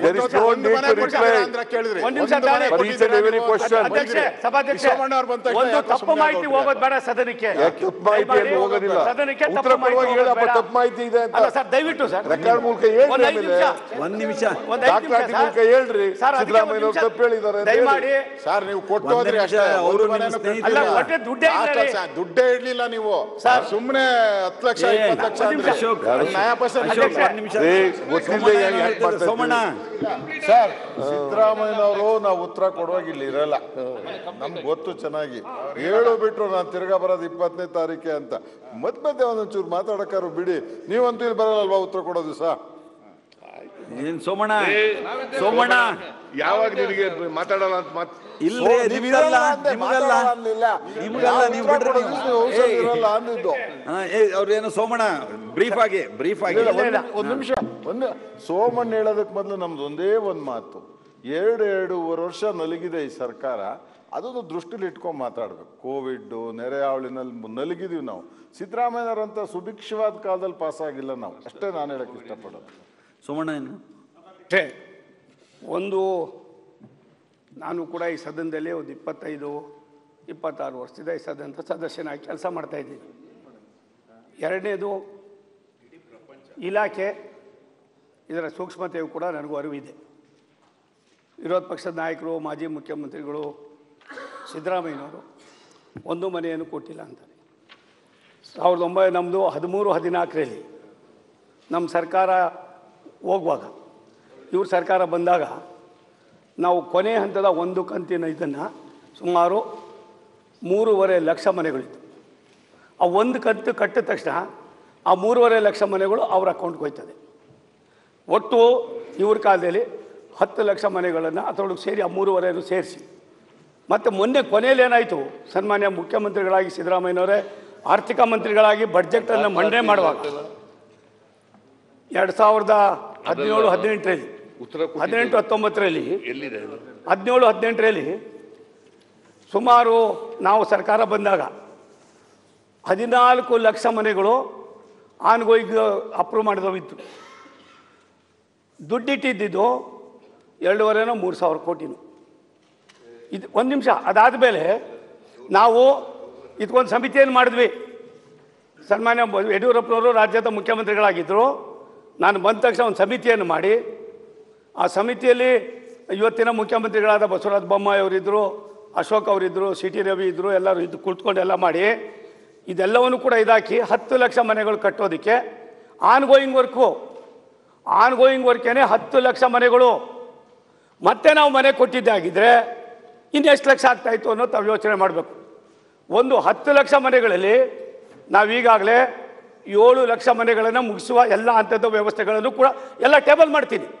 ಸದನ ಮೇಲೆ ಟೇಬಲ್ ಟೇಬಲ್ ಮಾಡ್ತೀನಿ. ಇದಲ್ದಿರ ಸನ್ಮಾನ್ಯ ಅಧ್ಯಕ್ಷರೇ, ಸನ್ಮಾನ್ಯ ಮಾಧುಸ್ವಾಮಿ ಅವರು ಹೇಳಿದ್ರು, ಕೋವಿಡ್ ಬಂತು, ಸಾಕಷ್ಟು ಅಧ್ವಾನ ಎಲ್ಲ ಆಯಿತು. ಇದೆಲ್ಲ ನೆರೆ ಹಾವಳಿ ಆಯಿತು. ಇವೆಲ್ಲದರ ಮಧ್ಯದಲ್ಲೂ ಕೂಡ ನಾನು ನಾಳೆ ಬೆಳಗ್ಗೆ ಈ ಸದನದಲ್ಲಿ ಏನೇನಾಗಿದೆ ಅನ್ನೋದನ್ನು ಕೂಡ ನಾನು ಮಣ್ಣೆ ಮಾಡೋಕ್ಕೆ ತಯಾರಾಗಿದ್ದೀನಿ. ಅದಲ್ದಿರ ಐವತ್ತು, ಒಂದು ಲಕ್ಷ ಮನೆ ಬೆಂಗಳೂರು ನಗರದ್ದು. ಒಂದು ಲಕ್ಷ ಮನೆಗಳು ಕಟ್ತೀನಿ ಅಂತ ಹೇಳಿ ಜಿ ಪ್ಲಸ್ ತ್ರೀ ಇದ್ದಿದ್ದನ್ನ G plus fourteen fifteen sixteen ಮಾಡಿದ್ರು. ನಾನ್ನೂರ ತೊಂಬತ್ತ್ಮೂರು ಎಕರೆಯಲ್ಲಿ ನಾವು ಇವತ್ತೇನು ಐವತ್ತೆರಡು ಸಾವಿರ ಮನೆ ಕಟ್ಟಿದ್ದೀವಿ. ಅದರೊಳಗೆ ಇವ್ರ ಕಾಲದಲ್ಲಿ ಎಲ್ಲ ಕೃಷ್ಣ ಬೈರೇಗೌಡರು ಬಂದಾರೆಲ್ಲ ಗೊತ್ತಿಲ್ಲ. ಅಲ್ಲಿ ಬರ್ತಾ ಇದ್ದಾರೆ ಬಂದಿರೋ ಕೇಳಿ ಅವ್ರ ಗೊತ್ತಲ್ಲೇ ನಾವು ಸುತ್ತಾಡಿದ್ದೀವಿ.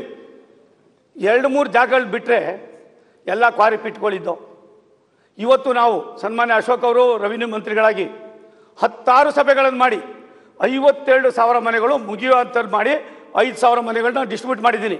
ನಾನು ತಮ್ಮ ಮೂಲಕ ವಿರೋಧ ಪಕ್ಷದ ನಾಯಕರಿಗೆ ವಿನಂತಿ ಮಾಡ್ತೀನಿ, ತಾವು ಯಾವುದೇ ರೀತಿಯಾದ ಅದನ್ನು ನೋಡೋದಕ್ಕೆ ಬಂದರೆ ನಾನು ಬರೋದಿಲ್ಲ, ಜೊತೆಲಿ ಹೋಗೋಣ. ನಾನು ಕೆಲಸ ಮಾಡಿದರೆ ಮತ್ತೆ ಈ ಸದನಕ್ಕೆ ಪ್ರವೇಶ ಮಾಡ್ತೀನಿ. ಇಲ್ಲ ನನಗೆ ಅದರ ಅವಶ್ಯಕತೆ ಇಲ್ಲ, ಸನ್ಮಾನ್ಯ ಸಭಾಪತಿಗಳೇ. ನನ್ನೂರ ತೊಂಬತ್ತ್ಮೂರು ಎಕರೆ ಜಾಗವನ್ನು ತೆಗೆದುಕೊಂಡು ಒಂಬತ್ತು ಲಕ್ಷ ನಲ್ವತ್ತು ಸಾವಿರ ಇತ್ತು ಫಲಾನುಭವಿಗಳಿಗೆ ದುಡ್ಡು ಕೊಡೋದು. ಒಂಬತ್ತು ಲಕ್ಷ ನಲ್ವತ್ತು ಸಾವಿರನ ಮುಖ್ಯಮಂತ್ರಿಗಳ ಜೊತೆ ಕುಳಿತುಕೊಂಡು ಚರ್ಚೆ ಮಾಡಿ ಆರು ಲಕ್ಷ ಪರಿಶಿಷ್ಟ ಜಾತಿಯವರಿಗೆ ಆರೂವರೆ ಲಕ್ಷ ಜನರಲ್ನವ್ರು ಮಾಡಿ ಸರ್ಕಾರದ ಸವಲತ್ತು ಜೊತೆಗೆ S C P, T S ಪಿಯಿಂದ ನಮ್ಮ ಇದಕ್ಕೋಸ್ಕರ ಮೂಲಭೂತ ಸೌಕರ್ಯಗಳು ಮಾಡಿ, ಇಷ್ಟೆಲ್ಲ ಮಾಡಿದರೂ ಕೂಡ ಸನ್ಮಾನ್ಯ ಸಭಾಪತಿಗಳೇ. ನಾವು ಇವತ್ತು, ನಾಳೆ ಬೆಳಿಗ್ಗೆ ಎಪ್ಪತ್ತ್ಮೂರು ಕಡೆ ನಡೀತಾ ಇದೆ. ಬೆಂಗಳೂರು ನಗರದ ಎಪ್ಪತ್ತ್ಮೂರು ಕಡೆ ಜ ಮನೆಗಳು ನಡೀತಾ ಇರ್ತಕ್ಕಂಥದ್ದು. ಒಂದು ಇದು ಮಾಡಿದ್ದು, ಇವರು ನಾಲ್ಕು ಜಿ ಪ್ಲಸ್ ತ್ರೀ ಮಾಡಿದ್ರೆ ಎಲ್ಲೋ ಒಂದು ಕಡೆ ಜಾಸ್ತಿ ಮಾಡೋದಕ್ಕೆ ಸಂಬಂಧಪಟ್ಟಂಥ ಇಲಾಖೆಯವರು ಜಿ ಪ್ಲಸ್ ಫೋರ್ಟೀನು ಸಿಕ್ಸ್ಟೀನ್ ಮಾಡಿ ಅದರ ವ್ಯವಸ್ಥೆನ ಕಾಸ್ಟ್ ಆಫ್ ಕನ್ಸ್ಟ್ರಕ್ಷನ್ನ ಜಾಸ್ತಿ ಮಾಡಿ ಫಜೀತಿ ಮಾಡಿ ಕೊಟ್ಟಿದ್ರು.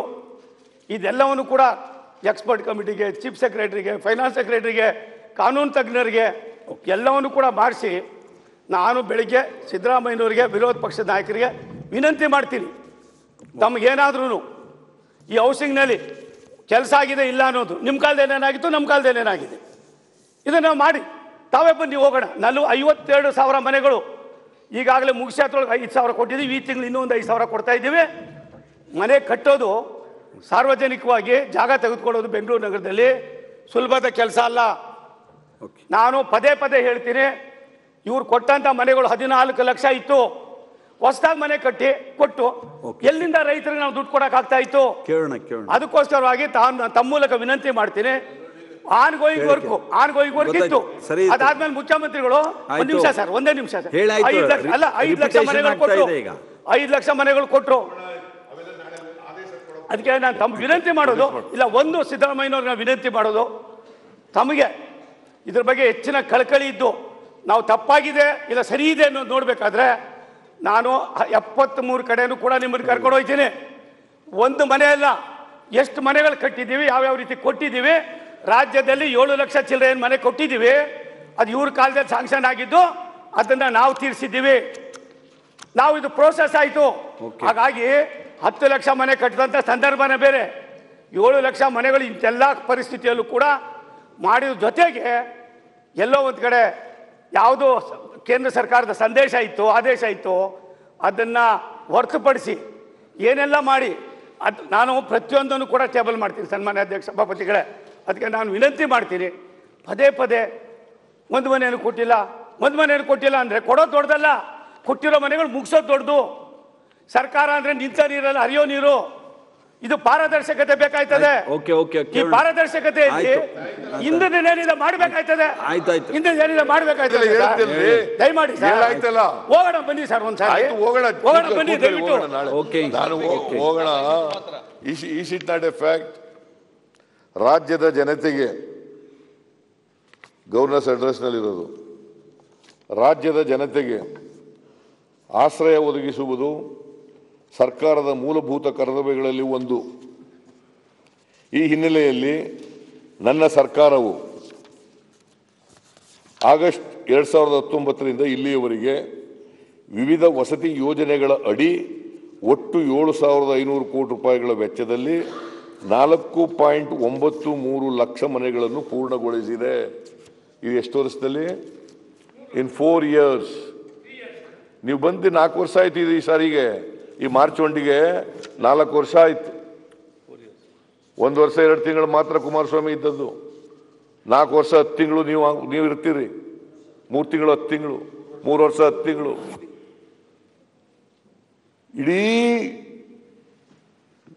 ಮೂರು ವರ್ಷ ಹತ್ತು ತಿಂಗಳಲ್ಲಿ ಇವ್ರು ಕಟ್ಟಿರ್ತಕ್ಕಂಥ ಮನೆಗಳು ನಾಲ್ಕು ಲಕ್ಷದ ತೊಂಬತ್ಮೂರು ಸಾವಿರ ಅಂತ ಹೇಳಿದ್ದೀನಿ ನಾನು.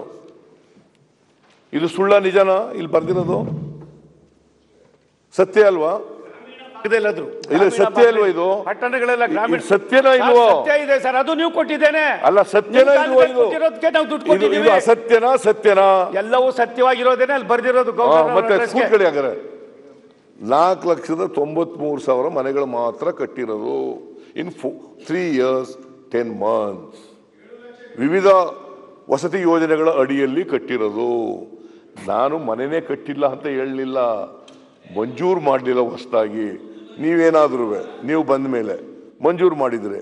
ಯಾವ್ಯಾವ ವರ್ಷ ಮಂಜೂರು ಮಾಡಿದ್ದೀವಿ, ಆದೇಶಗಳನ್ನೆಲ್ಲ ಇಡ್ರಿ ಎರಡು ಸಾವಿರದ ಹತ್ತೊಂಬತ್ತರಲ್ಲಿ ಎಷ್ಟು ಮನೆಗಳು ಮಂಜೂರು ಮಾಡಿದ್ರಿ? ಎರಡು ಸಾವಿರದ ಇಪ್ಪತ್ತರಲ್ಲಿ ಎಷ್ಟು ಮನೆಗಳು ಮಂಜೂರು ಮಾಡಿದ್ರಿ? ಎರಡು ಸಾವಿರದ ಇಪ್ಪತ್ತೊಂದರಲ್ಲಿ ಎಷ್ಟು ಮನೆಗಳು ಮಂಜೂರು ಮಾಡಿದ್ರಿ? ಎರಡು ಸಾವಿರದ ಇಪ್ಪತ್ತ್ಮೂರರಲ್ಲಿ ಎಷ್ಟು ಮನೆಗಳು ಮಂಜೂರು ಮಾಡಿದ್ರಿ? ಸರ್? ಅದಕ್ಕೆ ಈಗ. ಒಂದ್ ಬೆಟ್ಟಾನೇ ತಂದು ಇಟ್ಬಿಟ್ಟು ಅದನ್ನೇ ಖಾಲಿ ಮಾಡಕ್ಕಾಗದ್ರೆ ಎಷ್ಟು ಅಂತ ಕೊಡೋದು? ಈ ಕೂತ್ಕೊಳ್ರಿ ಹೇಳ್- ಹೇಳಿದ್ರಲ್ಲ ಸೋಮಣ್ಣ. ಸರ್, ತಾವು ದಯಮಾಡಿ ಸರ್. ಹೇಳಿದ್ರಲ್ರಿ ಸರ್, ನೀವ್ ನೀವು ಹೇಳ ಹದ್ನಾಲ್ಕು ಆಯ್ತಲ್ಲಪ್ಪ ಲಕ್ಷ ಕೊಟ್ಟು ಹೋಗಿದ್ರಿ. ತಾವೇ ಹದ್ನಾಲ್ಕು ಲಕ್ಷ ಬಿಟ್ಬಿಟ್ಟು ಹೋಗಿದ್ರಿ. ಹದ್ನಾಲ್ಕು ಲಕ್ಷನ ನಾವು ಮಾಡದೆ ಹೋಗಿದ್ರೆ ಇನ್ನೂ ಒಂದಷ್ಟು ಕೊಟ್ಟಿದ್ರೆ ಇನ್ನೊಂದಷ್ಟು ಹೊರೆ ಆಗಿರೋದು. ಸರ್ ಸರ್ಕಾರ ಸರ್ ದಯಮಾಡಿ ಸರ್. ಈಗ ನೋಡ್ರಿ ಸರ್ಕಾರ ನಾನು ನಡೆಸಿದೀನಿ ನಿಮ್ಗಿಂತ ಮೊದಲೇ ಬಂದಿದ್ದೆ ಅಸೆಂಬ್ಲಿಗೆ ನಾನು. ನಿಮ್ಗಿಂತ ಮೊದಲೇ ಮಿನಿಸ್ಟರ್ ಆಗಿದ್ದೆ ನಾನು. ಗೊತ್ತಾಯ್ತಾ? ನೀವು ಹೇಳಿರೋದು ಎಲ್ಲ ಯೋಜನೆಗಳ ಅಡಿಯಲ್ಲಿ. ಹದಿನಾಲ್ಕು ಲಕ್ಷ ಎಲ್ಲಿ ಮುಗಿಸಿದಿರಿ ಇಲ್ಲಿ? ಹಂಗಿದ್ರೆ ಬರಿಬೇಕಾಗಿತ್ತಲ್ಲ ಇಲ್ಲಿ? ಹದಿನಾಲ್ಕು ಲಕ್ಷ ಅಂತ? ನಾಲ್ಕು ಲಕ್ಷ ತೊಂಬತ್ಮೂರು ಸಾವಿರ ಮನೆಗಳು ಬರ್ ಕಟ್ಟಿದ್ದೀವಿ. ಪೂರ್ಣಗೊಳಿಸಿದ್ದೀವಿ. ವಿವಿಧ ವಸತಿ ಯೋಜನೆಗಳ ಅಡಿಯಲ್ಲಿ ಇದನ್ನ ಡಿಸ್ಪ್ಯೂಟ್ ಮಾಡ್ತಿರಲ್ಲ ಹೆಂಗೆ? ಅವಕ್ಕೇನು ಡಿಸ್ಪ್ಯೂಟ್ ಇಟ್? ನಿಮ್ಮ ಇಲಾಖೆ ಕೊಟ್ಟಿರೋದನ್ನೇ ಬರೆಯೋದು ಅವರು ಅಧಿಕಾರಿಗಳು. ನಾಲ್ಕು ವರ್ಷದಲ್ಲಿ ನಾಲ್ಕು ಲಕ್ಷದ ತೊಂಬತ್ಮೂರು ಸಾವಿರ. ಅಂದ್ರೆ ಔಷಧ ಕೊಡಿ. ಅಲ್ಲ ಕೊಡ್ರಿ, ಬೇಡ ಬೇಡ. ನಾನು ಈಗ ಐ ಆಮ್ ನಾಟ್ ಡಿಸ್ಪ್ಯೂಟಿಂಗ್ ಆದೇಶ ಇದ್ರ ಇರಬೇಕಲ್ಲ, ಸರ್ಕಾರದ ಆದೇಶ ಇರಬೇಕಲ್ಲ. ಕೊಡಿ ಆದೇಶನ. ಬಾಯಿನಲ್ಲಿ ನಾನು ಕರ್ಕೊಂಡು ಹೋಗ್ತೀನಿ ಅನ್ನೋದು ಬೇರೆ. ನಾನು ಬತ್ತೀನಿ ಬೇಕಾದ್ರೆ ಹೋಗೋಣ ಜೊತೆಲಿನಲ್ಲಿ that is a different thing ನೋಡೋಣ ಮನೆಗಳು ಕಟ್ಟಿರೋದನ್ನ. ಕ್ವಾಲಿಟಿ ಹೆಂಗಿದೆ? ಅದು ಜನಗಳಿಗೆ ಅನುಕೂಲ ಆಗುತ್ತೆ ಇಲ್ವೋ. ಅದನ್ನೆಲ್ಲ ನೋಡೋಣ. That is a different thing but admittedly in the governor's address ನಾಲ್ಕು ಲಕ್ಷ ತೊಂಬತ್ಮೂರು ಸಾವಿರನೇ ಕಟ್ಟಿರೋದು ಇವರು. ಪುನಃ ಅದನ್ನೇ ಹೇಳ್ತಾರಲ್ಲ ಇವರು. ಹೋಗು ಮುಂದೆ. ಒಂದು ಇದು- ದುಡ್ಡು ಪೇಮೆಂಟ್ ಸುಳ್ಳು ಅಂತ ಆಯ್ತು ಹಾಗಾದ್ರೆ. ನಮ್ಮ ಸರ್ಕಾರದಾಗ ಪೇಮೆಂಟ್ ಅಡ್ಮಿಟೆಡ್ಲಿ ದಿಸ್ ಇಸ್ ನೋಡ್ರಿ ಯಾವಾಗ Bundle of ಪೇಮೆಂಟ್ ಅಂತ ನೋಡಿ ಆಯ್ತು. ಮನೆಗಳು ಕಟ್ಟಿದ್ ನೀವು. ನೀವು ಇಲೆಕ್ಷನ್ ಇಟ್ಕೊಂಡು ಮನಿ ಮಂಜೂರು ಮಾಡಿ ಹೋದ್ರ ನಾನ್ ಪೇಮೆಂಟ್ ಯಾರು ಮಾಡ್ಬೇಕು? ಅವ್ರಿಗೆ ಸಬ್ಜೆಕ್ಟೇ ಗೊತ್ತಿಲ್ಲ ಸೋತಿದ್ರು ಅವರು ಟೂ ತೌಸಂಡ್ ತರ್ಟೀನ್ ಅಲ್ಲಿ. ಈಗ ಸುಮ್ಮನೆ ಪೇಮೆಂಟ್ ಯಾರು ಮಾಡ್ಯಾರ ಅದನ್ನ. ಒಟ್ಟಿಗೆ ಹಂಗಿದ್ರೆ ನಾನು ಬಹಳ ಸ್ಪೆಸಿಫಿಕ್ ಆಗಿ ಹೇಳ್ತೀನಿ. ಸೋತಿದ್ರಿ ಗೆಲ್- ಗೆಲ್ಲ ಇಲ್ಲ. ಈಗ ಎರಡ್ ಸಾವಿರದ ಹತ್ತೊಂಬತ್ತು ಇಪ್ಪತ್ತು ಇಪ್ಪತ್ತು ಇಪ್ಪತ್ತೊಂದು ಇಪ್ಪತ್ತೊಂದು ಇಪ್ಪತ್ತೆರಡು ಇಪ್ಪತ್ತೆರಡು ಇಪ್ಪತ್ಮೂರು ಆದೇಶ ಕೊಡ್ಲಿ. ಎಷ್ಟೆಷ್ಟು ಮನೆ ಮಂಜೂರು ಮಾಡಿದ್ದಾರೆ. ಕೊಟ್ರೆ ಆಯ್ತಲ್ಲ? ನಾಳೆ ಉತ್ತರ ಕೊಡುವಾಗ ಕೊಡಿ. I no objection but in the budget ಇದರಲ್ಲಿ ಗವರ್ನರ್ಸ್ ಅಡ್ರೆಸ್ನಲ್ಲಿ ನಾಲ್ಕು ಲಕ್ಷ ತೊಂಬತ್ಮೂರು ಸಾವಿರ ಮನೆ ಕಟ್ಟಿದೀವಿ ಅಂತ ಅವರೇ ಒಪ್ಕೊಂಡಿದ್ದಾರೆ. ಅವರೇ ಬರೆದಿದ್ದಾರೆ. ತಮ್ಮ ಗಮನಕ್ಕೆ ಒಂದೇ ಒಂದು ನಿಮಿಷ ಸರ್. ಸನ್ಮಾನ್ಯ ಸಿದ್ದರಾಮಯ್ಯ ಸಾಹೇಬರು ಮುಖ್ಯಮಂತ್ರಿಗಳಾಗಿ ಐದು ವರ್ಷ ಇದ್ದಾಗ ಒಟ್ಟು ಒಟ್ಟು ಇವರು ಕೊಟ್ಟಂಥ ಮನೆಗಳು ಕಾಂಗ್ರೆಸ್ ಐದು ವರ್ಷದ ಅವಯ ಆಯವ್ಯಯದಲ್ಲಿ ಒದಗಿಸಿದ ಅನುದಾನ ಹದಿನೇಳು ಸಾವಿರದ ನಾನ್ನೂರ ನಾಲ್ಕು ಕೋಟಿ. ಅದರೊಳಗೆ ರಾಜ್ಯ ಸರ್ಕಾರದ್ದು ಹತ್ತು ಸಾವಿರದ ತೊಂಬತ್ತೊಂದು ಕೋಟಿ. ಕೇಂದ್ರ ಸರ್ಕಾರದ್ದು ಏಳು ಸಾವಿರದ ಮುನ್ನೂರ ಹದಿಮೂರು ಕೋಟಿ. ಬಿಡುಗಡೆ ಮಾಡಿದ ಅನುದಾನ ಹದಿನಾರು ಸಾವಿರದ ಮುನ್ನೂರ ತೊಂಬತ್ನಾಲ್ಕು ಕೋಟಿ. ಕೇಂದ್ರ ಸರ್ಕಾರ ಹತ್ತು ಸಾವಿರದ ತೊಂಬತ್ತೊಂದು ಕೋಟಿ. ಕೇಂದ್ರ ಸರ್ಕಾರ ಕೊಟ್ಟಿದ್ದು ಅವ್ರು ಬಿಡುಗಡೆ ಮಾಡಿದ್ದು ಆರು ಸಾವಿರದ ಅದಾಯ್ತು ಐದು ವರ್ಷದಲ್ಲಿ ಐದು ವರ್ಷದಲ್ಲಿ ಪೂರ್ಣಗೊಂಡ ಮನೆಗಳು ಹದಿನಾಲ್ಕು ಲಕ್ಷದ ಐವತ್ತೈದು ಸಾವಿರ. ಅದರಲ್ಲಿ ಅದರಲ್ಲಿ ಒಂಬತ್ತು ಲಕ್ಷ ಎಪ್ಪತ್ತೇಳು ಸಾವಿರ ರಾಜ್ಯ ಸರ್ಕಾರದ್ದು.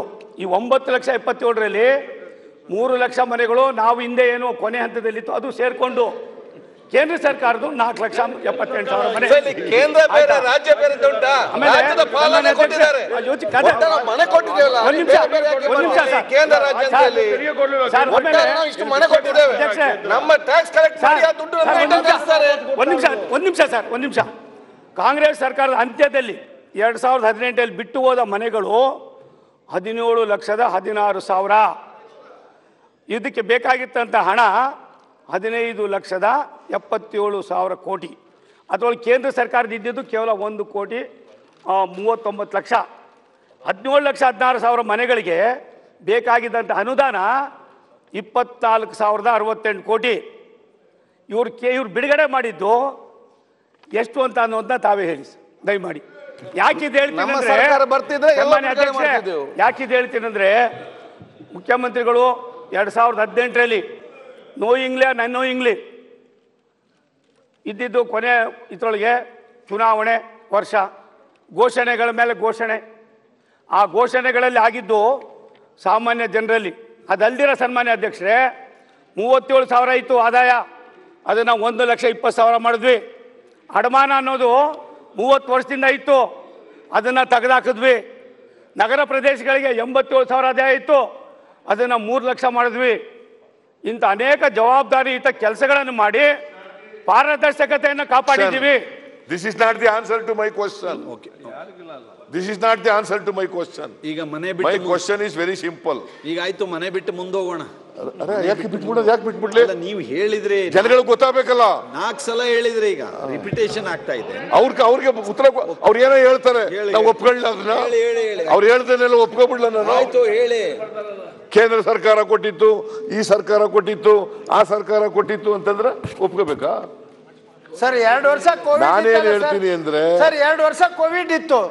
ನಾಲ್ಕು ಲಕ್ಷ ತೊಂಬತ್ಮೂರು ಸಾವಿರ ಮನೆ ಕಟ್ಟಿದೀವಿ. ಜೀವ ಬದುಕಿದ್ರೆ ಓಕೆ ಸಾಕು ಅನ್ನೋ ಅದನ್ನ ಡಿಸ್ಪ್ಯೂಟ್ ಮಾಡಕ್ ಹೋಗೋದಿಲ್ಲ. ಮಾಡಬೇಕು ಅಂತ ಕೂಡ ಮಾಡಕ್ ಹೋಗಲ್ಲ. ಆಲ್ ರೈಟ್ ಆನ್ ಗೋಯಿಂಗ್ ಮನೆಗಳೆಲ್ಲ ಕಟ್ಟಿದ್ದೀರಿ. ನೀವು ಹೊಸ್ದಾಗಿ ಮಂಜೂರು ಮಾಡಿದ್ರೆ ಮಾಡಿದ್ರೆ ನಾನು ಇಲ್ಲ ಅಂತ ಹೇಳಲ್ಲ. ಆದೇಶ ಕೊಡಿ. ನಾನು ಎಲ್ಲ ಕಡೆ ಕೇಳ್ಕೊ ಬಂದಿದ್ದೀನಿ. ಈ ವರ್ಷ ಮಾತ್ರ ಕೊಟ್ಟಿದ್ದಾರೆ ಹೊಸ್ದಾಗಿ ಮನೆಗಳನ್ನ. ಇಂದಿನ ವರ್ಷಗಳಲ್ಲಿ ಕೊಟ್ಟಿರಲಿಲ್ಲ ಅಂತಕ್ಕಂಥದ್ದು ಎಲ್ಲ ಕಡೆ ಹೇಳಿರ್ತಕ್ಕಂಥದ್ದು. That is the that is my point ಅದಕ್ಕೆ ಹಿಂದಿನ ಮಾಡಿ ಬಿಟ್ಟು ಹೋಗಿದ್ರಿ, ಎರಡು ಸಾವಿರದ ಹದಿನೆಂಟರಲ್ಲಿ ಬಿಟ್ಟು ಹೋಗಿದ್ರಿ, ಅದನ್ನ ಬಿಟ್ಟು ಹೋಗ್ಬಿಟ್ಟಿದ್ರಿ, ಇದನ್ನ ಬಿಟ್ಟು ಹೋಗ್ಬಿಟ್ಟಿದ್ರಿ ಅಂದ್ರೆ ಪ್ರಯೋಜನ ಆಗೋದಿಲ್ಲ. ಅದರಿಂದ ಅದು ಉತ್ತರ ಅಲ್ಲ.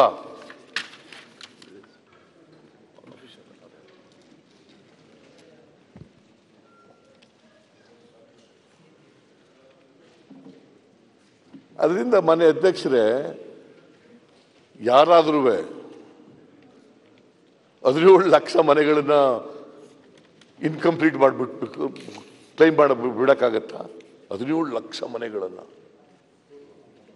ಒಟ್ಟು ಐದು ವರ್ಷದಲ್ಲಿ ನಾವು ಕಟ್ಸಿರೋದೇ ಹದಿನಾಲ್ಕು ಲಕ್ಷದ ಐವತ್ನಾಲ್ಕು ಸಾವಿರ ಮನೆಗಳು. ಹದಿನೇಳು ಲಕ್ಷ ಬಿಟ್ಟೋಗ್ಬಿಟ್ಟಿದ್ರು ಹಂಗೆ. Is it is it ever possible can it be thought of ಆಯ್ತಪ್ಪ, ನೀವು ಸರ್ಕಾರ ಇದೆ. ದಾಖಲಾತಿಗಳಿದ್ರೆ ಇಡಿ. ನಾನು ಅಬ್ಜೆಕ್ಷನ್ ಏನಲ್ಲ ಒಪ್ಕೋತೀನಿ. ದಾಖಲಾತಿಗಳಿದ್ರೆ. ನಾನು ಜನಗಳು ಕೇಳಿ ಹೇಳ್ತಾ ಇರತಕ್ಕಂಥದ್ದು ಇದನ್ನ. ಐ ಆಮ್ ಆಲ್ಸೋ ಇನ್ ಜನಗಳ ಜೊತೆ ಸಂಪರ್ಕದಲ್ಲಿದ್ದೀನಿ ನಾನು. ದಿನನಿತ್ಯ ಸಾರ್ವಜನಿಕ ಸಭೆಗಳನ್ನು ಮಾಡ್ತಾ ಇದ್ದೇನೆ. ಮಾಧುಸ್ವಾಮಿ ಬಹಳ ಲಘುವಾಗಿ ಹೇಳ್ಬಿಟ್ಟು ನೀವು ಭಾಷಣ ಮಾಡುವಾಗ ಕೇಳ್ತೀರಿ, ಅವರೆಲ್ಲ ನಿಮ್ಮ ಪಾರ್ಟಿಯವರು ಹೇಳ್ಬಿಡ್ತಾರೆ ಅಂತ. ಹಂಗೆ ಹೇಳೋಕ್ಕಾಗೋದಿಲ್ಲ ಮಾಧುಸ್ವಾಮಿ. ನೀನೇ ನಿಮ್ಮ ಪಾರ್ಟಿಯವ್ರನ್ನೇ ಕೇಳಿದ್ರು ಕೂಡ ಹಂಗೆ ಹೇಳೋಕ್ಕಾಗಲ್ಲ ಅವರು. ನಿಮ್ಮ ಪಾರ್ಟಿಯವ್ರನ್ನೇ ಕೇಳಪ್ಪ, ನಾನು ಬರೋದು ಬೇಡ. ನಿಮ್ಮ ಪಾರ್ಟಿಯವ್ರು ನೀನೇ ಕೇಳು. It is not true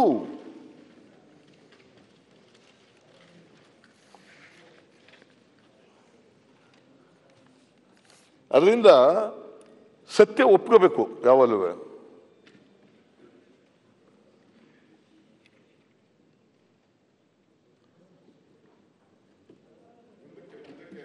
corruption corruption ಬಗ್ಗೆ ನಾನು ಮೂರು ಸಾರಿ ಪ್ರಯತ್ನ ಮಾಡಿದೆ ಅಧ್ಯಕ್ಷರೇ.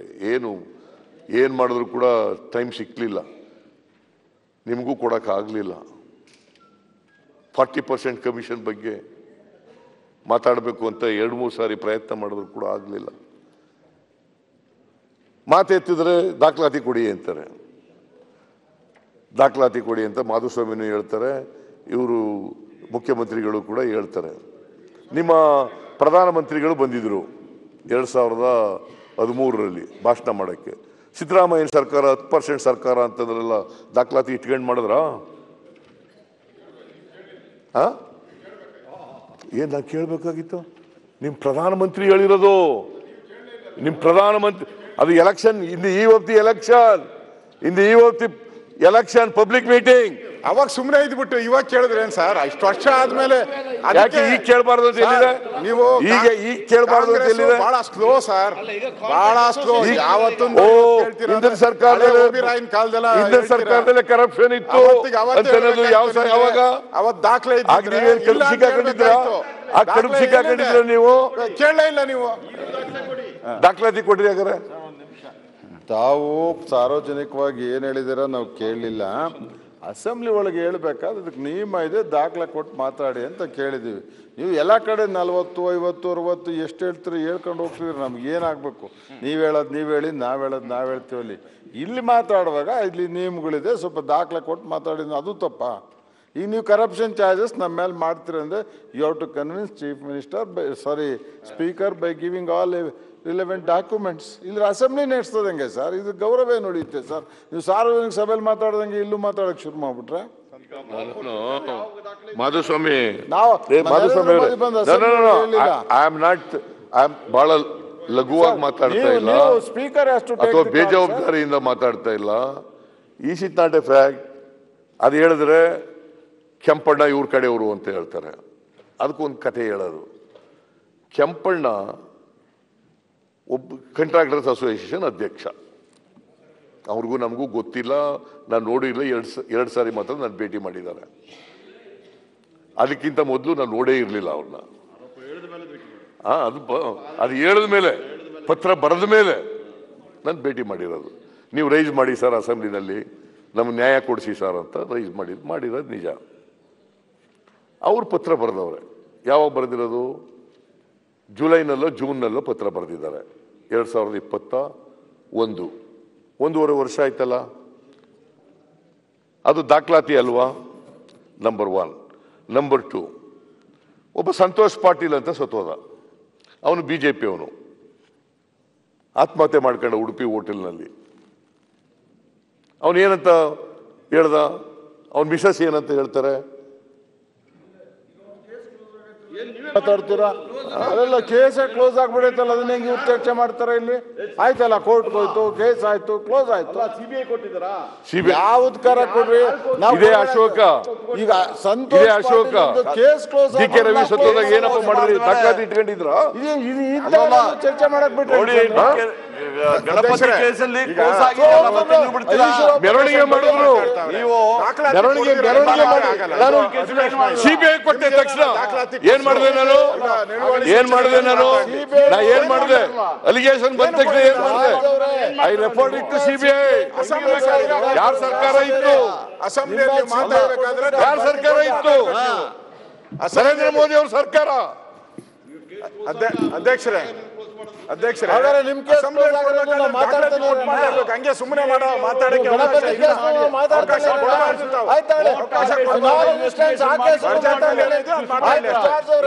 ನಿಮ್ ಕೇಸ್ ಮಾತಾಡ್ತಾರೆ ನಿಮ್ ಕೇಸ್ ಏನ? ನಿಮ್ ಕೇಸ್ ಮಾತಾಡ್ತಾನೆ ಇರ್ತೀವಿ. ನೋಡಿ ನಮ್ ಕೇಸ್ ಅಲ್ಲ. ನೀವು ಮಾಡಿದ್ರೆ ಹೇಳ್ತಾ ಇರೋದು. ನಿಮ್ ಕೇಸ್ ಕ್ಲೋಸ್ ಆಗೈತೆ ಅಂತ ನಾವು ಸುಮ್ಮ ಕೂತಿದೀವಿ ಇದನ್ನ ಮಾತಾಡೋದು ನಾವು ಅದನ್ನ ಮಾಡ್ಲಿಲ್ಲ. ನೀವು ನಮ್ ಕೇಸ್ಗೆ ನೀವೇನ್ ಮಾಡ್ಲಿಲ್ಲ? ನಿಮ್ ಕೇಂದ್ರ ಸರ್ಕಾರ ನಿಮ್ದೇ ಇದೆ ರಾಜ್ಯ ಸರ್ಕಾರ ನಿಮ್ದೇ ಇದೆ. ಸಿಬಿಐದು ನಿಮ್ದೇ ಇದೆ. ಅಧ್ಯಕ್ಷರೇ, ಅವ್ರು close ಸಾರ್- ಮಾಡಿ ನಾವು ಮಾಡ್ಲಿಲ್ಲ. ನೀವು ಆದ್ರೂ ಏನ್ ಮಾಡಿದ್ರೆ ಸಿದ್ದರಾಮಯ್ಯ ನೀವು. ವಿಧಾನಸಭೆಯಲ್ಲಿ ಏನ್ ಮಾಡಿದ್ರು ನೀವು? ಮಾಡಿ ಮಾಡಿದ್ರ? ಈಗ ನೀವು ನೀವು ಯಾರೋ ಬಿ ರಿಪೋರ್ಟ್? ಮಾಡ್ಬಿಟ್ಟು ಇವತ್ತು ಬಿ ರಿಪೋರ್ಟ್ ಬಂದಿದೆ ಅಂತ ಹೇಳ್ಬಿಟ್ರೆ ಹೆಂಗಾಗ್ತದೆ? ಅಂದ್ರೆ you are questioning the authority of the court authority of ನೀವು ಕ್ವಶನ್ ಮಾಡ್ತಾ ಇರೋದು ಕ್ವಶನ್ ಏನ್ ಬೇಕಾದ್ರೆ ಮಾಡ್ಬೋದು. ನೀವೇನು ಅಹೋರಾತ್ರಿ. ಕ್ವಶನ್ ಮಾಡೋಂಗಿಲ್ಲ. ನೀವು ಪಾಳೆಗಾರರ ನಾವು ಅಲ್ಲ ಕ್ವಶನ್ ಮಾಡೋಕ್ಕಾಗೋದಿಲ್ವಾ. ಪಾಳ್ಯಗಾರರು ಮದಕರಿ ನಾಯಕರು ಅದು ಬೇಡ ನೀವು ನಿಮ್ಮ ಆತ್ಮ ಇದ್ರಲ್ಲಿ ಇಟ್ಕೊಂಡು ಮಾತಾಡಿ. ನೀವು ನೋಡ್ರಿ. ರಾಜಕೀಯಕ್ಕೋಸ್ಕರ ಮಾತಾಡಬೇಡಿ. ಬೆಳಗ್ಗೆ ಎದ್ಬಿಟ್ಟು? ತ್ಯಾಜ್ಯವಾದ ಮಾಡ್ಬಿಟ್ಟು ಎಲ್ಲ ಮಾಡಿದ ಮೇಲೆ ಆತ್ಮಸಾಕ್ಷಿ ಆತ್ಮಸಾಕ್ಷಿ ನಿಮಗೆ. ಈ ಸಭೆಗೆ ಬಂದ್ರೆ ಅಲ್ಲಲ್ಲ ನಿಮಗೆ ಒಂದು ರಿಗ್ರೆಟ್. ಮಾಡ್ಲಿಕ್ಕೆ ಆಗ್ಲಿಲ್ಲ. ಡಿ ಕೆ ರವಿ ಕೇಸಿಗೆ ಅದೇ ಮಾಡಿದ್ರ. ನೀವು ಗಣಪತಿ ಮಾತಾಡಂಗಾದ್ರೆ ಅದೇ ಮಾಡಿದ್ರ. ನೀವೇನ್ ಬೇಕಾದ್ರೆ ಮಾಡಿ ನಿಮ್ ಬಾಯ್ಲಿ ನಿಮ್ಮ ಮೇಲೆ ಬಂದ್ರೆ ಮಾತ್ರ ಏನೋ ಒಂದು ಈ ರಿಪೋರ್ಟ್ ಹಾಕಿದೀವಿ ಪರಪ್ನಗ್ರಹಾರದಲ್ಲಿ ಹರಿಶ್ಚಂದ್ರ ನಾಟಕ ನಡೆದಂಗಿದು. ಯಾವ್ದು ನೀವು ನೀವು ಹರಿಶ್ಚಂದ್ರ ನಾಟಕ ನಡೆಸಿದಂಗಿಲ್ಲಿ. ನೋಡಿ ನೀವು ಮಾಡಿದ ಯಾರು ಮರೀಲಿಲ್ಲ. ಇಡೀ ಇದ್ರಲ್ಲಿ ಗೊತ್ತಿದೆ ನೀವೇನ್ ಮಾಡಿದಿರಾ ಅಂದ್ಬಿಟ್ಟು. ನೀವು ನಿಮಗೆ ಬೇಕಾದ್ರೆ ಏನ್ ಬೇಕಾದ್ರೂ ಮಾಡ್ಬೋದಾ? ಮಾನ್ಯ ಅಧ್ಯಕ್ಷರೇ.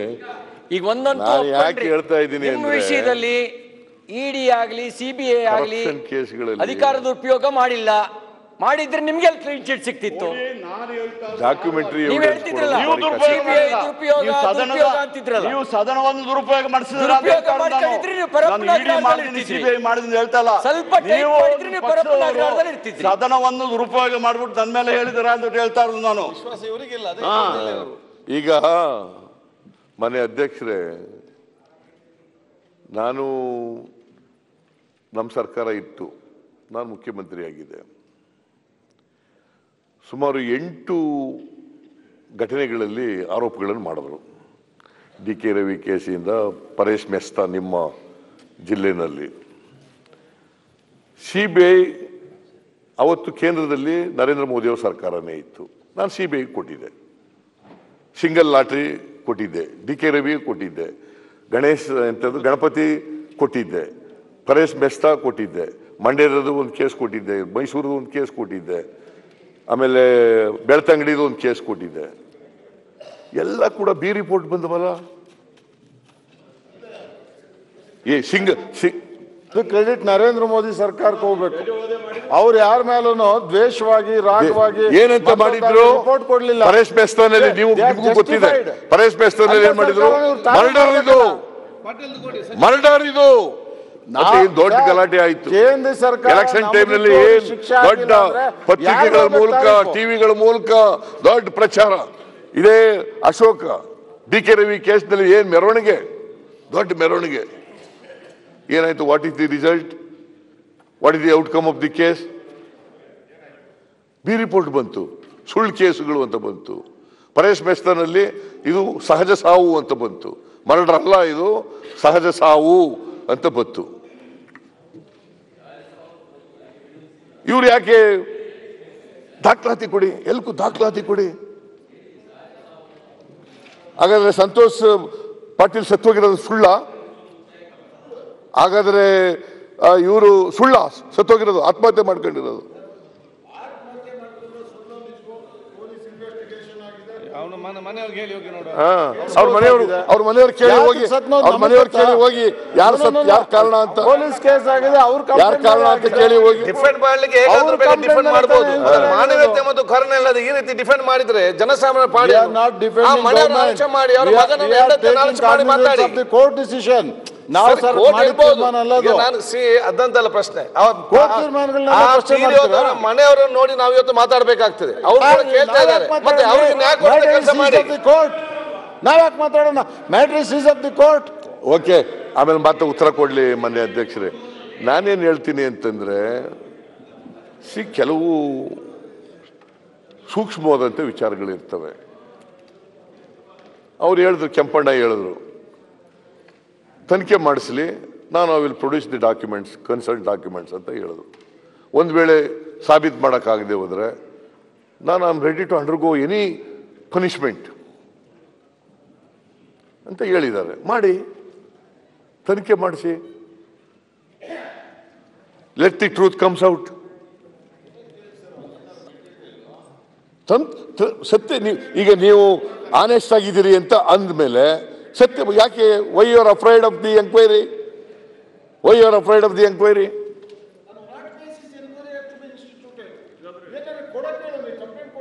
ಮಾತಾಡ್ತಿದ್ರೆ ಅವ್ರು ಕಂಪ್ಲೇಂಟ್ ಎಲ್ಲ ಕೊಟ್ಟಿದ್ದಾರೆ.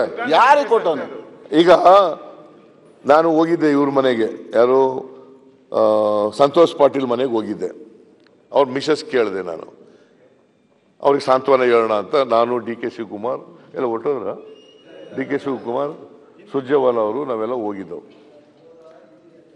ಹೋದಾಗ ಕೇಳಿದೆ, ಏನಮ್ಮ, ಏನು ನಿಮ್ಮ ಯಜಮಾನ್ರೇನಾದ್ರು ನಿಮ್ಮ ಜೊತೆ ಮಾತಾಡಿದ್ರಾ? ಅಂತ ಕೇಳಿದೆ ನಾವು ಇಲ್ಲ ಸರ್, ನಮಗೆ ಹೇಳಿದ್ರು ನನ್ನ ಸಾವಿಗೆ ನಮ್ಮ ಯಜಮಾನರ ಸಾವಿಗೆ ರೂರಲ್ ಡೆವಲಪ್ಮೆಂಟ್ ಮಿನಿಸ್ಟ್ರೇ ಕಾರಣ ಅಂತ ಹೇಳಿದ್ರು ಅಂತ ಹೇಳಿದ್ರು. ಇದು ನಾನು ಸತ್ಯ ಸರ್, ಒಂದು ವರ್ಕ್ ಆರ್ಡ್ರ್ ಇಲ್ಲ. ಒಂದು ಸಣ್ಣ ಚೀಟಿ ಆಫೀಸಿಂದ ಇಲ್ಲಿಂದ ಈಶ್ವರಪ್ಪನವ್ರ ಆಫೀಸಿಂದ ಅಥವಾ ಡಿಪಾರ್ಟ್ಮೆಂಟಿಂದ ಹೋಗಿಲ್ಲ. ಯಾರೋ ನಾನು ಕೆಲಸ ಮಾಡಿದೆ ಬಿಲ್ ಕೊಡಲಿಲ್ಲ ಅಂತ ನಾನು ಹಿಂಗೆ ಮಾಡ್ಕೊಂಡೆ ಅಂದರೆ ಲೀಡರ್ ಆಫ್ ದಿ ಅಪೋಸಿಷನ್ ಈ ವಿಷಯ ಚರ್ಚೆ ಏನಿದೆ commitment government? Who asked him to do sir work out ಇಲ್ಲದೆ ಅಲ್ಲಿ ಇಂಜಿನಿಯರ್ ಏನ್ ಮಾಡ್ತಿದ್ರು? ಯಾರು? ಅಲ್ಲಿ ಲೋಕಲ್ ಇಂಜಿನಿಯರ್ಸ್ ಏನು ಮಾಡ್ತಿದ್ರು? ನಿಮ್ ಒಪ್ಪದ ಅವ್ರ ಹೇಗೆ ಮನೆ ಡಿಸ್ಮಿಸ್ ಅವ್ರನ್ನ? ಕೆಲಸ ಡಿಸ್ಮಿಸ್ ಈಗ ನಿಮ್ ನಿಮ್ ಜಿಲ್ಲೆನಲ್ಲಿ ತುಮಕೂರಿನಲ್ಲಿ ತುಮಕೂರು ತುಮಕೂರಿನಲ್ಲಿ ಒಬ್ಬ ಒಬ್ಬ ಎಂತ ಎಂತ ದುರ್ಗ ಅದು? ರಾಯನ್ ದುರ್ಗ ಎಂತ ದುರ್ಗ ಅದು? ಅಲ್ಲಲ್ಲ. ಆ? Local M L A responsible ಆಗ್ತಾರಲ್ಲ ಅವರ ಹತ್ರ ದೇವರಾಯನ ದುರ್ಗ. ಕೆಲ್ಸ ಮಾಡಿದ್ರೆ. ಅಲ್ಲಿ ಒಬ್ಬ ಸತ್ತೋದ್ನಲ್ಲ ಕಾಂಟ್ರಾಕ್ಟ್ರು ಹೋಗ್ತಿರ್ತಾರೆ ಸರ್ ಅದಕ್ಕೆ ನಮ್ಗೆ ಲೋಕಲ್ ಎಂ ಎಲ್ ಎ ಕೇಳ್ಬೇಕು ಯಾಕೆ ಯಾಕೆ ಫಾರ್ಟಿ ಪರ್ಸೆಂಟ್ ಕಮಿಷನ್ ಕೊಡಕ್ ಆಗ್ಲಿಲ್ಲ ಫಾರ್ಟಿ ಪರ್ಸೆಂಟ್ ಕಮಿಷನ್ ಕೊಡಕ್ ಆಗ್ಲಿಲ್ಲ? Local M L A local M L ಹೇಗೆ ಬದುಕೋದು ಅಧ್ಯಕ್ಷರೇ ಇಲ್ಲ, ಒಬ್ಬರ ಸಾವಿಗೆ ಬೆಲೆ ಬೆಲೆ ಇಲ್ಲ ಒಬ್ಬರ ಸಾವಿಗೆ. ಆತ್ಮಹತ್ಯೆ ಮಾಡ್ಕೊಂಡ್ರೆ ಮಾಡ್ಕೊತಾರೆ ಅಲ್ಲ ರೈತರೆಲ್ಲ ಆತ್ಮಹತ್ಯೆ ಮಾಡ್ಕೊಂಡ್ರೆ ನಿಮ್ ಕಾಲದಲ್ಲಿ ನೀವು ಮಾಡಿಸ್ತೀರಿ ಅಂತ ನಾವ್ ಹೇಳಿದ್ರ? ನಿಮ್ ಕಾಲದಲ್ಲಿ ಆಗಿಲ್ವಾ. ಇವತ್ತು ರೈತರ ಆತ್ಮಹತ್ಯೆ ಮಾಡ್ಕೊಂಡು ಕರ್ನಾಟಕ ಸರ್ಕಾರ ನಂಬರ್ ಟೂ ರೈತರ ಮಹಾರಾಷ್ಟ್ರ ನಂಬರ್ ಇದೆ ಅಂತ ಹೇಳಿದ್ರೆ ಅದನ್ನ ಕೇಳ್ಬೋದು ನೀವು. ನಿಮ್ ಕಾಲದಲ್ಲೂ ಬೇಕಾದಷ್ಟು ಆತ್ಮಹತ್ಯೆಗಳಾಗಿದೆ. ಅದೆಲ್ಲ ನೋ ರಿಪ್ಲೈ ಅಟ್ ಆಲ್ ಅಧ್ಯಕ್ಷ ನಿಮ್ ಕಾಲದಲ್ಲಿ ಆಗಿದೆ ಆ ಕಾಲದಲ್ಲಿ ಆಗಿದೆ.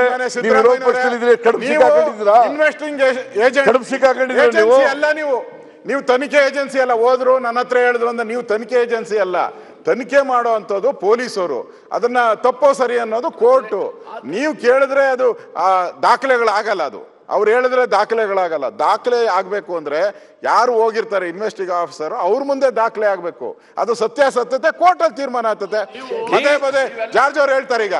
ಈಗ ಏನು ಸಿ ಬಿ ಐ ಹಂಗೆ C B I BJP BJP ಅಂತ ಇವ್ರ ತನಿಖೆ ಮಾಡಿ ಕ್ಲೀನ್ ರಿಪೋರ್ಟ್ ಕೊಟ್ರು. ಕ್ಲೀನ್ ರಿಪೋರ್ಟ್ ಕೊಟ್ರು ನೀವು ಜಾರ್ಜ್ ಅವ್ರ ಮೇಲೆ. ಬಿಜೆಪಿ ಸರ್ಕಾರನೇ. ಸಿಬಿಐ ಸಿಐಡಿ ಅದರಿಂದ ಇನ್ವೆಸ್ಟಿಗೇಷನ್ ಮಾಡಿದಾಗ ಏನು ಏನಾದ್ರೂ ಮಾಡ್ಬೇಕಾದ್ರೆ ಅಶೋಕ್ ಅವರೇ ಕಂಪ್ಲೇಂಟ್. ಕೊಡ್ಲಿ. ಸರ್, ಇವ್ರು ಏನ್ ದಾಖಲೆ ಸಾಕ್ಷ್ಯ ನೀವು CBI ಮಾತಾಡಿ. ಇಲ್ಲ ಅವ್ರು ಯಾರ ಏನಂತ. ಗಣಪತಿ ಕೇಸಲ್ಲಿ ಯಾವ ಸಾಕ್ಷಿ ಸಾಕ್ಷ್ಯ ಕೊಡ್ಲಿ. ಚೋರ್ ಬಚಾವ್. ರವಿ ಕೇಸಲ್ಲಿ ಯಾವ ಸಾಕ್ಷ್ಯ ಇಲ್ಲಿ ಮಾಡಿದ್ರೆ ಚೋರ್ ಬಚಾವ್ ಸಂಸ್ಥೆ. ಅಂತ ನೀವೇ ಹೇಳಿದ್ರಿ ಆ ಕಡೆ ಕೂತ್ ಈ ಕಡೆ ಕೂತ್ಕೊಂಡು ಅಶೋಕ್ ಅವರೇ, ಬೇಕಾದಷ್ಟು ನೀವು. ಕೇಳಿಬಿಟ್ಟು ಸಿಬಿಐ ಎನ್ಕ್ವೈರಿ ಮಾಡಿದಾಗ ಯಾವ ದಾಖಲೆ ತಗೊಂಡಿದ್ದಾರೆ? ಸಿಬಿಐ ಮುಂದೆ ಕೊಟ್ಟಿದ್ದೀರಾ ಏನಾದ್ರು? ಸಿಐಡಿ ಮುಂದೆ ಏನಾದ್ರು ಕೊಟ್ಟಿದ್ದೀರಾ? ಏನ್ ಕೊಡ್ಲಿಲ್ಲ ನೀವು? ಬರೀ ಅಸೆಂಬ್ಲಿಯಲ್ಲಿ ಆಪಾದನೆ ಮಾಡ್ಬಿಟ್ಟು ಹೋಗ್ಬಿಟ್ಟಿದ್ದಾರೆ. ಕಂಪ್ಲೇಂಟ್ ಅವ್ರ ಮನೆಯವ್ರು ಕೊಟ್ಟಿದ್ದಾರೆ. ಯಾರು? ಕಂಪ್ಲೇಂಟ್ ಅವ್ರ ಮನೆಯವ್ರು ಕೊಟ್ಟಿದ್ದಾರೆ. ಸಂತೋಷ್ ಪಾಟ್ಲ್ ಮನೆಯವರು ಕೊಟ್ಟಿದ್ದಾರೆ. ಅದೇ ಅಲ್ಲ ನಾನು ಹೇಳ್ತಾ ಇರೋದು ನೀವು ಕರ್ಕೊಂಡ್ಬಂದ್ಬಿಟ್ಟು ಕೊಡ್ಲಿ. ನೀವು ಕರ್ಕೊಂಬಂದು ಅವ್ರ ಕೊಟ್ಟಿದ್ದಾರೆ. ಎಲ್ಲ ವಿಷಯ ಮಂಡನೆ ಅಂತ ಹೇಳಿದ್ರೆ ಬಿಜೆಪಿ ಸರ್ಕಾರದಲ್ಲಿ ಜನಸಾಮಾನ್ಯರ ಸಾವಿಗೆ ನ್ಯಾಯ ಸಿಕ್ಕುದಿಲ್ಲ. ಯಾವ ತನಿಖೆ ನ್ಯಾಯ ಬರುವಂತ ವಿಚಾರ ಇಲ್ಲ. ಆ ಮನೆ ಎಲ್ಲ ಇನ್ನೂ ಕೂಡ ನೋಂದಾಯಿತರಾಗಿದೆ ಹೆಚ್ಚು ಕಮ್ಮಿ ಆಗ್ತದೆ. ಆ ಕುಟುಂಬದ ನ್ಯಾಯವಾದ್ರೂ ಸಿಗ್ಬೇಕಲ್ಲ? ಅದು ಕೂಡ ಇಲ್ಲದಂತ ಪರಿಸ್ಥಿತಿ ಆಗಿದೆ. ಅದು ಅಂದ್ರೆ ಸಿದ್ದರಾಮಯ್ಯನವರು ಸಿದ್ದರಾಮಯ್ಯ ಇತ್ತು. ಅಲ್ಲ, ಬಿಜೆಪಿ ಸರ್ಕಾರ ಇತ್ತು. ನ್ಯಾಯ ಸಿಗೋದು. ನೀವು ಒಳಗಿದ್ದೇ ಇಲ್ಲ, ನಾಳೆ ಕಂಟಿನ್ಯೂ ಮಾಡಿ ಇಲ್ಲ ಇಲ್ಲ ಇಲ್ಲ ಇಲ್ಲ ಇವತ್ತೇ ಮುಗಿಸ್ಬಿಡ್ತೀನಿ. ನಾನು ನಾಳೆ ಇರಲ್ಲ. ನಾಳೆ ಇರಲ್ಲ. ಸಿಬಿಐ ಕಲಿಸಿ ಅಲ್ಲ ನೀವೆಲ್ಲ ಆರೋಪ ಮಾಡಿದ್ದೀರಿ. ಅದಕ್ಕೆ ಸಿಬಿಐ ಕೊಟ್ಟು ನಮ್ಮ ಸರ್ಕಾರವೇ ಕೊಟ್ಟಿದೆ ಸಿಬಿಐಗೆ ನೀವು ಕೂಡ ಸಿಬಿಐ ವಹಿಸಿ. ಸಂತೋಷ್ ಪಾಟೀಲ್ ಸಿಬಿಐ ಈಗ ಸಿಬಿಐಗೆ ವಹಿಸಿ ನೀವು.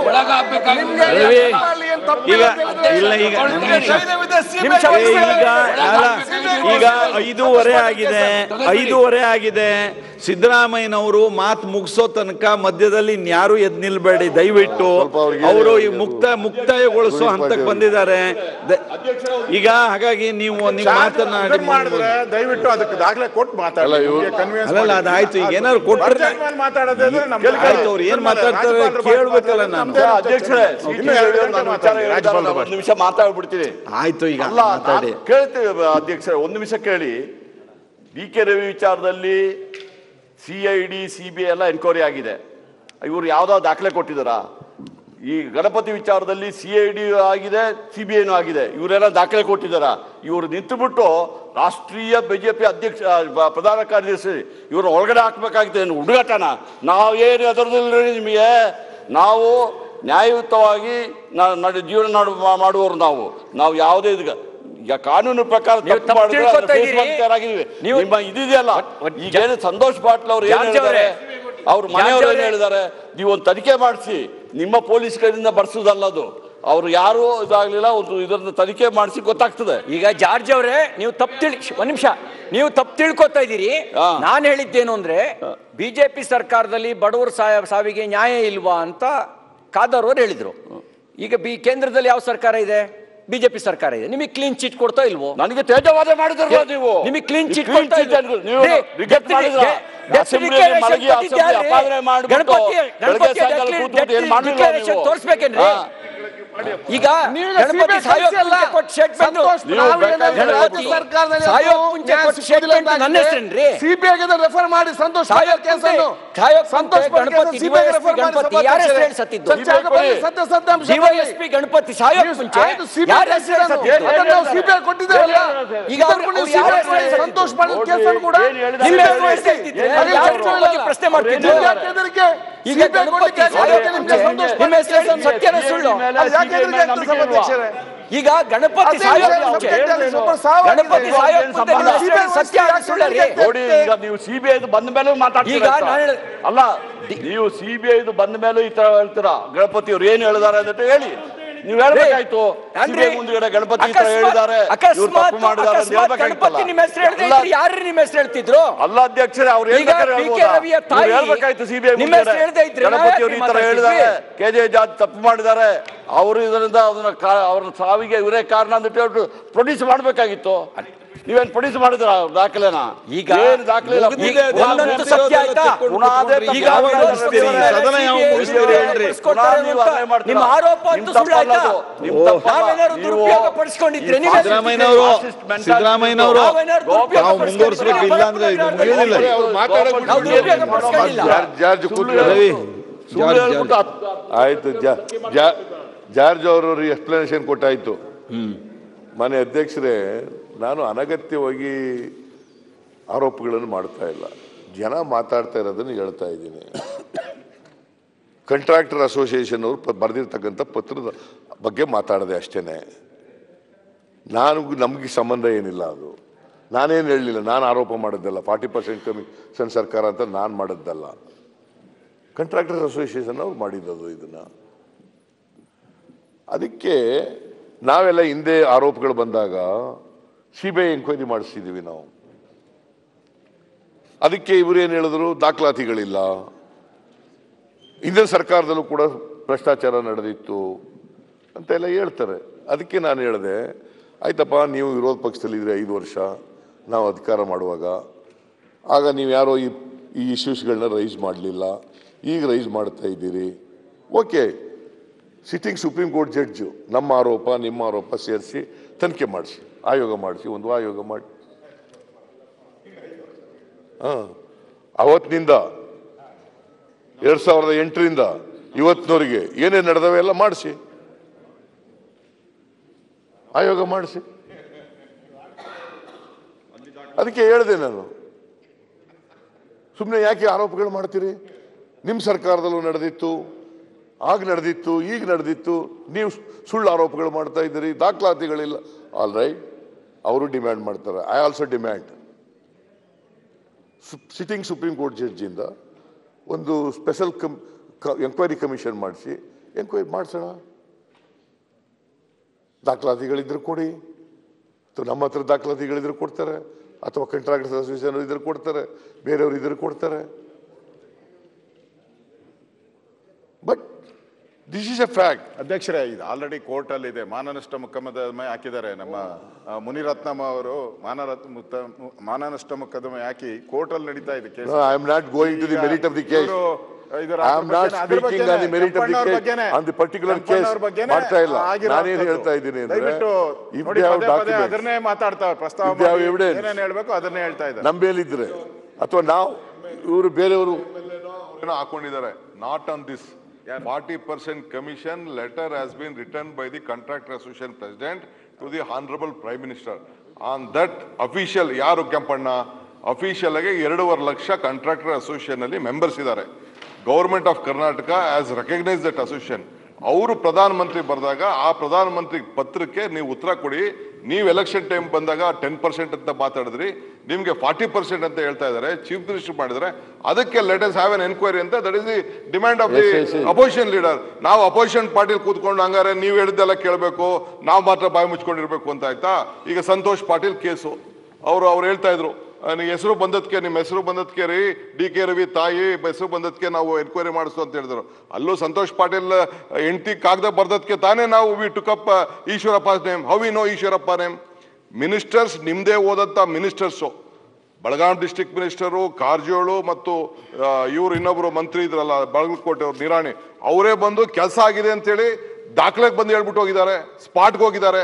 How that work went on ಯಾರು ಪರ್ಮಿಷನ್ ಕೊಟ್ಟರು that is why there is a suspicious ಆ ಹೆಣ್ಮಗಳು ಕೂಡ ಪಾಪ ನನ್ನ ಗಂಡನ ಕಳ್ಕೊಂಡಿದೆ, ನಾವು ಅನುಭವಿಸಿದೀವಿ ಅಂತ ಹೇಳಿದ್ರು. Is it not fair on that enquiry ಹಾಕಿನ ಮುಂಚಿತವಾಗಿ ಯಡಿಯೂರಪ್ಪನವ್ರ ಆದಿಯಾಗಿ ನಾವು ಕೆಳಗಡೆ ಮಲಗಿದ್ದಂಥ ಸಂದರ್ಭದಲ್ಲಿ ಏನು ಹೇಳಿದ್ರು? Yediyura, Eshwarappa will come out clean ಅಂತ. ಇನ್ನ ಕೊಟ್ಟಿಲ್ಲ ಎನ್ಕ್ವೈರಿ ಇನ್ನ ರೆಸಿಗ್ನೇಷನ್ ಕೊಟ್ಟಿಲ್ಲ. ಹಾಗೆ ನೀವು ಇನ್ಫ್ಲೂಯೆನ್ಸ್ ಮಾಡಿಬಿಟ್ರೆ ಪೊಲೀಸ್ ಆಫೀಸರ್ಸ್ಗೆ ಬಿ ರಿಪೋರ್ಟ್ ಕರೆದ ಏನು ಮಾಡ್ತಾರೆ? This is a B report government in all the cases whatever is there ನಿಮ್ದು ಬಿ ರಿಪೋರ್ಟ್ ಬರ್ತದೆ.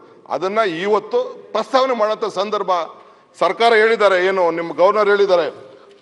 ಏನು ನಾವು ಪರಿಶುದ್ಧವಾದಂತ ಆಡಳಿತವನ್ನು ಕೊಡ್ತಾ ಇದ್ದೀವಿ. ಇದೇನಾ ಪರಿಶುದ್ಧವಾದಂತ ಆಡಳಿತ ಇಡೀ ದೇಶದಲ್ಲಿ it has become a corruption capital of this country Karnataka ನಿಮ್ಮ ಬಿಜೆಪಿ ಆಡಳಿತದಲ್ಲಿ ಇದನ್ನ ತಾವು ಗಮನದಲ್ಲಿ ಇಟ್ಕೊಳ್ಳಿ ಇದನ್ನ ತೆಗೆದಾಕ್ಲಿಕ್ಕೆ ದರ್ ಇಸ್ ನೋ ಅದರ್ ಮಾರ್ಗ.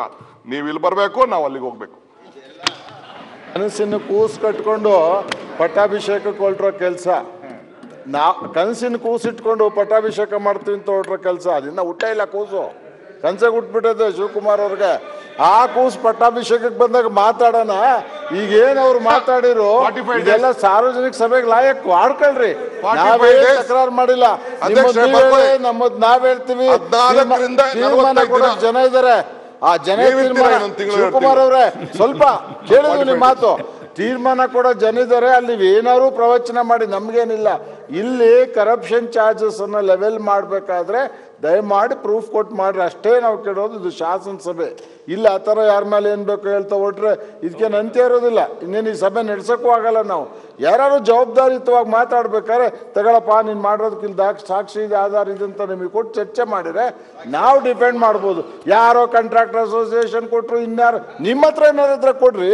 ನೀವ್ಯಾಕೆ ಅವ್ರು ಹೇಳಿದ್ದೆ ಪದೇ ಪದೇ ಹೇಳ್ಕೊಂಡು ಇಲ್ಲಿ ಕಲ ಕಳಿತೀರಾ. We're wasting the time of the assembly ನೀವು ನೀವು ಮಾಡಿ ಡಿಗೌಟ್ ಮಾಡಿ ರಿಸರ್ಚ್ ಮಾಡಿ ಇನ್ವೆಸ್ಟಿಗೇಟ್ ಮಾಡಿ ತಗೊಂಬನ್ನಿ ಇಡೀ ಇಲ್ಲಿ. ಈಗಲೇ ಅವನಿಗೆ ಅವ್ರು ಹೇಳಿರೋದು ಇಲ್ಲಿದೆ ನಮ್ಮ ಹತ್ರ ಮಾಹಿತಿ ತಂದಿದ್ದು. ಏನಿಲ್ದಲ್ಲ ಸೋಮ್ನೆ ಮಾಡಿ ನಾವು ಹರಿಶ್ಚಂದ್ರರು ಅಂತ ಕೂತ್ಕೊಂಡ್ಬಿಟ್ರೆ ಇಲ್ಲಿ ಹರಿಶ್ಚಂದ್ರ ಅಲ್ಲ, ಯಾರು ಅಂತ ಲೋಕಾಯುಕ್ತ ಕರ್ನಾಟಕಕ್ಕೆ ಬಾಗಿಲು ಓಪನ್ ಇದೆ. ಗೊತ್ತಿಲ್ವಾ? ನಿಮ್ ತರ ಬಾಗ್ಲಾಕ್ಸಿಲ್ಲ ಅಲ್ಲ, ಹೋಗ್ ದೂರ್ ಕೊಡಿ. ಕರ್ನಾಟಕಕ್ಕೆ ನಾವು. ಹೇಳ್ಬೇಕಾ ಯಾರು ಹರಿಶ್ಚಂದ್ರ ಯಾರು? ಬಾಗ್ಲಾಕ್ಸಿದ್ರು ಲೋಕಾಯುಕ್ತನ. ಬಂದೇ ಮಾಡಿದ್ರು. ಈಗ ಬಾಗ್ಲು ಓಪನ್ ಇದೆ. ಹೋಗಿ ದೂರ್ ಕೊಡಿ. ಏ, ಈಗ ಒಬ್ಬೊಬ್ರು ಮಿನಿಸ್ಟ್ರಿಗಳು ಎದ್ದು ಉತ್ತರ ಕೊಟ್ಟರೆ ಆಗೋದಿಲ್ಲ ಅವರು ಉತ್ತರ ಕೊಡೋಕ್ಕೆ ಅವಕಾಶ ಇದೆ. ನಾವು ಆಗ ಮಧ್ಯದಲ್ಲಿ ಪ್ರವೇಶ ಮಾಡಲ್ಲ, ಉತ್ತರ ಕೊಡಲಿ. ಎಲ್ಲರೂ ಉತ್ತರ ಕೊಟ್ಟ ಮೇಲೆ ಕೇಳ್ತೀವಿ. ಗೊತ್ತಾಯ್ತಾ? ಉತ್ತರ ಸಮಾಧಾನ ಇದ್ದರೆ ಕೇಳ್ತೀವಿ. ಇಲ್ಲದೆ ಹೋದರೆ ನೀವು ಉತ್ತರ ಸರಿಯಾಗಿ ಕೊಟ್ಟಿಲ್ಲ ಅಂತ ಪ್ರತಿಭಟನೆ ಮಾಡ್ತೀವಿ. That is a different thing but ಇವರು ಯಾವಾಗ ಆರೋಪಗಳನ್ನು ಮಾಡುವಾಗ ದಾಖಲಾತಿಗಳು ಇಟ್ಕೊಂಡು ಏನು ಮಾಡಲಿಲ್ಲ. ಅವ್ರ ಪಾರ್ಟಿಯವರೇ ಹೇಳಿದಾರಪ್ಪ. ಅವ್ರ ಪಾರ್ಟಿಯವರೇ ಹೇಳಿದ್ದಾರೆ ನಿಮ್ಮ ಪಾರ್ಟಿಯವರೇ ಹೇಳಿದ್ದಾರೆ ವಿಶ್ವನಾಥ್ ಹೇಳಿದ್ದಾರೆ ನಮ್ಮ ಯಾರು? ಯತ್ನಾಳವರು ಯತ್ನಾಳವರೇ ಹೇಳಿದ್ದಾರೆ ನೀವು ಇತಿಶ್ರೀ ಆಡಿ ಎ ಸಿ ಬಿ ಮಾಡಿ ಏನ್ ಬೇಕಾದಂಗ್ ಬರೆಸ್ಕೊಂಡವರು. ಏನ್ ಏನ್ ಮಾಡಿದ್ವಿ ಲೋಕಾಯುಕ್ತಕ್ಕೆ ಅಂತ? ಏನ್ ಮಾಡಿದೀವಿ ಅಂತ ಹೇಳಪ್ಪ? ಏ ಮುಚ್ಚಿಬಿಟ್ಟಿದ್ವಾ? ಸಾವಿರ ಬಿಟ್ರೆ ಮುಚ್ಚಿಬಿಟ್ಟಿದ್ವಾ? ಈಗ ಬಿಜೆಪಿ ಬಿಜೆಪಿ ಸರ್ಕಾರ ನಾವು ಒಬ್ಬ ಲೋಕಾಯುಕ್ತರ ಮನೆಯಲ್ಲಿ ಭ್ರಷ್ಟಾಚಾರದ ಆರೋಪಗಳು ಬಂದಾಗ ನಾವು ಎ ಸಿ ಬಿ ಮಾಡಿದ್ದು ಮಾಡಿರ್ಲಿಲ್ಲ. ಲೋಕಾಯುಕ್ತ ಏನು ಮಾಡಿರ್ಲಿಲ್ಲ? ಲೋಕಾಧಿಕಾರ ಅಧಿಕಾರ ಮಾಡಿರ್ಲಿಲ್ಲ. ಮಾಡಿರಲಿಲ್ಲ ಮಾಡಿ ಇಡೀ ಲೋಕಾಯುಕ್ತ ನೀವು ಹಾಗಾದ್ರೆ ಬಂದ ತಕ್ಷಣ ಯಾಕೆ ಎ ಸಿ ಬಿ ಮುಚ್ಚಲಿಲ್ಲ? ಯಾಕೆ ಎ ಸಿ ಬಿ ಕೋರ್ಟ್ ಆದೇಶ ಆದೇಶದ ಮೇಲೆ ಎ ಸಿ ಬಿ ಹೋಯ್ತು. ಕೋರ್ಟ್ ಆದೇಶದ ಮೇಲೆ ಹೋದ್ದು.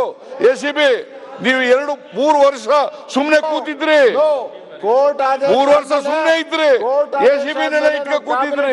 ತಗೊಂಡಿದ್ದೀವಿ ಯಾರ್ಗೆ ನಾವು- ಹೇಳ್ತಿದ್ರಿ? ನಾವು ACB ಇವರೇ ಇಟ್ಕೊಂಡಿದ್ರು. ವಿ ವಿಲ್ ರೆಸ್ಟೋರ್ ಲೋಕಾಯುಕ್ತ ಅಂತ ಹೇಳಿ ನಾವು ಪ್ರಣಾಳಿಕೆಯಲ್ಲಿ ಹೇಳಿದ್ವಿ ಅಂತ ಕೊಟ್ಟಿದ್ದೀವಿ ಕೋರ್ಟ್ ಆದೇಶ ಮೇಲೆ ಅದು ಒಬ್ಬ ಯಾರೋ ಇದ್ರಲ್ಲ ಲೋಕಾಯುಕ್ತ ಇದ್ರಲ್ಲ. ಅವ್ರ ಮನೇಲಿ ಭ್ರಷ್ಟಾಚಾರ ಲೋಕಾಯುಕ್ತ ಮಾಡಿದ್ದು. ಅಲ್ಟಿಮೇಟ್ ಎನ್ಕ್ವೈರಿ ಕಂಡಕ್ಟಿಂಗ್ ಅಥಾರಿಟಿ ಅಂತ ಲೋಕಾಯುಕ್ತ ಬಂದಿರೋದು ಸ್ಟೇಟ್ ಆಕ್ಟ್ ಮೇಲೆ ಹೌದಾ ನಾವು ಎ ಸಿ ಬಿ ಇರುವುದು ಸೆಂಟ್ರಲ್ ಆಕ್ಟ್ ಮೇಲೆ. ಯಾವ ಸೆಂಟ್ರಲ್ ಆಕ್ಟ್ ಯಾವುದು? It is your baby anti corruption ನಿಮ್ದ್ರೆ. Commission ಯಾವ ಆಕ್ಟ್ ಮೇಲೆ ಬಂದಿರೋದು ಪಾಪದ ಕೂಸು ಅದು ವಿಜಿಲೆನ್ಸ್ ಕಮಿಷನ್ ಯಾವ ಆಕ್ಟ್ ಮೇಲೆ anti corruption central act Central Act ಯಾವ್ದಿದೆ? ಅದರಲ್ಲಿ ಲೋಕಾಯುಕ್ತಕ್ಕೆ ಪವರ್ ಮಾಡ್ಲಿಕ್ಕೆ? ಆಗೋದಿಲ್ಲ.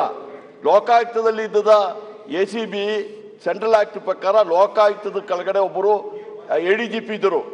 ಅವರಿಗೆ ಅಧಿಕಾರ ಕೊಟ್ಟಿದ್ದೀವಿ ಹೊರತು ಲೋಕಾಯುಕ್ತಕ್ಕೆ ಅಧಿಕಾರ ಕೊಡ್ಲಿ ನಿಮಗೂ ಪವರ್ ಇಲ್ಲ. ನಿಮ್ಮವೆಲ್ಲ ಮುಚ್ಚಾಕ ಕ್ರಿಯೇಟ್ ಮುಚ್ಚಾಕ್ಬೇಕಾಗಿಲ್ಲ ನಿಮ್ದು ಮುಚ್ಚಾಕ್ಲಿಕ್ಕೆ ಟ್ರೈ ಮೇಜರ್ ಯಾವ್ದು ಇರ್ಲಿಲ್ಲ ತಾವೇ ಲೋಕಾಯುಕ್ತ ಯಾವಾಗ್ಲೂ ಅಲ್ಲಿ ಸೆಂಟ್ರಲ್ ಆಗ್ತಾ ಇದ್ರೆ ಕೋರ್ಟ್ ಮುಚ್ಚಾಕಿದ್ದು.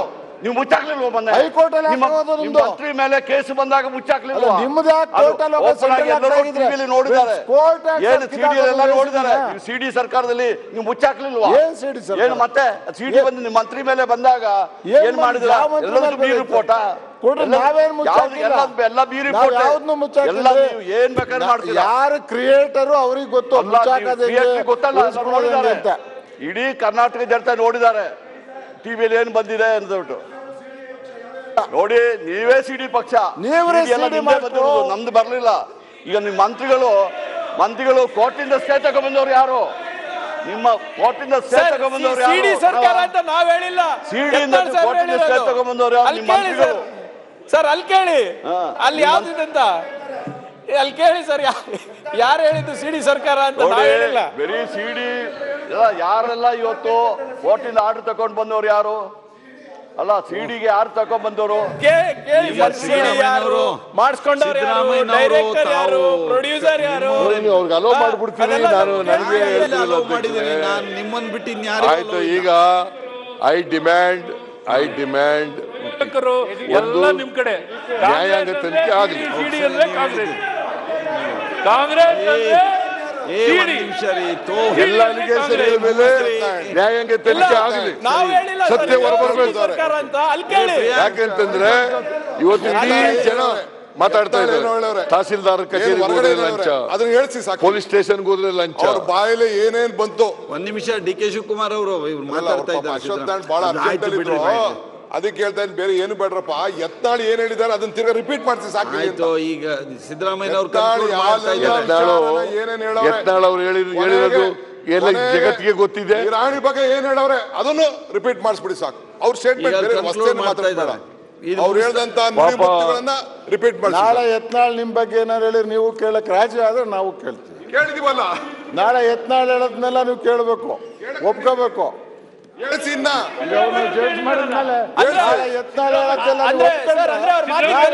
ಪಕ್ಷದಲ್ಲಿ. ನೀವು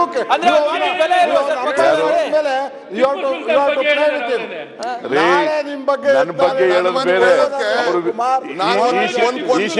ಬಿಜೆಪಿ ಈ ಅಲಿಗೇಷನ್ ಎಗ್ರೆಸ್ಟ್ ಬಿಜೆಪಿ ಗವರ್ಮೆಂಟ್ ನನ್ನ ವಿರುದ್ಧ ಮಾತಾಡೋದು ಬೇರೆ. ನಿಮ್ಮ ನಿಮ್ಮ ವಿರುದ್ಧನೇ? ಮಾತಾಡಿದ್ದಾರೆ. ಎರಡೂವರೆ ಸಾವಿರ ರೂಪಾಯಿ ಎರಡುವರೆ ಸಾವಿರ ಇದೇ ಎರಡೂವರೆ ಸಾವಿರ ಕೋಟಿ ಕೊಟ್ರೆ ಮುಖ್ಯಮಂತ್ರಿ ಇನ್ನೂರು ಕೊಟ್ರೆ ಟಿಪ್ಪು ಸುಲ್ತಾನ್ ಅವ್ರು ನೂರು ಕೋಟಿ. ಕೊಟ್ರೆ ಮಂತ್ರಿ. ನಾನು ಹೇಳಿದ ವಿಶ್ವನಾಥ್ ಹೇಳಿದ್ದಾರೆ. ವಿಶ್ವನಾಥ್ ಹೇಳಿದ್ದಾರೆ. ಮಾತಾಡ್ತಿರೋದು? ನಿಮ್ಮ ಎಂ ಎಲ್ ಸಿ ನಿಮ್ಮ ಎಂ ಎಲ್ ಸಿ ಹೇಳಿರೋದು. ತೋ, ತೋ, ತೋ, ತೋ. ಇದೇ ಮಾಧುಸ್ವಾಮಿ ಹೇಳಿದ್ದಾರೆ. ನಾವು ಸರ್ಕಾರ ನಡೆಸ್ತಾ ಇಲ್ಲ. we ಅಂತ ಹೇಳಿದ್ದಾರೆ ಅವರು. ನೀವು ಒಪ್ಕೊಬೇಕು. ನಾವು ಅದಕ್ಕೆ ತಯಾರಿದ್ದೀರಿ. ಇವರು ಮ್ಯಾನೇಜಿಂಗ್ ಅಂತ ಹೇಳಿದ್ದಾರೆ. ಉಳಿದವರೆಲ್ಲ ಆಯ್ತು ಮಾನ್ಯ ಅಧ್ಯಕ್ಷರೇ. ನಾನೇನ್ ಹೇಳ್ತೀನಿ? ಅವ್ರು ಹೇಳಿದ್ರು supreme court even no I demand ಸರಿ ಇದೆ. A thorough enquiry should be made okay sitting judge of the Supreme Court to be, a commission is to be constituted. ಅದಕ್ಕೆ ಎಲ್ಲ ಎರಡ್ ಸಾವಿರದ ಎಂಟರಿಂದ ಇವತ್ತಿನವರಿಗೆ ಏನೇನಾಗಿದಾವೆ ಎಲ್ಲ ಚರ್ಚೆ ಆಗಲಿ. ಓಕೆ ಏನೇನು ತನಿಖೆ ಆಗಲಿ ಸತ್ಯ ಹೊರಬರೇ ಬರಲಿ ತಪ್ಪಿಸರಿ ಶಿಕ್ಷೆ ಆಗಲಿ. ಈಗ ನನ್ನ ಮೇಲೆ ಮಾತೆತ್ತಿದ್ರೆ ಏನು ಹೇಳ್ತಾರೆ ಅಂತಂದ್ರೆ ಸಿದ್ ಸಿದ್ದರಾಮಯ್ಯನವರು ಪಿ ಎಫ್ ಐನ ಅವ್ರನ್ನ ಬಿಟ್ಬಿಟ್ರು ಬಿಡುಗಡೆ ಮಾಡಿಬಿಟ್ರು ಅಂತ ಹೇಳ್ತಾರೆ. ನಾನು ಅಶೋಕ ಅಶೋಕ ಕೇಳಿ ನಾನು. ನೀವು ಒಬ್ಬೊಬ್ಬರನ್ನೇ ಎಬ್ಬಿಸ್ಬೇಡಿ ನೀವು. ನೀವು ಅಶೋಕ ಅಶೋಕ ಅಂತೀರಿ ಅವ್ರು ಎದ್ದು ನಿಂತಾರೆ ನಿಲ್ತಾರೆ. ಮತ್ತೆ ಅಂತ ನೀವು ಯಾರ ಹೆಸರು ಹೇಳ್ಬೇಡಿ ನೀವು ನೇರವಾಗಿ ಏನೋ ವಿಷಯ ಹೇಳ್ಬೇಕು ಹೇಳಿ ಹೆಸರು ಹೇಳೋದು ಬೇಡಲ್ಲ? ಬೇಡ ಅವ್ರದ್ದು ಯಾರ್ದು ಹೇಳ್ಬೇಡಿ ನಿಮ್ದೇನದೇ ಹೇಳೋದು ಬೇಡ. ಓ ನೀನು ಕಂದಾಯ ಮಂತ್ರಿ. ಓ ಇದು ಬೇರೆ ಈಗ.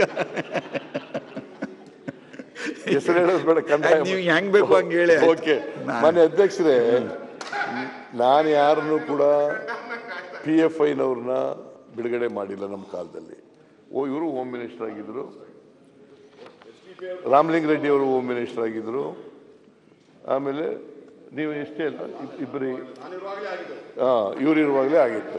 ನಾನು ಕೇಳಿದೆ, ಪತ್ರ ಬರೆದು. ಆಯ್ತು, ಜಾರ್ಜ್, ಕುತ್ಕೊಳ್ಳಿ ಒಂದು ನಿಮಿಷ. ಕುತ್ಕೊಳ್ರಿ ಅವ್ರು ಏನು ಹೇಳ್ತಾರೆ ನಿಮ್ಮ ಲೀಡರ್ ಹೇಳ್ತಾರೆ. ಜಾರ್ಜ್ ತೋ ಜಾರ್ಜ್ ಆಮೇಲೆ ಹೇಳ್ರಿ. ಸಿದ್ದರಾಮಯ್ಯ ಏನ್ ಹೇಳ್ಬೇಕು ಅದನ್ನ ಹೇಳಿ ಅವ್ರು ಫಸ್ಟ್ ಸರ್ ಏ ಜ್ಞಾನೇಂದ್ರ ಅವ್ರೆ ಒಂದ್ ನಿಮಿಷ. ಸಿದ್ದರಾಮಯ್ಯ ಏನ್ ಹೇಳ್ಬೇಕು ಅಂತ ಶುರುವೇ ಮಾಡ್ಲಿಲ್ಲ ಇನ್ನು. ಅವ್ರು ಏನ್ ಹೇಳ್ತಾರೋ ಹೇಳಿದ್ ಕೇಳ್ಕೊಳ್ರಿ. ಆಮೇಲೆ ಹೇಳ್ರಿ ಏನಾರು. ಆಮೇಲೆ ಹೇಳ್ರಿ ಏನಾರು ಹೇಳೋದಾದ್ರೆ ಫಸ್ಟ್ ಅವ್ರು ಏನ್ ಹೇಳ್ತಾರೆ ಕೇಳ್ಕೊಳ್ರಿ. ಆದ್ರೆ ಬಿಡುಗಡೆ ಮಾಡಿದವರೆಲ್ಲ ಪಿ ಎಫ್ ಐ ಇದೆ. ನಿಮ್ಗೆ ಏ ತೋರಿಸ್ತೀನಿ ಆಯ್ತಪ್ಪ. ಕೂತ್ಕೊಳ್ರಿ. ಹೋಮ್ ಮಿನಿಸ್ಟರ್ ಏ ಹೋಮ್ ಮಿನಿಸ್ಟ್ರೇ ಕೂತ್ಕೊಳ್ಳಿ ಪ್ಲೀಸ್ ಈಗ ಅವತ್ತು ಅವತ್ತು ಅವತ್ತು ಪಿ ಎಫ್ ಐ ನಾನು ಪತ್ರ ಬರೆದೆ ಇವ್ರಿಗೆ ಹೋಮ್ ಮಿನಿಸ್ಟ್ರಿಗೆ ಅವತ್ತು ಚೀಫ್ ಮಿನಿಸ್ಟರ್ ಹೋಮ್ ಮಿನಿಸ್ಟರ್ ಆಗಿದ್ರು. ಏನು ಉತ್ತರ ಕೊಟ್ಟಿದ್ದಾರೆ ಗೊತ್ತಾ? ನಾವು ರೈತರನ್ನ ಬಿಡುಗಡೆ ಮಾಡಿದ್ದೀವಿ. ರೈತ ಮುಖಂಡರುಗಳನ್ನ ಬಿಡುಗಡೆ ಮಾಡಿದ್ದೀವಿ. ದಲಿತ ಸಂಘಟನೆಯವರು ಬಿಡುಗಡೆ ಮಾಡಿದ್ದೀವಿ. ಮತ್ತು ಯಾರ್ಯಾರು ಹೋರಾಟ ಮಾಡಿದ್ರು ಅವ್ರನ್ನ ಬಿಡುಗಡೆ ಮಾಡಿದ್ದೀವಿ. ಪಿ ಎಫ್ ಐನವ್ರನ್ನ ಯಾರು ಬಿಡುಗಡೆ ಮಾಡಿಲ್ಲ ಅಂತ ಉತ್ತರ ಕೊಟ್ಟವ್ರೆ ನನಗೆ. ಯಾವಾಗ? ಹೋಮ್ ಮಿನಿಸ್ಟರ್ ಆಗಿರುವಾಗ ಅವರು ಇಪ್ಪತ್ತು ಇಪ್ಪತ್ತನೇ ಇಸ್ವಿನಲ್ಲಿ. ಆಗಿಲ್ಲ ಅಂತ. ಆಮೇಲೆ ಇವರು ಪತ್ರ ಬರೆದೆ. ಇವ್ರು ಇವತ್ತಿನವರೆಗೂ ಉತ್ತರ ಕೊಟ್ಟಿಲ್ಲ. ನೋ ನೋ ನೋ ರೈಟಿಂಗ್ನಲ್ಲಿ ಕೊಟ್ಟಿದ್ದೇನೆ. ರೈಟಿಂಗ್ನಲ್ಲಿ ಕೊಡ್ಬೇಕಲ್ಲ. You are running a government you are running a government ತೋ ಅಶೋಕ್. ಏನ್ ಹೇಳ್ತಾರೋ ಹೇಳಿ. The file is pending with him not yet has not given reply ಸುಮ್ಮನೆ ಹೇಳೋದು. ಯಾವುದು ದಾಖಲಾತಿ ಇಲ್ಲ ಏನಿಲ್ಲ. ಸಿದ್ದರಾಮಯ್ಯನವರು ಪಿ ಎಫ್ ಐನವ್ರನ್ನೆಲ್ಲ ಬಿಟ್ಬಿಟ್ರು ಅಂತ ಹೇಳೋದು. ಎಸ್ ಡಿ ಪಿ ಬಿಟ್ಬಿಟ್ರು ಅಂತ ಹೇಳೋದು. ಪತ್ರ ಯಾರಿಗೆ ಬರ್ತಿದ್ದೀರಿ ನೀವು? ನಿಮಗೆ ಕೊಟ್ಟಿರೋದು ಬರಲಿಲ್ಲ. ನನಗೆ ಬರಲಿಲ್ಲ ನೋಡಪ್ಪ. ಪತ್ರ ಇಲ್ಲ. ಇದು ಹೆಂಗ ಇದು ಹೆಂಗ ಹಿಂಗೆ ಹದಿಮೂರು ಆರು ಸಾವಿರದ ಒಂಬೈನೂರ ಇಪ್ಪತ್ತೆರಡು. ನಿಮ್ಮ ಹತ್ರನೇ ಇಟ್ಕೊಂಡಿರೋದು. ಹದಿಮೂರು ಆರು ಸಾವಿರ- ಹದಿಮೂರು ಆರು. ನೋಡ್ರಿ ಸರ್ ಒಬ್ಬ ವಿರೋಧ ಪಕ್ಷದ ನಾಯಕರಿಗೆ ಡಿಸ್ಪಾಚ್ ಆಗಿಲ್ಲ ಸರ್. ಡಿಸ್ಪ್ಯಾಚ್ ಆಗಿಲ್ಲ ಡಿಸ್ಪ್ಯಾಚ್ ಆಗಿಲ್ಲ ಅಲ್ಲೇ ಬಿಟ್ಟಿದೆ ಅಂದ್ರೆ ನಿಮ್ಮ ಇಲಾಖೆಗೆ ಬರ್ದಿದ್ದೀನಿ ನಾನು. ಪತ್ರ ನಾನು ಪತ್ರದ ಕಾಪಿ. ಪತ್ರದ ಕಾಪಿ. ಯುಟಿ ಅವ್ರಿಗೆ. ಇಲಾಖೆಗೆ ಬರ್ದಿದ್ದೀವಿ. ಕೊಡ್ರಿ ಅದನ್ನ. ಏ ಕೊಡ್ರಿ ತಗೊಂಡೋಗಿ. ಏ ಏ- ಕೊಡಪ್ಪ ಓದ್ಲಿ. ಏ ಯಾರಿಗ್ ಬರ್ದಿದ್ದಾರೆ ಅಂತ ಹೇಳ್ರಿ. ಹೋಮ್ ಸೆಕ್ರೆಟರಿ ಬರ್ದಿದ್ದೀನಿ. ಹಾ. ಹೋಮ್ ಸೆಕ್ರೆಟರಿ ಅದು ಯಾರು ಅವ್ರು ಯಾರು? ಹೋಮ್ ಮಿನಿಸ್ಟರ್ ಹೋಮ್ ತಗೊಂಡು ಕೊಡಪ್ಪ.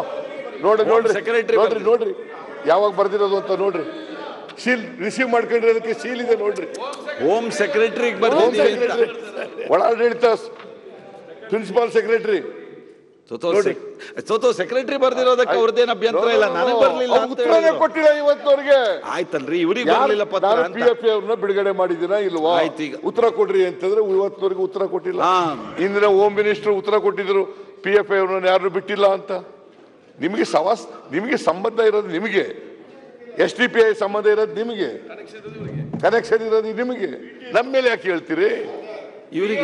ಇವರಿಗೆ ಬೈತಾರೆ. ಕಾಂಗ್ರೆಸ್ ಕಾಂಗ್ರೆಸ್ಗೆ ಬಂದು ಸಿದ್ದರಾಮಯ್ಯ ಬೈಯೋದು. ನನಗೆ ಬೈಯೋದು. ಯಾಕೆ ಅದು ಎನ್ಕ್ವೈರಿ ಆಗ್ಲಿ ನೋಡುವ. ಯಾಕೆ ಬೈತಾರೆ ಅಂತ ಹೇಳಿ ಕಾಂಗ್ರೆಸ್ಗೆ ಎಸ್ ಟಿ ಪಿ ಐನವ್ರನ್ನ ಯಾಕೆ ಬ್ಯಾನ್ ಮಾಡಿಲ್ಲ ನೀವು? ಯಾಕೆ ಮಾಡಿಲ್ಲ? ಸುಮ್ಮನೆ ಹೇಳೋದು. ಸಿದ್ದರಾಮಯ್ಯನವರು ಪಿ ಎಫ್ ಐನವ್ರನ್ನ ಬಿಟ್ಬಿಟ್ರು. ಇವೆಲ್ಲ ಈ ಮತೀಯ ವಾದಗಳು ಪೋಲರೈಸೇಷನ್ ಆಫ್ ವೋಟ್ಸ್ ನಡೆಯಲ್ಲ. ಇವೆಲ್ಲ ನಡೆಯಲ್ಲ. ಆದ್ರಿಂದ ಮಾನ್ಯ ಅಧ್ಯಕ್ಷರೇ, ಈ ರಾಜ್ಯಪಾಲರ ಕೈನಲ್ಲಿ ಸುಳ್ಳು ಬರೀ ಸುಳ್ಳು ಹೇಳಿಸಿದ್ದಾರೆ. ಯಾವುದೂ ಸತ್ಯ ಇಲ್ಲ. ಹೇಳಿರ್ತಕ್ಕಂಥದ್ದೆಲ್ಲ ಬರೀ ಸುಳ್ಳುಗಳು. ಸುಳ್ಳಿನ ಕಂತೆ, ತೌಡು ಕುಟ್ಟೋದು. ಕೆಲಸ ಮಾಡಿದ್ದಾರೆ. ಮತ್ತೆ ಕಳೆದ ಬಜೆಟ್ನಲ್ಲಿ ಏನು ಹೇಳಿ ಹೇಳಿದ್ರು? ಇನ್ನೂರು ಆರು ಅವನ್ನೆಲ್ಲ ಯಾವುದು ಈಡೇರಿಸ್ತೀವಿ ಅಂತ ಹೇಳಿರಲಿಲ್ಲ ಆರ್ನೂರು ಅವ್ರ ಮ್ಯಾನಿಫೆಸ್ಟೋ ಮೂಲಕ ಹೇಳಿದ್ದದು. ಅವನ್ಯಾವು ಈಡೇರಿಸಿದೀವಿ ಅಂತ ಹೇಳಿಲ್ಲ. Not even ten percent of them ಇವರು ಜನಪರವಾದಂಥ ಆಡಳಿತ ಅಂತ ಹೇಳಕ್ಕಾಗತ್ತಾ? ಭ್ರಷ್ಟ ಸರ್ಕಾರ, ಜನವಿರೋಧಿ ಸರ್ಕಾರ ವಚನ ಭ್ರಷ್ಟ ಸರ್ಕಾರ. ಇಂಥ ಸರ್ಕಾರ ಇರೋದ್ರಿಂದಲೇ ರಾಜ್ಯದ ತುಂಬ ಜನ ಮಾತಾಡ್ತಾ ಇದ್ದಾರೆ. ಈ ಸರ್ಕಾರ ತೊಲಗಿದ್ರು ಸಾಕಪ್ಪ ಅಂತ ಮಾತಾಡ್ತಾ ಇದ್ದಾರೆ. ಆಮೇಲೆ ಮಾತೆತ್ತಿದ್ರೆ ಸಿದ್ದರಾಮಯ್ಯನವರು ಅಕ್ಕಿ ಕೊಟ್ಟದು ನಮ್ಮ ಸರ್ಕಾರ ಹಾಗಾದ್ರೆ ಯು ಪಿನಲ್ಲಿ ಹಾಕಿಲ್ಲ? ಫ್ರೀಯಾಗಿ ಅಕ್ಕಿ ಕೊಡೋ ಕಾರ್ಯಕ್ರಮ? ಯು ಉತ್ತರ ಪ್ರದೇಶದಲ್ಲಿ ಹಾಕಿಲ್ಲ? ನೀವು ಮೂರು ರೂಪಾಯಿ ಕಡಿಮೆ ಮಾಡಿರಿ ಅದಕ್ಕೆ ಮಿಕ್ಕಿದ್ ಕೊಟ್ಟಿದ್ ಕೇಂದ್ರ ಸರ್ಕಾರ ಅಂತಲೇ ನಾವ್ ಹೇಳ್ತಿರೋದು. ಆಯ್ತಪ್ಪ. ನೀವು ಕಡಿಮೆ ಗೋಣಿ ಚೀಲ ಸರ್ಕಾರ ರೂಪಾಯಿ ಸಿದ್ದರಾಮಯ್ಯನವರು ಕೊಟ್ಟದ್ದು ಬರೀ ಗೋಣಿ ಚೀಲ ಅಲ್ಲ ಅಂತಲೇ ನಾವು ಮಾತಾಡ್ತಿರೋದು. ಗುಜರಾತ್ನಲ್ಲಿ ಹಾಕಿಲ್ಲ ನಿಮ್ದಲ್ಲ. ಗುಜರಾತ್ನಲ್ಲಿ ಹಾಕಿಲ್ಲ. ನಿಮ್ದೆಲ್ಲ ಅಕ್ಕಿ ಭಾಗ್ಯ ಅಸ್ಸಾಂನಲ್ಲಿ ನಲ್ಲಿ ಹಾಕಿಲ್ಲ. ಭಾಗ್ಯ ಅದು. ಮಧ್ಯಪ್ರದೇಶದಲ್ಲಿ ಹಾಕಿಲ್ಲ. ಆ ಫ್ರೀಯಾಗಿ ಅಕ್ಕಿ ಕೊಡ್ತಕ್ಕಂಥ ಅನ್ನ ಭಾಗ್ಯ ಸ್ಕೀಮ್ ಎಲ್ಲಿ ಹಾಕಿಲ್ಲ. ನೀವು ಕಡಿಮೆ ಮಾಡಿದ್ ಮೂರು ರೂಪಾಯಿ ಕಿಲೋಗೆ. ತೆಗಿರಿ ಲೆಕ್ಕ ತೆಗಿರಿ. ಎರಡು ಕೆಜಿಗೆ ಮೂವತ್ತು ರೂಪಾಯಿ ಫುಡ್ ಸೆಕ್ಯೂರಿಟಿ ಆಗ್ತದವ್ರು ಯಾರು? ಫುಡ್ ಸೆಕ್ಯೂರಿಟಿ ಆಗ್ತದೆ. ನರೇಂದ್ರ ಮೋದಿ ಅವರ. ಫುಡ್ ಸೆಕ್ಯೂರಿಟಿ ಆಗ್ತದೆ. ನರೇಂದ್ರ ಮೋದಿ ಅವರ. ಕರ್ನಾಟಕದಿಂದ ನಾಲ್ಕು ಲಕ್ಷ ನಾಲ್ಕು ಲಕ್ಷದ ಐವತ್ತೆರಡು ಸಾವಿರ ಕೋಟಿ ಕಲೆಕ್ಟ್ ಆಗುತ್ತೆ ತೆರಿಗೆ. ನಾಲ್ಕು ಲಕ್ಷದ ಐವತ್ತೆರಡು ಸಾವಿರ ಕೋಟಿ. ನಮಗೆ ಬರೋದು ಬರೀ ಅರವತ್ತು ಸಾವಿರ ಕೋಟಿ ಅಷ್ಟೇ. ಇನ್ನು ಉಳಿದದೆಲ್ಲ ಕೇಂದ್ರ ಸರ್ಕಾರದಲ್ಲಿ ಉಳ್ಕತ್ತದೆ. ಯಾರ ಅಪ್ಪರ ಮನೆಯಿಂದ ಕೊಡೋದಿಲ್ಲ ಅದನ್ನ ಆ? ಅಪ್ಪನ ಮನೆಯಿಂದ ಕೊಡ್ಲ ಅಂದ್ರೆ ನಿಮ್ಮ ಅಪ್ಪನ ಮನೆ ಅಂತ ಹೇಳಿಲ್ಲ ನಾನು. ಯಾರ ಅಪ್ಪನ ಮನೆ ಅಲ್ಲ ಜನರ ದುಡ್ಡು ಜನರ ದುಡ್ಡು. ಜನರ ದುಡ್ಡು ಜನರ ದುಡ್ಡು ಜನರ ದುಡ್ಡು. ಜನರ ಜನರ ಬೆವರಿನ ಹಣ. ಜನರ ದುಡ್ಡು ಜನರಿಗೆ ಕೊಡಿ ಅಂತ ಹೇಳ್ತೀವಿ. ನಾನ್ ಕೊಟ್ಟೆ ನಾನ್ ಕೊಟ್ಟೆ ನಾವು ತಿರುಗಿ ಅಂದ್ಬಿಟ್ರೆ ಆ ಭಾಷೆಗಳ ಈ ಭಾಷೆ ನಿಮ್ ಬಾಯಲ್ಲಿ ಬಂದ್ರೆ? ಇದು ಅನ್ಪಾರ್ಲಿಮೆಂಟರಿ ಇದು? ಅಲ್ಲ ಯಾರಿಗೂ ಯಾರ ಹೇಳಿಲ್ಲ ನಾನು. ಯಾರಿಗೂ ಹೇಳಿಲ್ಲ. ಗೌರ್ಮೆಂಟ್ ಹೇಳಿರೋದು. ಗೌರ್ಮೆಂಟ್ ಹೇಳಿರೋದು ನಾನು. ಗೌರ್ಮೆಂಟ್ಗೆ ನಾವು ಕೇಳ್ತೀವಿ. ಗೌರ್ಮೆಂಟ್ಗೆ. ಗೌರ್ಮೆಂಟ್ ಹೇಳಿರೋದು. ಗೌರ್ಮೆಂಟ್ ಅವ್ರ ಅಪ್ಪನ ಮನೆ ದುಡ್ಡಲ್ಲ ಅಂತ ಹೇಳಿದ್ದೀನಿ ಜನರ ಬೆವ್ರನ್ನ ಹಣ. ಜನರ ಬೆವ್ರನ್ನ ಹಣ. ತೆರಿಗೆ ಹಣ. ಎಲ್ಲ ಹೋಗೋದ್ಬಿಟ್ರೆ ಚರ್ಚೆ ಮಾಡೋದು ಇನ್ನೇನು ಸರ್? ಹೌದು. ಕಟ್ ಮಾಡಿದ ಕೇಳಿದ್ರು ಏನ ಯಾವ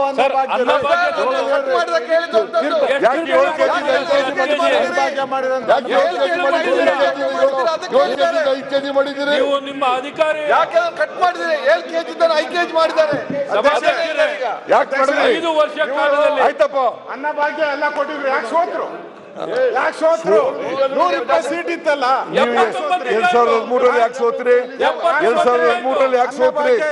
ಎರಡ್ ಸಾವಿರದ ಹದಿಮೂರರಲ್ಲಿ ಯಾಕೆ ಸೋತ್ರಿ. ಎರಡ್ ಸಾವಿರದ ಹದಿಮೂರರಲ್ಲಿ ಯಾಕೆ ಸೋತ್ರಿ? ಸರಿ ಇಲ್ಲ ಅಂತ ಜನ ಮನೆ ಕಳಿಸಿದ್ರು. ಈಗ ಅದಕ್ಕೆ ಈಗ ಈಗ ನಿಮ್ಮನ್ನ ಮನೆ ಕಳಿಸ್ತಾರೆ. ನೀವು ಸರಿ ಇಲ್ಲ ಅಂತ ಹೇಳಿ ಭ್ರಷ್ಟ ಸರ್ಕಾರ ಅಂತ ಹೇಳಿ ಹೊಸ ಭ್ರಷ್ಟ ಸರ್ಕಾರ ಅಂತ ಹೇಳಿ ಫಾರ್ಟಿ ಪರ್ಸೆಂಟ್ ಕಮಿಷನ್ ಸರ್ಕಾರ ಅಂತ ಹೇಳಿ ನಿಮ್ಮನ್ನ ಮನೆ ಕಳಿಸ್ತಾರೆ. ಕಾಂಗ್ರೆಸ್ ಸೋಲಿಸಿ ಹೇಳಿ ಜನರಿಗೆ ಗೊತ್ತಾಗಿದೆ. ಮಾನ್ಯ ಅಧ್ಯಕ್ಷರೇ. ಅಲ್ಲ ಮೇ ಆಮೇಲೆ ಮಾನ್ಯ ಅಧ್ಯಕ್ಷರೇ ಕೊನೆಯಲ್ಲಿ ಕೊನೆ ಒಂದೇ ಒಂದು ಮಾತು. Okay. V S V S I L ಇದೆಯಲ್ಲ ಅದನ್ನು ಮುಚ್ಚಲಿ ಕೊಟ್ಟಿದ್ದಾರೆ. ಅಧ್ಯಕ್ಷರೇ ರಾಜ್ಯಸಭೆಯಲ್ಲಿ it is official V I S L to close says minister in Rajya Sabha ಇದು ಮಹಾರಾಜರ ಕಾಲದಲ್ಲಿ ಮಾಡಿದ್ದು. ಸಾವಿರದ ಒಂಬೈನೂರ ಇಪ್ಪತ್ತ್ಮೂರನೇ ಇಸ್ವಿನಲ್ಲಿ, ನೂರು ವರ್ಷ ಆಯ್ತು ಈಗ. ಅದ್ರ ಮುಚ್ಚಳಿ ಕೊಟ್ಟಿದ್ದಾರೆ. ನಾನು I demand V I S L ಮುಚ್ಕೂಡ್ದು ಯಾವ ಕಾರಣಕ್ಕೂ ಕೂಡ. Bhadravati. Visvesvaraya, iron and steel company ಇದೆಯಲ್ಲ, ಅದನ್ನ ಲಿಮಿಟೆಡ್ ಇದೆಯಲ್ಲ, ಅದನ್ನ ಮುಚ್ಚಕ್ಕೆ ಹೋಗಬಾರದು. ಇನ್ನು ಮೈಸೂರು ಮಹಾರಾಜರು ಮಾಡಿದ್ದಂಥ ಕಂಪನಿ ಅದಕ್ಕೆ ಹದ್- ಹದಿನಾರು ಸಾವಿರ ಚೀಲ ಜಾಗ ಇದೆ. ನಾನೇ ನೂರೈವತ್ತು ಎಕರೆ ಮೈನಿಂಗ್ ಕೊಟ್ಟಿದ್ದೆ ಮೈನಿಂಗ್ ಮಾಡೋಕ್ಕೋಸ್ಕರ ಕೊಟ್ಟಿದ್ದೆ. ಕೇಂದ್ರ ಸರ್ಕಾರಕ್ಕೆ ನೀವು ಒತ್ತಡ ಹಾಕ್ಬೇಕು ಯಾವ ಕಾರಣಕ್ಕೂ ಮುಚ್ಚಬಾರದು. ಎಲ್ಲ ಎಲ್ಲ ಇದೆ. ಎಲ್ಲ ಇದೆ. ಬಾ ಎಲ್ಲ ಇದೆ. ನಮ್ಮ ಕಾಲದಲ್ಲಿ ಅದನ್ನ ಮುಚ್ಚಕ್ ಹೋಗಿರ್ಲಿಲ್ಲ.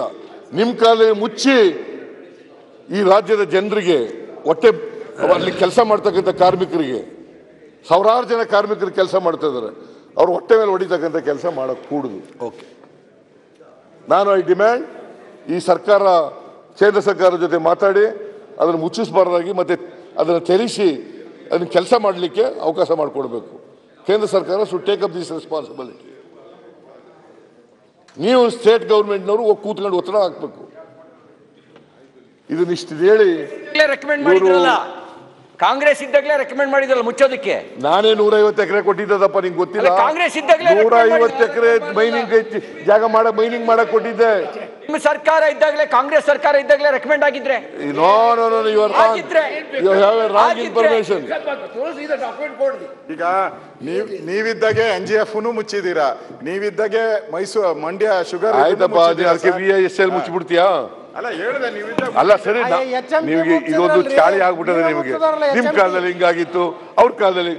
ರೀ that is not the answer. ನಮ್ ಕಾಲ ಇರುವಾಗ ನೀವು ವಿರೋಧ ಪಕ್ಷದಲ್ಲಿ ಇದ್ರಿ what were you doing what were you doing why you not raise this issue ಓಹೋ ಬಹಳ ಹರಿಶ್ಚಂದ್ರರು ನೀವು. ಹರಿಶ್ಚಂದ್ರರು ಅದರಿಂದ ಮಾನ್ಯ ಅಧ್ಯಕ್ಷರೇ ಈ ರಾಜ್ಯಪಾಲರ ಭಾಷಣ ಇದೆಯಲ್ಲ ಇದು ಒಂದು ಸುಳ್ಳಿನ ಕಂತೆ.